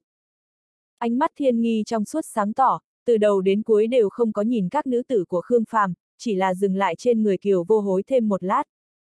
Bất diệt thần hoàng, dị loại trong tộc thần hoàng, tiềm lực bất diệt phát huy đến cực hạn, tại số lượng niết bàn thậm chí mạnh hơn chu tước, là yêu thần cực kỳ khó chơi. Huyền thổ chiến thần thì tập trung vào lý dần, hắn là linh thể trăm vạn dặm đại địa dãy núi thai ngén, rõ ràng đã nhận ra uy lực trên người Sơn Hà Lý Dần. Xin mời. Khương Phàm thấy bọn hắn không có ý tứ mời, thì lại mình cho mời mình. Xin mời. Diệu thiên nữ hoàng có chút nghiêng người, gật đầu mời. Trong chủ điện đế thành, tinh linh đế quân tự mình tiếp đãi một đoàn người Khương Phàm. Mặc dù sớm đã nghe nói thiên hậu siêu thần, nhưng tận nhìn thấy vẫn rất rung động. Mặc dù còn không có chân chính tiếp nhận thiên kiếp khảo nghiệm, bước lên đế cảnh, nhưng từ tiềm lực hiện ra trước mắt đến xem, thiên hậu đã thành công kích phát tiềm lực. Một khi chân chính biến đổi, liền mang ý nghĩa thời gian qua đi trăm vạn năm, nhân tộc đã ra đời đế mạch truyền thừa hoàn toàn mới, đủ để ghi vào sử sách. Còn có Đông Hoàng Càn và Đông Hoàng Toại, vậy mà đều đã là thần linh không gian. Không võ trưởng thành khó bao nhiêu, thiên hạ đều biết, thời kỳ hòa bình một tôn thần linh không gian đủ để chấn nhiếp thiên hạ, mà bên cạnh Khương Phàm bây giờ lại tụ tập ba vị. Tinh linh đế quân đều không thể không rung động trước tầm mắt của cửu thiên thần tôn, trận đánh cực liên quan tới không võ truyền thừa này, hắn hẳn là bên thắng lớn nhất rồi. Đại chiến sắp đến, người còn có tâm tư đến chỗ của ta. Tinh linh đế quân ngồi ngay ngắn ở chỗ cao, cách ánh sáng mê muội bao quanh, thân ảnh mông lung, cũng ngăn cách đế uy. Cánh cửa hư không cũng đã sắp đến, ta đặc biệt tới chứng kiến. Ngươi ở chỗ này, ta không nỡ. Trở về chờ tin tức đi. Ta thật chỉ là tới chứng kiến. Chúng ta sau này cũng là minh hữu, làm sao ta có thể loạn đả chủ ý minh hữu. Chỉ là đến xem, phần thiên thần hoàng, người biết ta đã sống bao nhiêu năm không? 30.000 năm. Ngày ta sinh ra đã xưng đế. 30.000, nhiều năm. Ta sống 32.000 năm, quan sát ngươi trước sau hai đời, ta có thể không hiểu rõ ngươi. Ngươi chứng kiến cánh cửa hư không là giả, mục đích thật sự là muốn tìm kiếm hư không đế thành nhỉ. Ta cảnh cáo ngươi, không thể đụng vào hư không đế thành. Một khi di cốt của hư không đế quân nhận kinh động, ấn ký nguyền rủa của các đế quân khác đều sẽ chịu ảnh hưởng. Nếu như các ngươi nuốt luyện đế cốt, thì không có đế ngân uy hiếp, đế quân khác có thể giết vào thương huyền bất cứ lúc nào. Ta làm sao lại ngốc đến nỗi đi nuốt luyện di cốt hư không đế quân, ta chỉ là... Ha ha, ừm, muốn mời đế thành trở lại thương huyền. Khương Phàm ngượng ngùng cười, mục đích thực sự tới đây thật đúng là muốn kéo hư không đế thành về thương huyền. Năm đó hư không đế thành bị trọng thương, ở trong đó đã không có bảo vật. Trung quy vẫn là đế thành, mặc dù lúc ấy bị thương, nhưng sau đó khẳng định là hư không đế quân đã tiến hành tu sửa tốt hơn. Sau khi ta tiến công Bắc Thái đế thành mới biết được, đế thành có liên hệ cùng hệ thống thế giới, tòa đế thành kia của hư không đế quân tồn tại vài vạn năm, khẳng định cũng là như thế. Ta sẽ không ngu xuẩn đến mức tự mình hủy đế ngấn, ta chỉ là muốn khống chế đế thành, tỏa chấn thương huyền. Đợi cho tương lai các đế quân tập thể giết vào thương huyền, chỉ ít có thể có một nơi an toàn. Tiếp trước thật sự là Khương Phàm chưa đi tấn công qua đế thành hạ giới, càng không biết tình huống thật nơi đó, cho đến sau khi chiến một trận tại Bắc Thái đế thành, hắn mới bắt đầu động tâm tư. Xí thiên giới mặc dù rất mạnh, cũng có thể di chuyển tại hư không, nhưng nếu thật sự là đế quân giáng lâm, liền có thể tùy tiện tìm tới, có thể tiện tay gạt bỏ. Nếu như kéo hư không đế thành về, thì có thể chống cự kiềm chế, cũng có thể chạy đến vũ trụ thâm uyên, hiện giai đoạn còn có thể làm diễn võ trường thần ma. Huống chi, nếu quả như hư không đế thành thật có liên hệ cùng hư không pháp tắc của thế giới, cũng nhất định có thể hiệp trợ Đông Hoàng như ảnh trưởng thành càng nhanh. Bởi vì đồ đằng Đông Hoàng như ảnh lấy được từ Đăng Thiên Kiều chính là hư không. chương 3009 thập nhị thiên môn 1. Tinh linh đế quân yên lặng nhìn Khương Phàm hồi lâu, mới nói. Nếu như hư không đế quân không có gạt ta, cánh cửa hư không sẽ ở hai tháng sau, tức là cuối tháng 7, tái hiện. Nhưng cánh cửa hư không rất đặc biệt, có khả năng sẽ dẫn phát hư không dung chuyển không nhất định. Nếu như động tính quá lớn, chắc chắn sẽ kinh động đế quân khác, đến lúc đó ai trong các người cũng không nên nhúng tay, do ta tự mình xử lý. Nếu như động tính trong phạm vi chịu được, lại nhìn tình huống căn cứ cánh cửa hư không truy tung đế thành. Ta chính là nghĩ như vậy. Khương Phàm cười cười, biểu thị đồng ý. Nhất định phải nghe theo ta an bài, ta không muốn gây nên oanh động. Trước đó là tinh linh đế quân lừa gạt khác đế quân, nếu như đến lúc đó bị phát hiện, các đế quân khẳng định sẽ vô cùng tức giận. Mặc dù các đế quân đều sống mấy vạn năm, có thể ẩn nhẫn rất bình tĩnh, sẽ không tùy tiện đánh mất lý trí, nhưng những sự kiện liên tiếp đã nghiêm trọng khiêu chiến sự chịu đựng của bọn hắn, nếu như lại kích thích một chút, nói không chừng sẽ toàn nổ. Đó là đương nhiên. Khương Phàm tranh thủ thời gian cam đoan.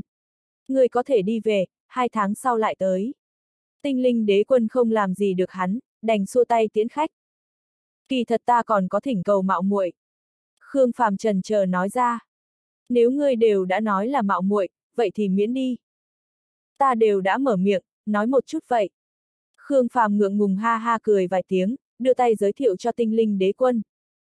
Vị này là Đông Hoàng Như Ảnh, truyền nhân cửu thiên thần tôn khâm định, cảnh giới bây giờ đã là thần linh đỉnh phong. Tinh linh đế quân nhìn xuống Khương Phàm, đôi mắt có chút ngưng tụ, không có nhìn Đông Hoàng Như Ảnh, mà là tập trung vào Khương Phàm.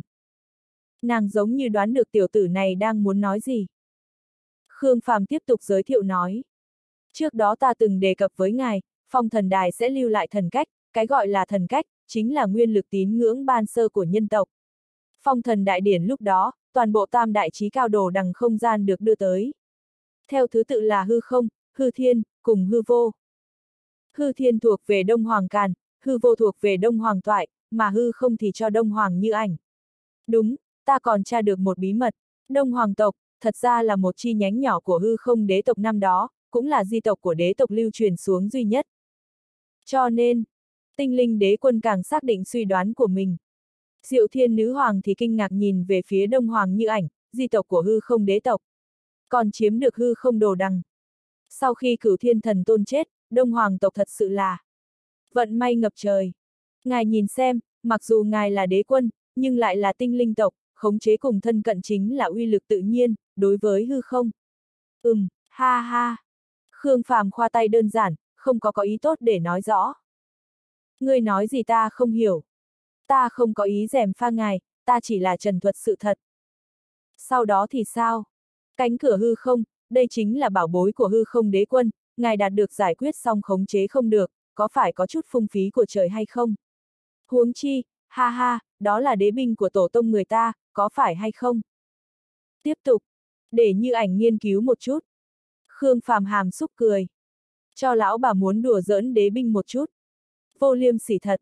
Hồng võ thiên thần ở bên cạnh nhìn mà lắc đầu. Ta là thật không mở miệng loại này chuyện được, người ta thực sự là há miệng liền đến. Huyền thổ chiến thần đều nhìn không được. Ngài suy nghĩ một chút. Khương Phàm giả vờ không nghe thấy, da mặt mỏng, ăn không đến, da mặt dày, ăn đủ.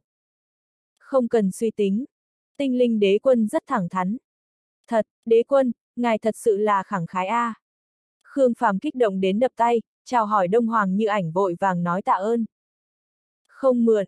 Tinh linh đế quân tức giận. Vì cái cánh cửa hư không, hư không chi môn kia, nàng đợi chừng 30.000 năm, còn chưa tới tay đã muốn chuyển cho người khác. Thật thua thiệt hỗn đản này nói ra được. Đừng đừng đừng, đừng vội vã quyết định nha. Chúng ta chỉ là mượn dùng một một thời gian, sau này là của ngài nha.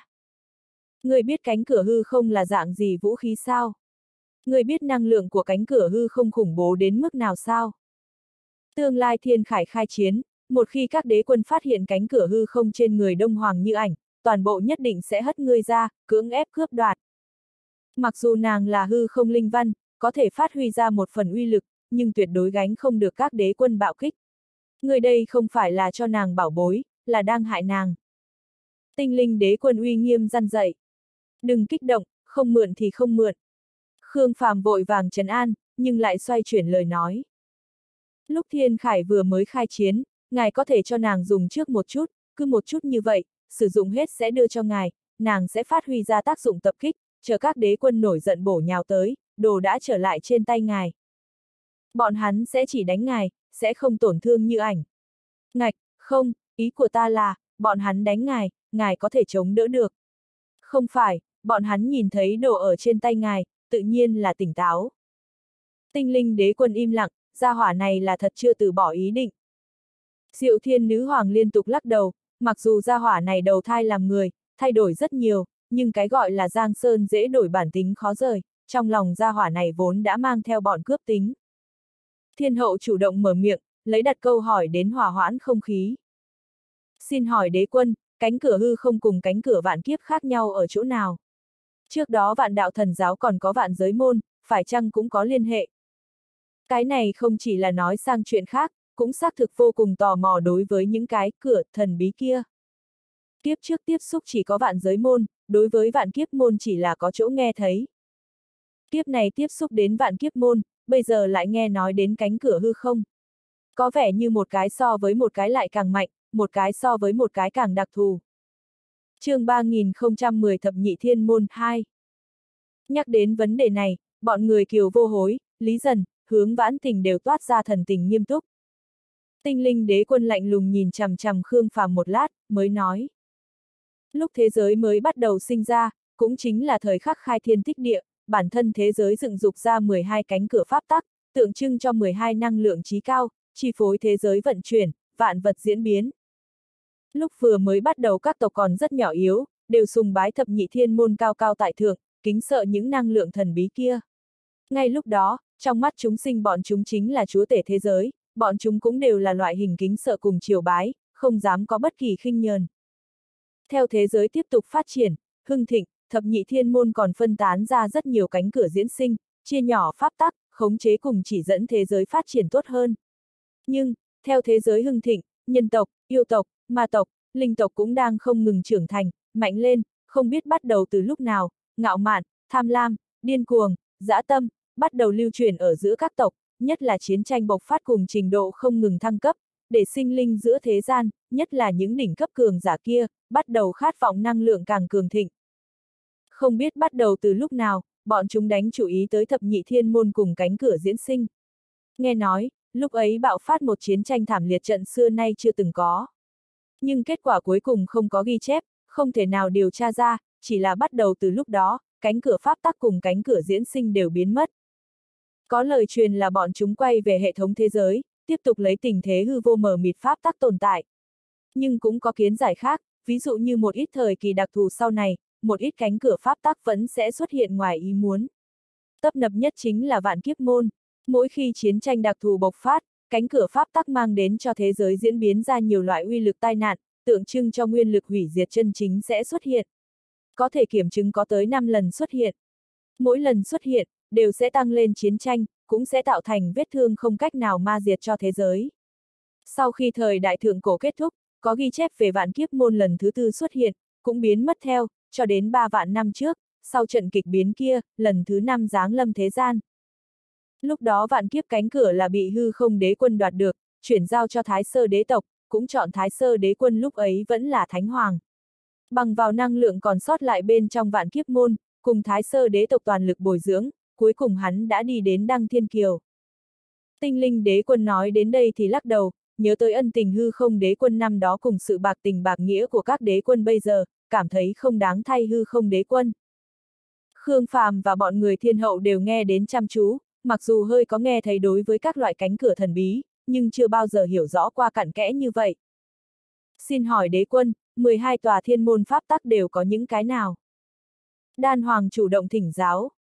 Tiếp trước điều tra, bởi vì dính đến bí mật của thế giới, các bằng hữu những đế quân kia cũng không nguyện ý nhiều lời, không nghĩ tới tinh linh đế quân nhẹ nhàng như vậy trực tiếp nói ngay.